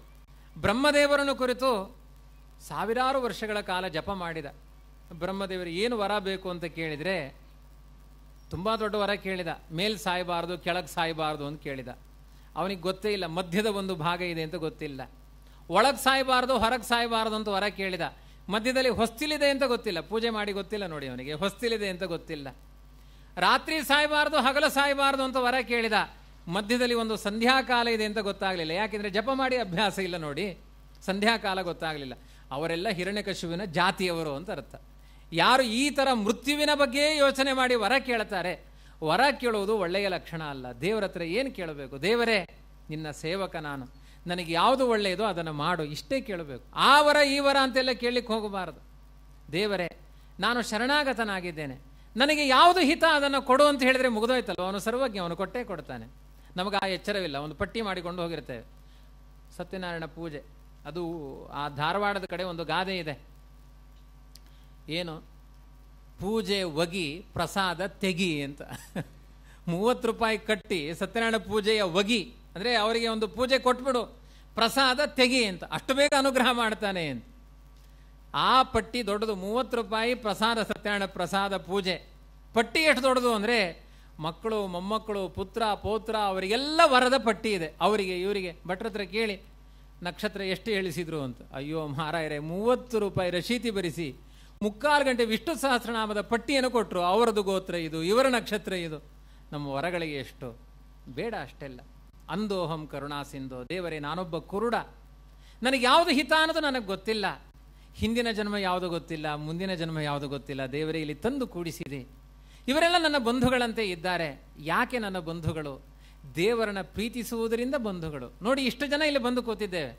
ನನ್ನ ಗತಿಗೋತ್ರ ಯಾವುದು ನಿಮಗೆ ಗೊತ್ತಿಲ್ಲ. ನಿಮ್ಮ ಗತಿಗೋತ್ರ ಯಾವುದು ನನಗೆ ಗೊತ್ತಿಲ್ಲ. ಇಬ್ಬರಿಗೂ ಒಂದು ಗೊತ್ತಿದೆ ಏನು ಅಂದರೆ, ನಾವೆಲ್ಲ ಹರಿಯ ಮನೆಯವರು ಅನ್ನುವ ಎಚ್ಚರ ನಮಗಿದೆ ನೋಡಿ. ಇದು ಮೋಕ್ಷದ ತನಕ ಬರುತ್ತೆ. ರಕ್ತದ ಬಾಂಧವ್ಯ, ಮಸಣದ ತನಕ ಬಂದರೆ ಅಧ್ಯಾತ್ಮದ ಬಾಂಧವ್ಯ, ಮೋಕ್ಷದ ತನಕ ಬರುತ್ತೆ ಎನ್ನುತ್ತೆ ಭಾಗವತ. ಅಂಥ ಅದ್ಭುತವಾದ ವ್ಯಾಪಾರ ಭಗವತ್ ಶಕ್ತಿಗಿದೆ. ಹಿರಣ್ಯಕಶ್ಯಪು ನೂರಾರು ಮುಖದ ವರಗಳನ್ನು ಕೇಳಿದ. ಬ್ರಹ್ಮದೇವರು ತಥಾಸ್ತು ಅಂತ ವರ ಕೊಟ್ಟು ಕೊನೆಗೆ ಹೇಳ್ತಾರೆ, ದಮ್ಮಯ್ಯ, ಇನ್ನೊಮ್ಮೆ ಯಾವ ಅಸುರರ ಬಳಿಯೂ ಹೋಗಿ ನಾನು ವರ ಕೇಳಿ ಅಂತ ಹೇಳಬಾರ್ದು. ಅಷ್ಟು ಟ್ರೀಟ್ಮೆಂಟ್ ಕೊಟ್ಟಿದೆ ನನಗೆ. ಇಂಥ ವರ ನಾನು ಯಾರಿಗೂ ಕೊಡಲಿಲ್ಲ. ಅಂಥ ವರಗಳನ್ನು ಕೇಳಿದೆ ನೀನು. ವರ ಕೊಟ್ಟ ಮೇಲೆ ಏನು ಮಾಡಿದ? ಹಿರಣ್ಯಕಶಿಪು ಹದಿನಾಲ್ಕು ಲೋಕಕ್ಕೆ ಉಪದ್ರವ ಮಾಡಿದ. ಎಲ್ಲ ಹೋಗಿ ದೇವತೆಗಳು ಬ್ರಹ್ಮದೇವರಿಗೆ ಬೈದರು. ಬ್ರಹ್ಮದೇವರೇ, ನೀವು ತಾನೇ ವರ ಕೊಟ್ಟಿದ್ದು. ನಿಮ್ಮಿಂದ ಉಪದ್ರವ ಆಗ್ತಾ ಇದೆ. ಆ ಹಿರಣ್ಯಕಶಿಪು ನಮಗೆಲ್ಲ ಉಪದ್ರವ ಕೊಡ್ತಾ ಇದ್ದಾನೆ. ಏನು ಮಾಡಬೇಕು? ಅದಕ್ಕೆ ಹೇಳಿದ, ನನಗೆ ಎಂತ ಮಾಡಲಿಕ್ಕಾಗಲ್ಲ, ವಿಷ್ಣುವಿನ ಬಳಿ ಹೋಗಿ ಕೇಳಿ ಅಂತ. ಅವರು ಅವರನ್ನೇ ತೋರಿಸಿದರು. ವಿಷ್ಣು ಹೇಳಿದ, ಸ್ವಲ್ಪ ಕಾಲ ತಡ್ಕೊಳ್ಳಿ. ಈಗ ನೀವೊಂದು ಹತ್ತು ನಿಮಿಷ ತಡ್ಕೊಳ್ಳಿ, ಸಾಕು. ಯದಾ ದೇವೇಶು, ವೇದೇಶು, ಗೋಷು ವಿಪ್ರೇಷು ಸಾಧುಷು ಧರ್ಮೇ ಮೈಚ ವಿದ್ವೇಷ ಸವ ಆಶು ವಿನಶ್ಯತಿ. ದೇವತೆಗಳಿಗೆ, ಗೋವುಗಳಿಗೆ, ಬ್ರಾಹ್ಮಣರಿಗೆ, ವೇದಗಳಿಗೆ, ಪರಮಾತ್ಮನಿಗೆ ಯಾರು ಅಪಚಾರ ಮಾಡ್ತಾರೋ ಅವರನ್ನ ಬೇಗ ನಾನು ಸಂಹಾರ ಮಾಡ್ತೇನೆ. ಅವ್ರು ಹೇಳಿದರು, ಇಷ್ಟೆಲ್ಲ ಅಪಚಾರ ಮಾಡೋ ತನಕ ಸುಮ್ಮನೆ ನೋಡ್ತಾ ಕೂತ್ಕೊಳ್ತೀಯಾ? ಈಗಲೇ ಅವತಾರ ಮಾಡು ದೇವರೇ, ನಮ್ಮ ಕಷ್ಟವನ್ನು ಪರಿಹಾರ ಮಾಡು. ಅದಕ್ಕೆ ಭಗವಂತ ಇನ್ನೊಂದು ಪರಿಹಾರ ಹೇಳಿದ. ನಿರ್ವೈರಾಯ, ಪ್ರಶಾಂತಾಯ, ಸ್ವಸುತಾಯ, ಮಹಾತ್ಮನೆ, ಪ್ರಹ್ಲಾದಾಯ ಯದಾ ದೃಹ್ಯೇತ್ ಹನಿಷ್ಯೇಪಿ ವರೋರ್ಜಿತಂ. ಯಾರಿಗೂ ಅನ್ಯಾಯ ಮಾಡದೇ ಇರುವ ಪ್ರಾಮಾಣಿಕ ಬಾಲಕ ಪ್ರಹ್ಲಾದ, ಅವನಿಗೇನಾದರೂ ಅಪಚಾರ ಮಾಡಿದರೆ, ತನ್ನ ಮಗನೇ ಆದ ಹರಿಭಕ್ತನಾದ ಪ್ರಹ್ಲಾದನಿಗೆ ಅಪಚಾರ ಮಾಡಿದರೆ, ಅವನಿಗೆ ಎಂಥ ಬ್ರಹ್ಮದೇವರ ವರ ಇದ್ರೂ ಅವನನ್ನು ಕೊಂದು ಹಾಕ್ತೇನೆ ಅಂತ ಹೇಳಿದ ದೇವರು. ದೇವತೆಗಳಿಗೆ ಇದು ಖುಷಿಯಾಯಿತು. ಯಾಕೆ ಅಂದರೆ, ಕೈಯಾದು ಗರ್ಭದಲ್ಲಿ ಪ್ರಹ್ಲಾದ ಇದ್ದಾನೆ, ಅವನ ಜನ್ಮ ಆಯಿತು ಅಂದರೆ ಹರಿಭಕ್ತನಾಗಿ ಬರ್ತಾನೆ. ಆ ಹರಿಭಕ್ತನಿಂದ ಅವನ ಮರಣ ಆಗುತ್ತೆ. ತಂದೆಯ ಮರಣಕ್ಕೆ ಮಗನೇ ಕಾರಣ ಆಗುತ್ತಾನೆ. ಏನೆಲ್ಲ ವಿಧಿ ಲಿಖಿತ ಇದೆ ನೋಡಿ. ಅದಕ್ಕೆ ದೇವರನ್ನೇ ನಂಬಿ ಯಾರಿಗೆ ವಿರೋಧ, ಯಾರು ಮಿತ್ರರು, ಯಾರು ಶತ್ರುಗಳು, ಎಲ್ಲ ನಿಯಾಮಕ ಭಗವಂತ. ಕೆಲವರು ನೋಡಿದರೆ ತುಂಬ ಇಷ್ಟ ಆಗುತ್ತೆ ಅಂತ ಹೇಳ್ತೇವೆ. ಕೆಲವರು ನೋಡಿದರೆ ಅವ್ರನ್ನ ಕಂಡ್ರೆ ಆಗಲ್ಲ ಅಂತ. ಕೆಲವರು ಚೇರ್ ಚೇರ್ ಚೇಂಜ್ ಮಾಡಿ ಹೋಗ್ತಾರೆ. ಯಾಕೆ ಅಂದರೆ ಅವ್ರ ಪಕ್ಕದಲ್ಲಿ ನಾನು ಕೂತ್ಕೊಳ್ಬಾರ್ದು, ನಿಮ್ಮ ಪಕ್ಕ ಕೂತ್ಕೊಳ್ಬೇಕು ಅಂತ ಆಸೆ. ಕೆಲವರು ಅದೇ ಚರಳಿ ಬಂದು ಕೂತ್ಕೊಳ್ತಾರೆ. ಒಂದು ಅಭಿಮಾನ, ಇಲ್ಲಿ ಬಂದು ಕೂತು ಕೂತು ಅಭಿಮಾನ. ಅಲ್ಲೊಂದು ಮಂಡೆಗಳು ಅಲ್ಲಲ್ಲೇ ಇರುತ್ತೆ. ಏನೋ ಒಂದು ಅಭಿಮಾನ. ಆ ರೀತಿ ಅದೆಲ್ಲ ಪ್ರೀತಿ ಹುಡ್ಲಿಕ್ಕೆ ಕಾರಣ ಏನೋ? ಅದು ಭಗವಂತನ ವ್ಯಾಪಾರ, ಮನುಷ್ಯರದ್ದಲ್ಲ. ಪಿತೃವಧೆ ಪುತ್ರ ಏವ ಕಾರಣಂ ಪ್ರಾಗ್ ಅಭೂತ್. ಮಗನೇ ಅಪ್ಪನ ಮರಣಕ್ಕೆ ಕಾರಣನಾದ. ಏನಿಲ್ಲ ಕಥೆ. ದೇವತೆಗಳೆಲ್ಲ ಅವನಿಗೆ ಚುರುಕುತನ ಕೊಟ್ಟರು ಒಂದು ದಿನ ಸಭೆಯಲ್ಲಿ ಹಿರಣ್ಯಕಶಿಪು ಮಗನನ್ನ ತೊಡೆ ಮೇಲೆ ಕೂರಿಸಿಕೊಂಡು ಕೇಳಿದ, ಮಗನೇ, ನಿನಗೆ ಇಷ್ಟವಾದ ಯಾವುದಾದ್ರೂ ಒಂದು ಪದ್ಯ ಹೇಳು. ವಿ ಐ ಪಿಗಳೆಲ್ಲ ತುಂಬ ಬಂದಿದ್ದಾರೆ. ಅಡ್ವರ್ಟೈಸ್ಮೆಂಟ್ ಮಾಡಬೇಕು ನಮ್ಮ ಗುರುಕುಲದ ಬಗ್ಗೆ. ಷಂಡಮರ್ಕರನ ಸ್ಥಾಪನೆ ಮಾಡಿದ್ದೇನೆ. ದೇವರು ಧರ್ಮ ಅಪ್ರಾಮಾಣಿಕ. ಇವತ್ತಿನ ಸಂಸ್ಕೃತಿ ಹಾಗೆ. ಪಾಪ ನಮ್ಮ ಮಕ್ಕಳಿಗೆ ದೊಡ್ಡ ಅಭಿಯಾನ ನಡೆಯುತ್ತೆ ಗೌರ್ಮೆಂಟಿಂದ. ಏನು ಅಭಿಯಾನ? ಮಕ್ಕಳಿಗೆ ಭಗವದ್ಗೀತೆ ಹೇಳಿಕೊಡಬಾರದು, ಲೈಂಗಿಕ ಶಿಕ್ಷಣ ಹೇಳಿಕೊಡಬೇಕು ಅಂತ. ಎಂಥ ಸರ್ಕಾರಗಳಿದು? ಯಾವ ಶಿಕ್ಷಣ ಹೇಳಿಕೊಡಬೇಕು? ರಾಮಕೃಷ್ಣರಿಲ್ಲ ಸಬ್ಜೆಕ್ಟಲ್ಲಿ, ಏನೇನೋ ಬಂದಿದ್ದಾವೆ ಸಬ್ಜೆಕ್ಟ್ಗಳಲ್ಲಿ. ಇವತ್ತೂ ಹಾಗೆ, ಅವತ್ತೂ ಹಾಗೆ. ಹಿರಣ್ಯಕಶುವಿನ ಆಡಳಿತ, ಎಲ್ಲ ಕಡೆ ಅಧರ್ಮಕ್ಕೆ ಯಥೇಷ್ಟವಾದ ಸ್ಥಾನ. ದೇವರು ಧರ್ಮಕ್ಕೆ ಸ್ಥಾನ ಇಲ್ಲ. ಅಂಥ ಅವ್ಯವಸ್ಥೆಯಲ್ಲಿ ಅದನ್ನು ಅಡ್ವರ್ಟೈಸ್ ಮಾಡಬೇಕು ಅಂತ ಹೋಗ್ತಾ ಇದ್ದಾನೆ. ಪುಟ್ಟ ಮಗು ಪ್ರಹ್ಲಾದ ಅವನಿಗೆ ಅನ್ನಿಸ್ತು, ಇದು ತುಂಬ ದೊಡ್ಡ ಅನ್ಯಾಯ. ನನ್ನಪ್ಪ ಮಾಡುವ ಅನ್ಯಾಯ ತೊಡೆ ಮೇಲೆ ಕೂತ್ಕೊಂಡಿದ್ದಾನೆ. ಪುತ್ರ ಮಾರೋಪ್ಯ ಲಾಳೆಯನ್, ಅಂಕ ಮಾರೋಪ್ಯ ಲಾಳೆಯನ್ ತೊಡೆ ಮೇಲೆ ಕೂಡಿಸಿಕೊಂಡು ಮುದ್ದು ಮಾಡ್ತಾ ಕೇಳ್ತಾನೆ, ಮಗನೇ, ಎನ್ಮನ್ಯ ಅಧೀತ ಮುತ್ತಮಂ. ನೀನು ಓದಿದ ಒಂದು ಒಳ್ಳೆಯ ಪದ್ಯ ಏನಾದರೂ ಇದ್ರೆ ಈ ಸಭೆಯಲ್ಲಿ ಹೇಳು. ಒಳ್ಳೊಳ್ಳೆ ವಿ ಐ ಪಿಗಳು ಬಂದಿದ್ದಾರೆ ಅಡ್ವರ್ಟೈಸ್ಮೆಂಟ್ ಆಗುತ್ತೆ ನಮ್ಮ ಗುರುಕುಲಕ್ಕೆ. ಅದಕ್ಕೆ ಅವನು ಹೇಳ್ತಾನೆ ಹಿತ್ವಾತ್ಮ ಪಾತಂ ಗೃಹಮಂಧಕೂಪಂ ವನಂ ಗತೋ ಯದ್ಧರಿಮಾಶ್ರಯೇತ ಅಸುರವರಿಯ ರಕ್ಕಸ ತುಂಬ ಅನ್ಯಾಯ ಮಾಡ್ತಾ ಇದೆ ನಮ್ಮ ಸಮಾಜಕ್ಕೆ. ಇಂಥ ಅನ್ಯಾಯ ಮಾಡುವುದರ ಬದಲು ಕಾಡಿಗೆ ಹೋಗಿ ನಾರಾಯಣ ಅನ್ನು ನಿನ್ನ ಬದುಕು ಸಾರ್ಥಕವಾಗುತ್ತೆ. ಸಮಾಜವನ್ನೇ ಕೆಟ್ಟ ದುರ್ನೀತಿಗಳಿಂದ ಬೆಳೆಸುವ ಸಂಕಲ್ಪ ಮಾಡಿ ಇಂತಹ ಗುರುಕುಲವನ್ನು ಸ್ಥಾಪನೆ ಮಾಡಿದೆ ಅಂತ ಮೂರು ವರ್ಷದ ಬಾಲಕನಾಗಿ ಪ್ರಹ್ಲಾದ ಪ್ರತಿಭಟನೆ ಮಾಡ್ತಾನೆ. ಇವತ್ತೆಲ್ಲ ಬಂಡಾಯ ವಿದ್ಯಾರ್ಥಿ ಸಂಘ ಅಂತ ಮಾಡಿಕೊಳ್ತಾರೆ. ಏನೇನೋ ಮೇಜು, ಕುರ್ಚಿ, ಬೆಂಚ್ ಎಲ್ಲ ಬಡ್ದು ಹಾಕ್ತಾರೆ ಅದು ಅದು ಬಂಡಾಯ ವಿದ್ಯಾರ್ಥಿ ಸಂಘ. ಪ್ರಹ್ಲಾದ ಮಾಡಿದ ಪ್ರತಿಭಟನೆ ಏನು ಅಂದರೆ ಶಿಕ್ಷಣದ ಪದ್ಧತಿ ಚೆನ್ನಾಗಿರಬೇಕು. ತಲೆ ಬಿಸಿ ಆಯಿತು ಅವನಿಗೆ ಹಿರಣ್ಯಕಶಿಪಿಗೆ ಎಲ್ಲರ ಮುಂದೆ ಅವಮಾನ ಆಯಿತು. ಮಗನೇ ಅವಮಾನ ಮಾಡಿದ, ತ್ಯಾಗ್ಯದ ಬಿಸಾಡಿದ. ಯಾರೋ ಈ ಉದ್ದನಾಮದವರ ಕೆಲಸ, ವಿಷ್ಣು ಸರ್ವೋತ್ತಮ ಅಂತ ಇದ್ದಾನೆ ನನ್ನ ಮಗ. ಷಂಡಮರ್ಕರೇ, ನನ್ನ ಮಗನ ಬಾಯಲ್ಲಿ ಗೋವಿಂದ ನಾರಾಯಣ ಅನ್ನೋ ಹೆಸರುಗಳು ಬರಬಾರದು. ಬಂದರೆ ನಿಮ್ಮ ತಲೆ ಕಡಿತೀನಿ ಅಂತ ಹೇಳಿದ. ಶಿಕ್ಷೆಯನ್ನಾದರೂ ಕೊಡಿ, ರಕ್ಷೆಯನ್ನಾದರೂ ಕೊಡಿ. ನನ್ನ ಮಗನ ಬಾಯಿಲೆ ಅಪಚಾರ ಆಗಬಾರದು. ಆಯಿತು, ಶಿಕ್ಷಣ ಕೊಟ್ಟರು ಅವರು. ಹೊಡೆದ್ರು, ಬಡಿದ್ರು, ಏನೆಲ್ಲ ಅಪಚಾರಗಳನ್ನು ಮಾಡಿದರು. ಆದರೆ ಪ್ರಹ್ಲಾದನ ಭಾವ ವ್ಯತ್ಯಾಸ ಆಗಲಿಲ್ಲ. ಎರಡನೇ ಬಾರಿ ಏಕಾಂತದಲ್ಲಿ ಹೋಗಿ ಕೇಳಿದ ಹಿರಣ್ಯಕಶ್ಯಪು ಪ್ರಹ್ಲಾದ, ಹೇಳು. ಅವಾಗ ಪ್ರೀತಿಯಿಂದ ಕೇಳಿದ, ಈಗ ಹಿರಣ್ಯಕಶ್ಯಪು ಉಗ್ರ ಭಯೋತ್ಪಾದಕನಾಗಿ ಕೇಳ್ತಾ ಇದ್ದಾನೆ. ಸರಿಯಾಗಿ ಹೇಳು, ಗುರುಕುಲದಲ್ಲಿ ಹೇಳಿಕೊಟ್ಟದ್ದನ್ನು ಹೇಳು. ಪ್ರಹ್ಲಾದ ಯೋಚನೆ ಮಾಡುತ್ತಾನೆ, ಗುರುಕುಲ ಅಂದರೆ ಯಾವುದು? ತಾಯಿಯ ಗರ್ಭ. ಗುರುಗಳು ಯಾರು? ನಾರದರು. ಅವರು ಹೇಳಿಕೊಟ್ಟದ್ದೇನು? ಶ್ರವಣಂ, ಕೀರ್ತನಂ, ವಿಷ್ಣೋ, ಸ್ಮರಣಂ ಪಾದ ಸೇವನಂ ಅರ್ಚನಂ, ವಂದನಂ, ದಾಸ್ಯಂ, ಸಖ್ಯಂ, ಆತ್ಮನಿವೇದನಂ. ದೇವರ ಕಥೆ ಕೇಳು, ದೇವರ ಸೇವೆ ಮಾಡು, ದೇವರ ಭಕ್ತರನ್ನ ಸೇವೆ ಮಾಡು, ದೇವರ ಭಜನೆ ಮಾಡು, ದೇವರ ಕೀರ್ತನೆ ಮಾಡು. ಇದು ನಿನ್ನ ಬದುಕಿನ ಸಾರ್ಥಕತೆಯ ಕ್ಷಣಗಳು. ಅದು ಬಿಟ್ಟು ನಾನೇ ದೇವರು ಅಂತ ಹೇಳ್ತಾ ಇದೆಯಲ್ಲ, ಈ ಈಶೋಹಂ ಅನ್ನೋ ಪ್ರಜ್ಞೆ ಯಾವತ್ತೂ ಒಳ್ಳೆಯದಲ್ಲ ದಾಸೋಹಂ ಅನ್ನೋ ಪ್ರಜ್ಞೆ ತುಂಬ ಒಳ್ಳೆಯದು. ಮತ್ತೆ ಎರಡನೇ ಪಾಠ ಮಾಡಿದ ಸಿಟ್ಟು ಬಂತು ಹಿರಣ್ಯಕಶಿಪುವಿಗೆ ಇದು ನನ್ನ ಗರ್ಭದಲ್ಲಿ ಹುಟ್ಟಿದ್ದು, ನನ್ನ ಶತ್ರು ಅಂತ ಅನ್ನಿಸ್ತು ಅವನಿಗೆ. ಕರೆದ ಷಂಡಮರ್ಕರನ್ನ ಏನು ಅನ್ಯಾಯ ಮಾಡಿದ್ದೀರಿ? ಅಸಾರೋ ಗ್ರಾಹಿತೋ ಬಾಲಹ ಯಾವ ಪಾಠ ಹೇಳಬೇಕೋ ಆ ಪಾಠ ಹೇಳಲಿಕ್ಕೆ ನಿಮಗೆ ಕಾಮನ್ ಸೆನ್ಸ್ ಇಲ್ವಾ? ಅವರು ಹೇಳ್ತಾರೆ, ನಮತ್ ಪ್ರಣೀತಂ ನ ಪರ ಪ್ರಣೀತಂ ಸುತೋ ವದತ್ತೆ ಶತವೇಂದ್ರ ಶತ್ರು ನೈಸರ್ಗಿಕೀಯಂ ಮತಿರಸ್ಯ ರಾಜನ್. ರಾಜ, ನಾನು ಈ ಪಾಠ ಮಾಡಲಿಲ್ಲ. ಯಾಕೆಂದ್ರೆ ನನಗೆ ಈ ಪಾಠ ಓದಿ ಪ್ರಾಕ್ಟೀಸೇ ಇಲ್ಲ. ಅವನೂ ಪಾಠ ಮಾಡಲಿಲ್ಲ, ಷಂಡನೂ ಮಾಡಲಿಲ್ಲ, ಮರ್ಕನೂ ಮಾಡಲಿಲ್ಲ. ಮತ್ತೆ ಹೇಗೆ ಅಧ್ಯಯನ? ಗರ್ಭದಲ್ಲಿದ್ದಾಗ ನಾರದರೇ ಪಾಠ ಮಾಡಿದ್ದಾರೆ. ಗರ್ಭದ ಸಂಸ್ಕಾರ. ನೋಡಿ, ಈ ಭಾಗವತ, ದೇವರ ಕಥೆಯನ್ನೆಲ್ಲ ಗರ್ಭದಲ್ಲಿ ಮಕ್ಕಳಿದ್ದಾಗ ಕೇಳಿಸಿಕೊಂಡ್ರೆ ಮಗು ಹುಟ್ಟಿದ ಕೂಡಲೇ ಕೇಳುತ್ತೆ, ಅಮ್ಮ, ದೇವರ ಮನೆಯಲ್ಲಿದೆ ಅಂತ. ನೀವು ಗರ್ಭದಲ್ಲಿ ಇದ್ದಾಗ ಟಿ ವಿ, ಮೊಬೈಲ್ ನೋಡ್ತಾ ಇದ್ರೆ ಮಗು ಹುಟ್ಟಿದ ತಕ್ಷಣ ಹೇಳುತ್ತೆ, ಅಮ್ಮ, ಮೊಬೈಲ್ ಅಂಗಡಿ ಕರ್ಕೊಂಡು ಹೋಗು. ನಿಮ್ಮ ಸಂಸ್ಕಾರ, ಗರ್ಭದಲ್ಲಿ ಹೆಣ್ಮಕ್ಕಳು ಹೇಗೆ ಸಂಸ್ಕಾರ ಕೊಡ್ತಾರೆ ಮಕ್ಕಳು ಮುಂದೆ ಹಾಗೆ ಬೆಳೀತಾರೆ. ಹುಟ್ಟಿದ ಮೇಲೆ ನಮಗೆ ಕಿವಿ ಹಿಂಡಿ ಪಡಿತಾ ಇರ್ತೇವೆ. ಏ, ಓದು ಓದು, ದೇವರಿಗೆ ನಮಸ್ಕಾರ ಮಾಡು. ಯಾರು ಕಿವಿ ಹಿಂಡುವ ಅಗತ್ಯ ಇಲ್ಲ. ಗರ್ಭದಲ್ಲಿದ್ದಾಗ ಒಳ್ಳೆ ದೇವರ ಚಿಂತನೆ ಕೇಳಿದ್ರೆ ಸಾಕು.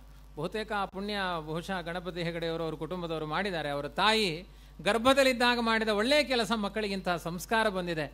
ಅವರು ಅದೇ ಕೆಲಸ ಮಾಡಿದ್ದಾರೆ ಮಕ್ಕಳಿಗೂ ಅದೇ ಸಂಸ್ಕಾರ. ಬೆಳಿಗ್ಗೆ ಎಲ್ಲ ಕಚ್ಚೆ ಹಾಕ್ಕೊಂಡು ದೇವರ ಮುಂದೆ ನಿಂತು ಭಜನೆ ಮಾಡಿ ಒಳ್ಳೆಯ ಒಂದು ತ್ರೇತಾಯುಗ ನಿರ್ಮಾಣ ಆದಾಗಿದೆ ಈ ಪರಿಸರ ನೋಡ್ತಾ ಇದ್ರೆ. ಇದೆಲ್ಲ ಸಂಸ್ಕಾರಗಳು. ಈ ಸಂಸ್ಕಾರಗಳೇ ತುಂಬ ಮುಖ್ಯ. ಈ ಒಂದೊಂದು ಪರಂಪರೆಯಲ್ಲಿ ಸಂಸ್ಕಾರಗಳನ್ನು ಬೆಳೆಸಲಿಲ್ಲ ಅಂದರೆ ಅಪಚಾರವಾಗುತ್ತೆ. ದುಷ್ ಸಂಸ್ಕಾರಗಳಿಗೆ ವಿರುದ್ಧವಾಗಿ ಪ್ರತಿಭಟನೆ ಮಾಡಿದವನು ಪ್ರಹ್ಲಾದ. ಅವನ ಬಾಯಲ್ಲಿ ಯಾವಾಗಲೂ ಹರಿಣಾಮವೇ ಬರುತ್ತೆ. ಅಂಜಿಕೆ ಇಲ್ಲ ಅವನಿಗೆ. ದೇವರು ರಕ್ಷಣೆ ಮಾಡ್ತಾನೆ ಎನ್ನುವ ನಂಬಿಕೆ ಇದೆ. ಅನ್ನಿಸ್ತು ಅವನಿಗೆ ಪ್ರಹ್ಲಾದನ ಮಾತುಗಳನ್ನು ಕೇಳಿ ಹಿರಣ್ಯಕಶಿಪು ಹೇಳಿದ ನನ್ನ ಮಗನಿಗೆ ಮರಣವನ್ನಾದರೂ ದಾನ ಮಾಡಿ ಅವನನ್ನು ದಾರಿಗೆ ತನ್ನಿ. ಒಂದು ವೇಳೆ ಅವನ ಬಾಯಲ್ಲಿ ಹರಿನಾಮವೇ ಬರುತ್ತೆ, ನನ್ನ ದ್ವೇಷಿಯ ನಾಮ ಬರುತ್ತೆ ಅಂದರೆ ಅವನನ್ನು ಕೊಂದು ಹಾಕಿ ಸಮುದ್ರಕ್ಕೆ ಎಸೆದು ಬಿಡಿ. ಜಲಚರ ಪ್ರಾಣಿಗಳವನನ್ನು ತಿಂದುಕೊಂಡು ಹೋಗಲಿ ಅಂತ ಆದೇಶ ಮಾಡ್ತಾನೆ. ಆಭಿಚಾರಿಕ ಮಂತ್ರಗಳನ್ನು ಮಾಡಿ, ರಿಂದಿ, ಭಿಂದಿ, ಚಿಂದಿ, ಹುಂ, ಫಟ್, ಹಾಂ, ಹೀಂ, ಕ್ರೂಂ, ಕ್ರೈಂ, ಇವೆಲ್ಲ ಮಂತ್ರಗಳಿದ್ದಾವೆ. ಬರೀ ಓದಿದ್ದೇನಷ್ಟೇ, ನಾನೆಲ್ಲೂ ಪ್ರಯೋಗ ಮಾಡಿಲ್ಲ ಮತ್ತೆ. ಆಯಿತು? ಇದೆಲ್ಲ ಆಭಿಚಾರಿಕ ಮಂತ್ರಗಳು. ಅದನ್ನೆಲ್ಲ ಪ್ರಯೋಗ ಮಾಡ್ತಾರೆ. ನಾಲ್ಕು ರಕ್ತ ಪಿಶಾಚಿಗಳು ಬರುತ್ತೆ. ಖಡ್ಗಪಾಣಿಗಳಾಗಿ ಆ ಪಿಶಾಚಿಗಳಿಗೆ ಪುರೋಹಿತರು ಹೇಳ್ತಾರೆ, ಆ ಮಗುವನ್ನು ಕೊಂದು ಬಿಡಿ ಅಂತ. ಅವನು ನಾರಾಯಣ ಅಂತ ಧ್ಯಾನ ಮಾಡ್ತಾ ಕೂತಿದ್ದ. ರಕ್ತ ಪಿಶಾಚಿಗಳು ಕಠೋರವಾದ ಖಡ್ಗವನ್ನು ಪ್ರಹ್ಲಾದನ ತಲೆಗೆ ಹೊಡೆದರೆ ಮೇಲೆ ಹಾರಿದವಂತೆ ಪಿಶಾಚಿಗಳು. ಪಿಶಾಚಿಗಳ ಸ್ವಭಾವ ಏನು ಗೊತ್ತಾ? ಅದರ ಮುಂದೆ ಯಾರೋ ನೆಗಾಡಬಾರದಂತೆ. ನಕ್ರೆ ಅದಕ್ಕೆ ಸಿಟ್ಟೆಲ್ಲಿ ಅಂದರೆ ಯಾರು ನೆಕ್ಕಿದ್ದಾರೋ ಅವರ ಮಂಡೆ ಕಡಿಯುತ್ತಂತೆ. ಆ ಪಿಶಾಚಿಗಳೇ ಮೇಲೆ ಹಾರಿ ಕೆಳಗೆ ಬೀಳುವುದನ್ನು ನೋಡಿ ಪುರೋಹಿತರು ನಕ್ಕರು ಅವರ ನಾಲ್ಕು ಜನ ವೃತ್ವಿಜರ ತಲೆಯನ್ನು ಪಿಶಾಚಿಗಳು ಕಡಿದು ಹಾಕಿ ಹೊರಟು ಹೋದುವಂತೆ. ಪ್ರಹ್ಲಾದ ಕಣ್ ತೆಗೆದು ನೋಡ್ತಾನೆ, ಪುರೋಹಿತರೇ ಸತ್ತೋಗಿದ್ದಾರೆ, ಅವನು ಬದುಕಿದ್ದಾನೆ, ಪಿಶಾಚಿಗಳ ಉಪದ್ರವ ಅವನಿಗೆ ತಾಗಲಿಲ್ಲ. ಪಾಪ ಅನ್ನಿಸ್ತು, ದುಡ್ಡಿಗೋಸ್ಕರ ಪೌರೋಹಿತ್ಯಕ್ಕೆ ಬಂದವರು, ಅವರನ್ನೆಲ್ಲ ನಾಮಸ್ಮರಣೆಯ ಮಹಿಮೆಯಿಂದ ಅವರಿಗೆ ಜೀವನವನ್ನು ಕೊಟ್ಟು ಹೇಳ್ತಾನೆ, ಇನ್ನೊಮ್ಮೆ ಸ್ವಾರ್ಥಕ್ಕಾಗಿ ಇಂತಹ ಹರಿಭಕ್ತರ ವಿರುದ್ಧ ಅನ್ಯಾಯ ಮಾಡಬೇಡಿ ಅನ್ನುವ ಶಿಕ್ಷಣ ಕೊಟ್ಟ. ಕೊನೆಗಿನ್ಯಾವ ಉಪಾಯ ಇಲ್ಲ ಅಂತ ಹಿರಣ್ಯಕಶಿಪು ಸಮುದ್ರದ ಮಧ್ಯದಲ್ಲಿ ಸರಪಳಿ ಕಟ್ಟಿ ಆ ಪ್ರಹ್ಲಾದನನ್ನ ಸಮುದ್ರಕ್ಕೆ ಬಿಸಾಡೋಣ ಅಂತ ಸಮುದ್ರಕ್ಕೆ ಹಾಕಿದ. ರಾತ್ರಿ, ಮಧ್ಯರಾತ್ರಿ ಸಮುದ್ರಕ್ಕೆ ಬಿಸಾಡಿ ಅವರೆಲ್ಲ ತಮ್ಮ ತಮ್ಮ ಮನೆಗಳಿಗೆ ಹಿರಣ್ಯಕಶಿಪಿಗೆ ಹೇಳಿ ತಮ್ಮ ತಮ್ಮ ಮನೆಗಳಲ್ಲಿ ಹೋಗಿ ಮಲಗಿದ್ದಾರೆ. ಮಧ್ಯರಾತ್ರಿ ಒಂದು ಗಂಟೆಗೆ ಕಾಲಿಂಗ್ ಬೆಲ್ ಆಯಿತು. ಬಾಗಿಲು ತಟ್ಟಿದ ಪ್ರಹ್ಲಾದ.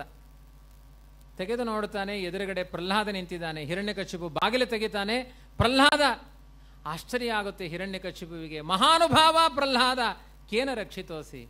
ಪ್ರಹ್ಲಾದ, ನಿನ್ನನ್ನು ಯಾರು ರಕ್ಷಣೆ ಮಾಡಿದರು? ಮಹಾನುಭಾವ ಅಂತ ರಕ್ಕಸನ ಬಾಯಲ್ಲಿಯೇ ಬಂತು. ನೀನು ಮಹಾನುಭಾವ, ಹೇಗೆ ಬದುಕಿದೆ ಅಂತ. ಅದಕ್ಕೆ ನಾನು ಯಾವಾಗಲೂ ಒಂದು ದೃಷ್ಟಾಂತ ಹೇಳ್ತೇನೆ. ಈ ಕೆಲವೊಮ್ಮೆ ಬೆಕ್ಕಿನ ಕಾಟ ಜಾಸ್ತಿ ಕೆಲವು ಹೆಣ್ಮಕ್ಕಳಿಗೆ. ಯಾವಾಗಲೂ ಪುಚ್ಚೆ ಬರೋದು, ಹಾಲು ಕುಡಿಯೋದು. ಒಂದು ದಿನ ಗಂಡನಿಗೆ ಕಂಪ್ಲೇಂಟ್ ಮಾಡ್ತಾನೆ ಇರಲು ಹೆಂಡ್ತಿ, ಆ ಪುಚ್ಚೆ ಕಾಟ ಜಾಸ್ತಿ ಆಗಿದೆ, ಆ ಬೆಕ್ಕು ಬರಬಾರದು ನಮ್ಮ ಮನೆಗೆ ಅಂತ. ಕೊನೆಗೆ ಒಂದು ದಿನ ಗಂಡ ರಜೆ ಹಾಕಿದ ಆಫೀಸಿಗೆ. ಯಾಕೆಂದರೆ ಇವತ್ತು ಪುಚ್ಚೆ ಹಿಡಿಯುವ ಕಾರ್ಯಕ್ರಮ ಅಂತ. ಎಲ್ಲ ಕಡೆ ಪಟ್ಲಲ್ಲಿ ಹಾಲಿಟ್ಟಿದ್ದಾರೆ. ಆ ಪುಚ್ಚೆ ಬಂತು, ಖುಷಿ ಆಯ್ತು ಅದಕ್ಕೆ. ಹೋ, ಇವತ್ತು ಯಜಮಾನದ ಬರ್ತ್ಡೇ ಕಾಣುತ್ತೆ. ಪ್ರತಿದಿನ ಕೋಲ್ ತಗೊಂಡು ಹೊಡಿತಾ ಇದ್ರು ಇವತ್ತೆಲ್ಲ ಕಡೆ ಹಾಲು ಇಟ್ಟಿದ್ದಾರೆ ನನಗೆ ಅಂತ ಒಂದು ಎರಡು ಬಟ್ಲು ಹಾಲು ಕುಡಿತು. ಮೂರನೇ ಬಟ್ಲು ಹಾಲು ಕುಡಿಬೇಕಾದ್ರೆ ಹಿಂದಿನಿಂದ ಒಂದು ಗೋಣಿ ತೆಗೆದುಕೊಂಡು ಬಂದು ರಬಕ್ಕ ಆ ಪುಚ್ಚೆಗೆ ಹಾಕಿದ. ಪುಚ್ಚೆಯನ್ನು ಕಟ್ಟಿದ. ಖುಷಿ ಆಯಿತು ಯಜಮಾನನಿಗೆ. ಇನ್ನೂ ಈ ಪುಚ್ಚೆ ಉಪದ್ರವ ಇಲ್ಲ. ಎಲ್ಲಿ ಬಿಡಬೇಕು ಪುಚ್ಚೆಯನ್ನು? ಸಾಯಿಸಬಾರದು. ಯಾವುದೋ ಒಂದು ಅರಣ್ಯಕ್ಕೆ ಕರ್ಕೊಂಡು ಹೋದ, ಪರಿಚಯ ಇಲ್ಲದೆ ಇರುವ ಕಾಡಿಗೆ ಕರ್ಕೊಂಡು ಹೋದ, ಚಂದ ಸುತ್ತಾಡಿದ ಮಧ್ಯಾಹ್ನದ ತನಕ ಬಾಗಿಲು ತೆಗೆದ, ಆ ಬ್ಯಾಗಿನಿಂದ ಪುಚ್ಚೆ ಹೋಯಿತು.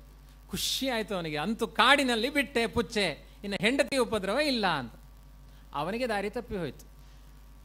ಮಧ್ಯಾಹ್ನ ತಂದು ಪುಚ್ಚೆ ಬಿಟ್ಟ, ಸಾಯಂಕಾಲ ತನಕ ಸುತ್ತಾಡಿದ, ಮನೆ ದಾರಿ ಕಾಣಲಿಲ್ಲ. ಸಾಯಂಕಾಲ ಆಗ್ಬೇಕಾದ್ರೆ ಮಂಡೆ ಬಿಸಿ ಆಯಿತು. ಅಯ್ಯೋ, ಮನೆಗೆ ಹೋಗುವುದು ಹೇಗೆ? ಅಂತ. ಅವನ ಮನೆಯ ಪುಚ್ಚೆ ಕಾಣಿಸ್ತು. ಓ, ನಮ್ಮನೆ ಪುಚ್ಚೆ ಇದು ಅಂತ ಅದರ ಹಿಂದೆ ಬಂದ ಮನೆ ಸಿಕ್ಕಿತ್ತು. ಕತೆ ಏನು ಅಂದರೆ, ನಾವು ಬಿಟ್ಟಿದ್ದು ಮತ್ತೆ ವಾಪಸ್ಸು ಬಂತು. ಇಲ್ಲಿ ಕತೆ ಹಾಗೆ, ಸಾಯಿಸಲಿಕ್ಕೆ ಅಂತ ಅವನನ್ನು ಸಮುದ್ರದಲ್ಲಿ ಬಿಟ್ಟಿದ್ದಾರೆ. ನರಸಿಂಹ ನೀರಿನ ಮಧ್ಯೆ ಆ ಪ್ರಹ್ಲಾದನನ್ನು ರಕ್ಷಣೆ ಮಾಡಿದ್ದಾನೆ. ಅವನೇ ಕರ್ಕೊಂಡು ಬಂದು ಹಿರಣ್ಯಕಶುವಿನ ಮನೆಯಲ್ಲಿ ಬಿಟ್ಟು ಹೋದ. ಕತೆ ಏನಾಯಿತು ಅಂದರೆ, ಸಮುದ್ರದ ಒಳಗಡೆ ಹೋದಾಗ ಜಲಚರ ಪ್ರಾಣಿಗಳನ್ನೆಲ್ಲ ನರಸಿಂಹ ರಕ್ಷಣೆ ಮಾಡಿ, ಇದನ್ನೇ ಭಾಗವತದಲ್ಲಿ ನಾರಾಯಣ ವರ್ಮ ಹೇಳುತ್ತೆ. ಹರಿನಾಮ ಸಂಕೀರ್ತನೆ ಮಾಡಿದವರಿಗೆ ಸಮುದ್ರದ ಜಲಚರ ಪ್ರಾಣಿಗಳು ಕೂಡ ಉಪದ್ರವ ಮಾಡೋದಿಲ್ಲ ಅಂತ. ನೋಡಿ ಆ ನಂಬಿಕೆ. ಪ್ರಹ್ಲಾದ ರಕ್ಷಣೆ ಆದ. ನರಸಿಂಹ ಹೇಳ್ತಾನೆ, ಪ್ರಹ್ಲಾದ, ಎಷ್ಟೊಂದು ಕಷ್ಟಪಡ್ತಾ ಇದ್ದೀವಿ ಬಾ ಮೋಕ್ಷ ಕರ್ಕೊಂಡು ಹೋಗ್ತೀನಿ ಅಂದರೆ ಪ್ರಹ್ಲಾದ ಏನು ಹೇಳ್ತಾನೆ ಗೊತ್ತೋ? ಇಲ್ಲ ನರಸಿಂಹ, ನನ್ನನ್ನು ನಮ್ಮ ಅಪ್ಪನ ಮನೆಗೆ ಕರ್ಕೊಂಡು ಹೋಗು. ನೀನು ಸಮುದ್ರದ ಒಳಗಡೆಯಿಂದ ಮೋಕ್ಷ ಕರ್ಕೊಂಡು ಹೋದರೆ ಸಮಾಜಕ್ಕೆ ಏನು ಮೆಸೇಜ್ ಹೋಗುತ್ತೆ? ಸಿಕ್ಕಾಪಟ್ಟೆ ನಾರಾಯಣ ನಾರಾಯಣ ಅಂತ ಹೇಳಿದ ಪ್ರಹ್ಲಾದ ಸತ್ತೋದ ಅಂತ ತಿಳ್ಕೊಳ್ತಾರೆ. ನಾನು ಮೋಕ್ಷಕ್ಕೆ ಹೋದ ಅಂತ ಗೊತ್ತಾಗಲ್ಲ. ನನ್ನ ಅಪ್ಪನ ಮನೆಗೆ ಹೋಗಿ ನನ್ನ ಅಪ್ಪನಿಗೂ ಕೂಡ ಒಳ್ಳೆಯ ಬುದ್ಧಿ ಬರುವಂತೆ ಪರಿವರ್ತನೆ ಕೊಡುವಂತಹ ಮಗನನ್ನಾಗಿ ನನ್ನನ್ನು ಮಾಡು. ಮೋಕ್ಷಕ್ಕೆ ಕರ್ಕೊಂಡು ಹೋಗಬೇಡ. ನಾನು ಎಲ್ಲರೊಟ್ಟಿಗೆ ಮೋಕ್ಷಕ್ಕೆ ಬರ್ತೀನಿ ಅಂತ ಪ್ರಹ್ಲಾದ ಇನ್ನೂ ಭೂಮಿಯಲ್ಲಿ ರಾಘವೇಂದ್ರ ಸ್ವಾಮಿಗಳ ರೂಪದಲ್ಲಿ ಕೂತಿದ್ದಾರಂತೆ. ಯಾಕೆ ಕೂತಿದ್ದಾರೆ ಅಂದರೆ ನಾನೊಬ್ಬನೇ ಮೋಕ್ಷಕ್ಕೆ ಹೋಗಲ್ಲ ಎಲ್ಲರೂ ಜೊತೆ ಕರ್ಕೊಂಡು ಹೋಗ್ತೀನಿ ಅಂತ. ನಮ್ಮಿಂದ ಡಿಲೇ ಆಗ್ತಾ ಇದೆ ರಾಘವೇಂದ್ರ ಸ್ವಾಮಿಗಳಿಗೆ. ಅದಕ್ಕೆ ನಾವು ಮೋಕ್ಷಕ್ಕೆ ಹೋಗ್ಲಿಕ್ಕೆ ತಯಾರಾಗಬೇಕು. ಮರುದಿನ ಬೆಳಿಗ್ಗೆ ಆಯಿತು ಪ್ರಾತಃ ಕಾಲ ಹಿರಣ್ಯಕಶ್ಯಪು ತಯಾರಾಗಿದ್ದಾನೆ. ಇನ್ನು ಯಾವ ಭೃತ್ಯರಿಗೂ ಕೆಲಸ ಹೇಳೋದಿಲ್ಲ. ಯಜಮಾನನಾಗಿ ನಾನೇ ಮಾಡ್ತೇನೆ. ಇವತ್ತು ಅವನ ನಾನು ನಿರ್ಣಯ ಮಾಡಿಕೊಳ್ಳಬೇಕಾಗಿದೆ. ನಿನಗೆ ರಕ್ಷಣೆ ಮಾಡುವ ದೇವರಿದ್ದಾನೆ ಅಂತ ಪ್ರತಿ ಕ್ಷಣದಲ್ಲೂ ಹೇಳ್ತಾ ಇದೆ. ಏನು ಕೇಳಿದ್ರು? ಅಧೋಕ್ಷಜಾನು ಸ್ಮರಣಾನುಭಾವ, ಗೋವಿಂದ ನಾಮ ಸ್ಮರಣ ಅನುಭಾವ ಗೋವಿಂದ ಗೋವಿಂದ ಅಂತ ಹೇಳ್ತೇನೆ, ದೇವರು ನನ್ನನ್ನು ರಕ್ಷಣೆ ಮಾಡ್ತಾನೆ ಅಂತ ಕತೆ ಬಿಡ್ತಾ ಇದ್ದಿ ಮಗನೇ. ಇವತ್ತು ನಾನು ಮುಂದೆ ನಿಂತುಕೋ. ನಿನ್ನ ದೇವರು ಬಂದು ನಿನ್ನನ್ನು ರಕ್ಷಣೆ ಮಾಡ್ತಾನೆ, ನಾನು ನೋಡ್ತೇನೆ. ಅವನು ಎಲ್ಲಿದ್ದಾನೆ ನಿನ್ನ ದೇವರು ತೋರಿಸು. ನಾನೇ ನನ್ನ ಕೈಯಾರೆ ಅವನನ್ನು ಕೊಂದು ಹಾಕ್ತೇನೆ. ಪ್ರಹ್ಲಾದ ಹೇಳ್ತಾನೆ, ದೇವರು ಎಲ್ಲಿದ್ದಾನೆ ಅಂತ ಕೇಳೋದು ಮೂರ್ಖತನ. ಅವನು ವಿಶ್ವತಶ್ಚಕ್ಷೋನ್ ಅಣುರೇಣು ತೃಣಕಾಷ್ಟ ಪರಿಪೂರ್ಣ ಗೋವಿಂದ. ಅವನಿಲ್ಲದೆ ಇರುವ ಜಾಗವೇ ಇಲ್ಲ. ಎಲ್ಲ ಠಾವಿನಲ್ಲಿ ಲಕುಮಿ ವಲ್ಲಭನಿದ್ದಾನೆ. ಮುಳ್ಳು ಮನೆಯ ಒಳಗೆ ಹೊರಗೆ ಎಲ್ಲ ಠಾವಿನಲ್ಲಿ ಲಕುಮಿ ವಲ್ಲಭನಿದ್ದಾನೆ. ಅವನಿಲ್ಲದೆ ಇರುವ ಜಾಗವೇ ಇಲ್ಲ. ಪಾತ್ರೆಯಲ್ಲಿ ಹಾಲು ತಂದಿಟ್ಟು ಸೈನ್ಸ್ ಓದುವ ಸ್ಟೂಡೆಂಟ್ಗಳ ಬಳಿ ಕೇಳಿ ಈ ಹಾಲಿನಲ್ಲಿ ಬೆಣ್ಣೆ ಎಲ್ಲಿದೆ? ಹಾಲು ಪಾತ್ರೆಯಲ್ಲಿ ಎಲ್ಲೆಲ್ಲಿದೆಯೋ ಅಲ್ಲೆಲ್ಲ ಆ ಬೆಣ್ಣೆಯ ಅಂಶಗಳಿದೆ. ಹಾಲಿನ ಕಣಕಣಗಳಲ್ಲಿ ಬೆಣ್ಣೆ ಇದೆ. ತೋರಿಸು. ಕಣ್ಣಿಗೆ ಕಾಣಲ್ಲ, ಮಥನ ಮಾಡದೆ ಕಾಣುತ್ತೆ. ಹಾಗೆ ಬ್ರಹ್ಮಾಂಡದ ತುಂಬ ಭಗವಂತ ಇದ್ದಾನೆ. ಕಾಣಿಸ್ತಾ ಇಲ್ಲ. ಬುದ್ಧಿಯಿಂದ ವಿಚಾರ ಮಾಡಿ, ದೇವರು ಕಾಣಿಸ್ತಾನೆ. ಪ್ರತ್ಯಕ್ಷವಾಗಿ ಅನುಭವಕ್ಕೆ ಬರ್ತಾನೆ. ಜ್ಞಾನಿಗಳ ಮೂಲಕ ಬರ್ತಾನೆ. ಅಧ್ಯಾತ್ಮ ಅನುಷ್ಠಾನ ಮಾಡಿದವರಿಗೆ ಅನುಭವಗಳು ಗೊತ್ತಾಗುತ್ತೆ. ಎಲ್ಲರಿಗೂ ಗೊತ್ತಾಗೋದಿಲ್ಲ ಅಂತಾನೆ. ಈಗ ಭಾಷಣ ಬೇಡ. ನಿನ್ನ ಆ ದೇವರು ಎಲ್ಲಿದ್ದಾನೆ ಹೇಳು. ಇಲ್ಲಿದ್ದಾನ, ಅಲ್ಲಿದ್ದಾನ? ಎಲ್ಲ ತೋರಿಸ್ತಾನೆ.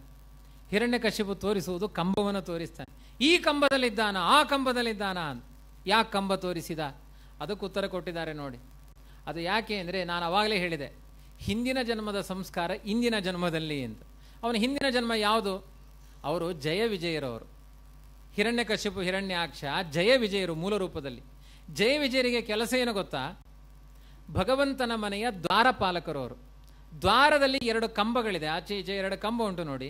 ಯಾವಾಗಲೂ ಆ ಎ ಟಿ ಎಂ ಅವರು ಕುರ್ಚಿಲ್ಲೇ ಕೂತಿರ್ತಾರಲ್ಲ, ಹಾಗೆ ಅವನು ಯಾವಾಗಲೂ ದ್ವಾರದಲ್ಲೇ ಕೂತ್ಕೊಳ್ಳೋದು, ಕಂಬವರೆಗೆ ಕೂತ್ಕೊಳ್ಳೋದು. ಹಾಗಾಗಿ ಅವನಿಗೆ ಕಂಡದ್ದೇನು ಅಂದರೆ ಕಂಬವೇ ಕಂಡದ್ದು. ಕೆಲವರು ಮಾರ್ಕೆಟಿಗೆ ಹೋಗಿರ್ತಾರೆ. ಕೆಲವರು ಕೇಳ್ತಾರೆ, ಬೆಂಡೆಕಾಯಿಗೆ ಎಷ್ಟು ಅಂತ ಕೇಳ್ತಾರೆ. ಕೆಲವರು ತೊಂಡೆಕಾಯಿಗೆ ಎಷ್ಟು ಅಂತ ಕೇಳ್ತಾರೆ. ಇವ್ರು ಯಾಕೆ ಬೆಂಡೆಕಾಯಿಯೇ ಕೇಳಿದರು? ಬೀನ್ಸಿಗೆ ಎಷ್ಟು ಅಂತ ಇನ್ನು ಕೆಲವರು ಕೇಳ್ತಾರೆ. ಗುಳ್ಳಾಕೆ ಎಷ್ಟು ಅಂತ ಇನ್ನು ಕೆಲವರು ಕೇಳ್ತಾರೆ. ಇನ್ನು ಕೆಲವರು ಸೌತೆಕಾಯಿಗೆ ಎಷ್ಟು ಅಂತ ಕೇಳೋರೆ ಜಾಸ್ತಿ. ಮಂಗಳೂರು ಸೌತೆ ಫೇಮಸ್ ಅಲ್ಲ. ಸೌತೆಕಾಯಿಗೆ ಎಷ್ಟು? ತುಂಬ ಚೀಪ್ ಅದು. ಚೀ, ಕುಂಸೋ, ಚಿರಂಜೀವಿ, ಕುಂಬಳಕಾಯಿ ಸೌತೆಕಾಯಿ ಅಂತ. ಅದು ಜನ್ಮ ಜನ್ಮದಲ್ಲಿ ತಿಂದಿದ್ದೇವೆ ಇವರು ಬೆಂಡೆಕಾಯಿಗೆ ರೇಟ್ ಕೇಳಲಿ ಕಾರಣ ಏನು ಗೊತ್ತಾ? ಹಿಂದಿನ ಜನ್ಮದಲ್ಲಿ ಸಿಕ್ಕಾಪಟ್ಟೆ ಬೆಂಡೆಕಾಯಿ ತಿಂದಿದ್ದಾರೆ. ಅದಕ್ಕೆ ಅವರಿಗೆ ಬೆಂಡೆಕಾಯಿ ಇಷ್ಟ ಆಗಿದೆ. ಇವರಿಗೆ ಗುಳ್ಳ ಯಾಕೆ ಇಷ್ಟ ಆಗಿದೆ ಅಂದರೆ ಸಿಕ್ಕಾಪಟ್ಟೆ ಗುಳ್ಳ ತಿಂದಿದ್ದಾರೆ. ಅದಕ್ಕೆ ಅವರಿಗೆ ಗುಳ್ಳ ಇಷ್ಟ. ಇವರು ಮಂಗಳೂರು ಸೌತೆ, ಕಂಡು ಕಂಡಲ್ಲಿ ಎಲ್ಲ ಅನ್ನ ಆರಾಧನೆಗಳಲ್ಲಿ ಮಂಗಳೂರು ಸೌತೆ ಹುಳಿ ತಿಂದಿದ್ದಾರೆ. ಅದಕ್ಕೆ ಜನ್ಮಾಂತರದ ಸಂಸ್ಕಾರ, ಸೌತೆಕಾಯಿ ಎಷ್ಟು ಅಂತ ಕೇಳ್ತಾರೆ. ಸಂಸ್ಕಾರ ತುಂಬ ಇಂಪಾರ್ಟೆಂಟ್ ಆದ್ದರಿಂದ ಈ ಜನ್ಮದಲ್ಲಿ ನೀವು ಭಾಗವತ ಕೇಳಿದ್ದಕ್ಕೆ, ಮುಂದಿನ ಜನ್ಮದಲ್ಲಿ ಇದ್ರ ಧಾರಾವಾಹಿ ನೋಡಲ್ಲ. ನೀವು ಮತ್ತೆ ಭಾಗವತ ಕೇಳಬೇಕು. ಇದೇ ಸಂಸ್ಕಾರ. ಅದಕ್ಕೆ ಅವನು ಆ ಕಂಬ ಹೊರಗೆ ಹೊರಗೆ ಈ ಕಂಬದಲ್ಲಿದ್ದಾನ ಕೇಳಿದ. ನಾಟಕದಲ್ಲಿ ಆಗಬೇಕಾದ್ರೆ ಒಂದು ಕಂಬದಲ್ಲಿ ಮಾತ್ರ ನರಸಿಂಹಾವತಾರ ಆಗಬೇಕು. ಕಂಡ ಕಂಡ ಕಂಬದಲ್ಲಿ ಆಗೋದಿಲ್ಲ ಇದು. ನಾಟಕ ಕಂಪನಿ ಅಲ್ಲ ಇದು. ಪ್ರಹ್ಲಾದ ಹೇಳ್ತಾನೆ, ಎಲ್ಲ ಕಂಬದಲ್ಲೂ ದೇವರಿದ್ದಾನೆ ಅಂತ. ಒಂದು ನಾಟಕದಲ್ಲಿ ಹಾಗೆ ಆಯ್ತಂತೆ. ಇನ್ನೇನು ಹೊಡಿಬೇಕು? ನಾಟಕ ಮುಗಿಯಬೇಕು ನರಸಿಂಹನ ಆ ಪ್ರಾದುರ್ಭಾವ ಆಗಬೇಕು. ಅಷ್ಟರೊಳಗಡೆ ಹಿರಣ್ಯಕಶಿಪುವಿಗೆ ನರಸಿಂಹ ಹೇಳಿದಂತೆ ಕಂಬದ ಒಳಗಡೆಯಿಂದ ಹಿರಣ್ಯಕಶಿಪು ನಾನು ಕಂಬ ಚೇಂಜ್ ಮಾಡ್ಕೊಂಡಿದ್ದೇನೆ. ಆ ಕಂಬಕ್ಕೆ ಹೊಡಿಲಿಕ್ಕೆ ಹೋಗಬೇಡ ತಲೆ ಬಿಸಿ ಆಯಿತು ಅವನಿಗೆ, ಯಾಕೋ ಕಂಬ ಚೇಂಜ್, ನಾಟಕದ ಒಳಗಡೆ ಪ್ರಾಕ್ಟಿಕಲ್ ನಾಟಕ. ಕೇಳ್ತಾನೆ, ಯಾಕೋ ಕಂಬ ಚೇಂಜ್ ಮಾಡಿದೆ? ಅವನು ಹಿರಣ್ಯಕಶಿಪು ಮಾಲೀಕ, ನಾಟಕ ಕಂಪನಿಯ ಮಾಲೀಕ. ನರಸಿಂಹ ಅವನವನ ಸೇವಕ ಅವನು. ವೇಷ ಹಾಕಿದ್ದಾನೆ ಅವ ಹೇಳಿದಾನೆ, ಮೂರು ತಿಂಗಳಾಯಿತು ಸಂಬಳ ಕೊಡದೆ. ಮೊದಲು ಸಂಬಳ ಕೊಡು, ಆಮೇಲೆ ನರಸಿಂಹ ಅವತಾರ. ಸಂಬಳ ಇಲ್ಲದೆ ನರಸಿಂಹ ಅವತಾರ ಇಲ್ಲ. ಇಲ್ಲಿ ಹಾಗಲ್ಲ. ಪ್ರಹ್ಲಾದನದ್ದು ಪ್ರಾಕ್ಟಿಕಲ್ ಎಲ್ಲ ಕಂಬದಲ್ಲೂ ದೇವರಿದ್ದಾನೆ. ಹೌದಾ? ಈ ಕಂಬದಲ್ಲಿದ್ದಾನ ದೇವರು, ಆ ಕಂಬದಲ್ಲಿದ್ದಾನ. ಎಲ್ಲಿದ್ದಾನೆ ನಿನ್ನ ದೇವರು? ಎಲ್ಲ ಕಂಬದಲ್ಲೂ ಇದ್ದಾನೆ. ನನ್ನ ಕಣ್ಣಿಗೆ ಕಾಣಿಸ್ತಾ ಇಲ್ಲಲ್ಲ. ನನ್ನ ಕಣ್ಣಿಗೆ ಕಾಣಿಸ್ತಾ ಇದ್ದಾನೆ. ನಿನ್ನ ಕಣ್ಣಿಗೆ ಕಾಣಿಸ್ತಾ ಇದ್ದಾನೆ ಈ ಕಂಬದಲ್ಲಿ. ಅವನ ತಲೆಯನ್ನು ಕಡಿತೇನೆ ಅಂತ ತನ್ನ ಖಡ್ಗವನ್ನು ಹಿಡಿದು ಪ್ರಹಾರ ಮಾಡ್ತಾನೆ. ಸತ್ಯಂ ವಿಧಾತುಂ ನಿಜಭೃತ್ಯ ಭಾಷಿತಂ ವ್ಯಾಪ್ತಿಂಚ ಭೂತೇಶ್ವಕಿಲೇಶು ಚಾತ್ಮನಃ ಅದೃಶ್ಯ ತಾತ್ಯದ್ಭುತ ರೂಪ ಮುದ್ವಹನ್ ಸ್ತಂಭೆ ಸಭಾಯಾಂ ನ ಮೃಗಂ ನ ಮಾನುಷಂ ಆ ಪ್ರಹ್ಲಾದನ ಮಾತನ್ನ ಸತ್ಯ ಮಾಡಲಿಕ್ಕೆ ಕಂಬವನ್ನು ಸೀಳಿಕೊಂಡು ನರಸಿಂಹ ಪ್ರಾದುರ್ಭಾವ ಆಯ್ತಂತೆ. ಯಾಕೆಂದ್ರೆ ಪ್ರಹ್ಲಾದನ ಮಾತನ್ನ ಸತ್ಯ ಮಾಡಬೇಕು. ಅದನ್ನು ನೋಡ್ತಾನೆ ಹಿರಣ್ಯಕಶಿಪು ಕಂಬವನ್ನು ಹೊಡೆದ. ಆ ಮುಷ್ಟಿ ಪ್ರಹಾರದಿಂದ ಹೊಡೆದದೇ ತಡ. ನರಸಿಂಹ ರೂಪಿಯಾದ ಭಗವಂತ ಬಂದಿದ್ದಾನೆ. ಇಂಥ ರೂಪವನ್ನು ಯಾವತ್ತೂ ನೋಡಲೇ ಇಲ್ಲ. ಯಾಕೆಂದ್ರೆ ಅವನು ಕೇಳಿದ ಎಲ್ಲ ವರಗಳಿದೆ. ನನಗೆ ನರರಿಂದ ಮರಣ ಬರಬಾರದು, ಮೃಗಗಳಿಂದ ಮರಣ ಬರಬಾರದು. ನರ ಮೃಗ ವೇಷದಲ್ಲಿ ನರಸಿಂಹನಾಗಿ ಬಂದಿದ್ದಾನೆ ಭಗವಂತ. ಹಗಲು ಸಾಯಬಾರದು, ರಾತ್ರಿ ಸಾಯಬಾರದು ಸಂಧ್ಯಾಕಾಲದಲ್ಲಿ ಬಂದಿದ್ದಾನೆ. ಒಳಗೆ ಸಾಯಬಾರದು, ಹೊರಗೆ ಸಾಯಬಾರದು, ಹೊಸ್ತಿಲ ಮೇಲೆ ಎಳ್ಕೊಂಡು ಹೋಗಿದ್ದಾನೆ. ಮೇಲೆ ಸಾಯಬಾರದು, ಕೆಳಗೆ ಸಾಯಬಾರದು, ತಡೆ ಮೇಲೆ ಹಾಕೊಂಡಿದ್ದಾನೆ. ಒಮ್ಮೆ ಆ ಹಿರಣ್ಯಕಶಿಪಿನ ಮೇಲೆ ತನ್ನ ಬಾಹುಗಳನ್ನು ಬೀಸಿದ ಹಿರಣ್ಯಕಶಿಪು ಕಾಣೆಯಾದನಂತೆ ಎಲ್ಲಿ ಹೋದ ಹಿರಣ್ಯಕಶಿಪು?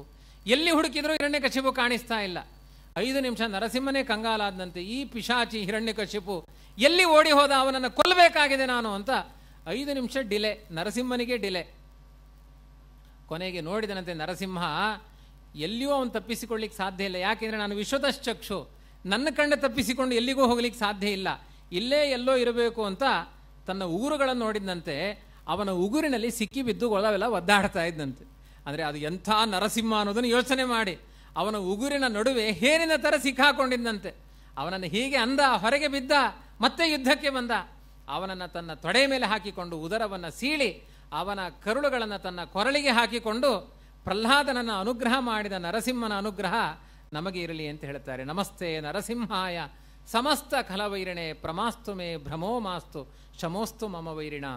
ಯಾವ ಯಾವ ಅನಿಷ್ಟಗಳಿದೆ ಅದನ್ನೆಲ್ಲ ಪರಿಹಾರ ಮಾಡುವ ಆ ಸಾಮರ್ಥ್ಯ ಆ ನರಸಿಂಹರೂಪಿಯಾದ ಪರಮಾತ್ಮನದ್ದು ಅಂತ ಅತ್ಯಂತ ಜಗತ್ತಿನ ಅನಿಷ್ಟವನ್ನೇ ಎಷ್ಟು ದಿನ ಆಡಳಿತ ಭಾಗವತ ಹೇಳುತ್ತೆ ಐದು ಸಾವಿರ ಕೋಟಿ ವರ್ಷ ರಾಜ ಆಗಿದ್ದಂತೆ ಹಿರಣ್ಯಕಶ್ಯಪು ಎಂಥ ಮೃತ್ಯು ಕಂಟಕ ಇದು.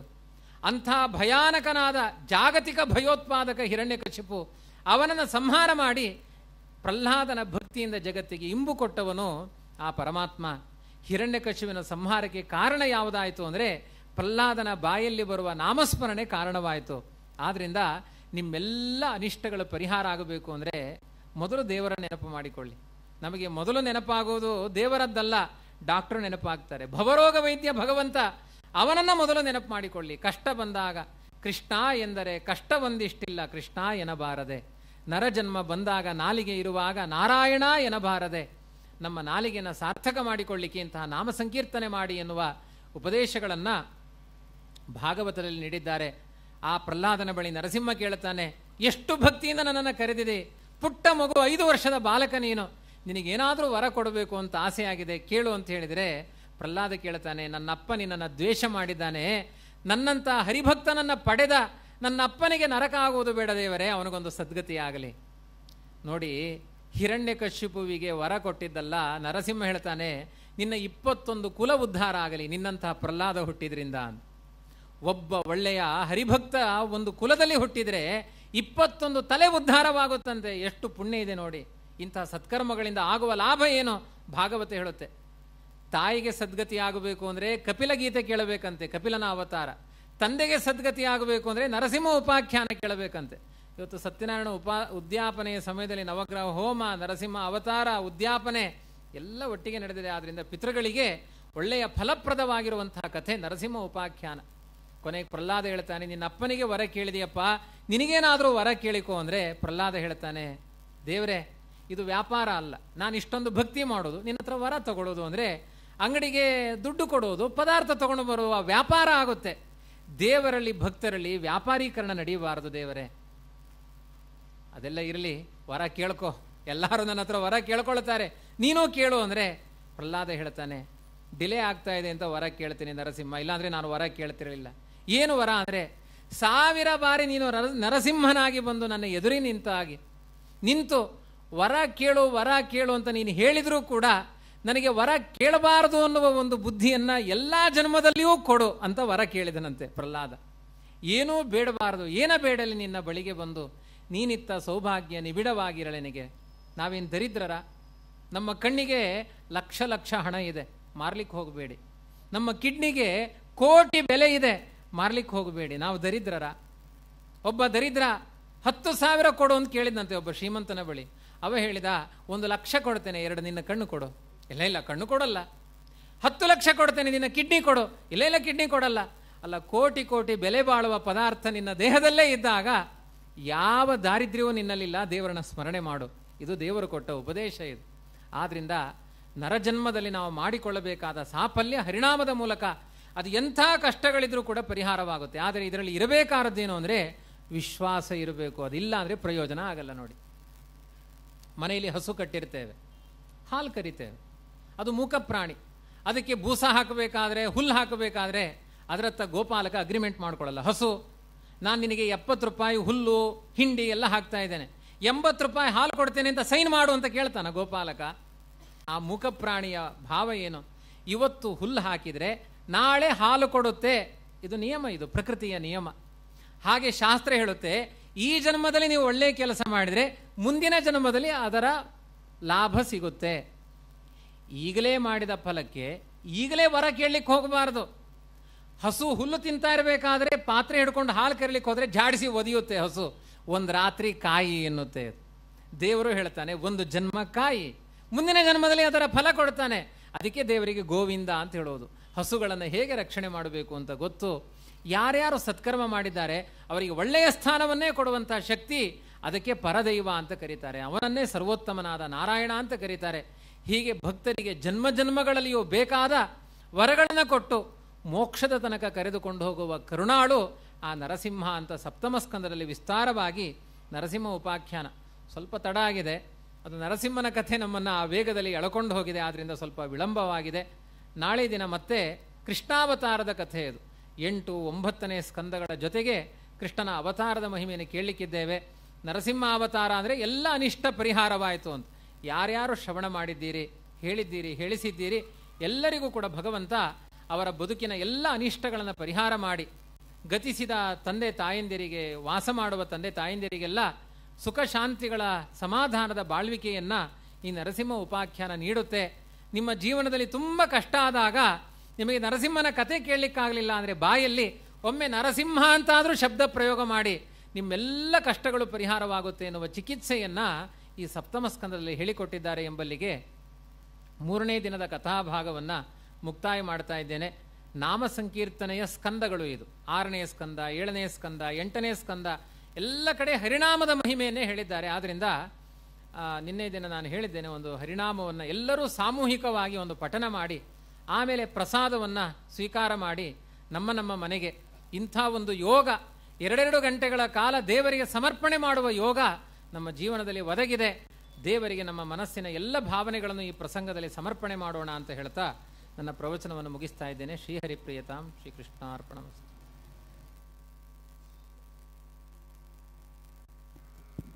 ಓಂ ನಮೋ ನಾರಸಿಂಹಾಯ. ಎಲ್ಲರೂ ಸಾಮೂಹಿಕವಾಗಿ ಹಾಡಬೇಕು. ಈ ಹಾಡು ಮುಗಿದ ತಕ್ಷಣ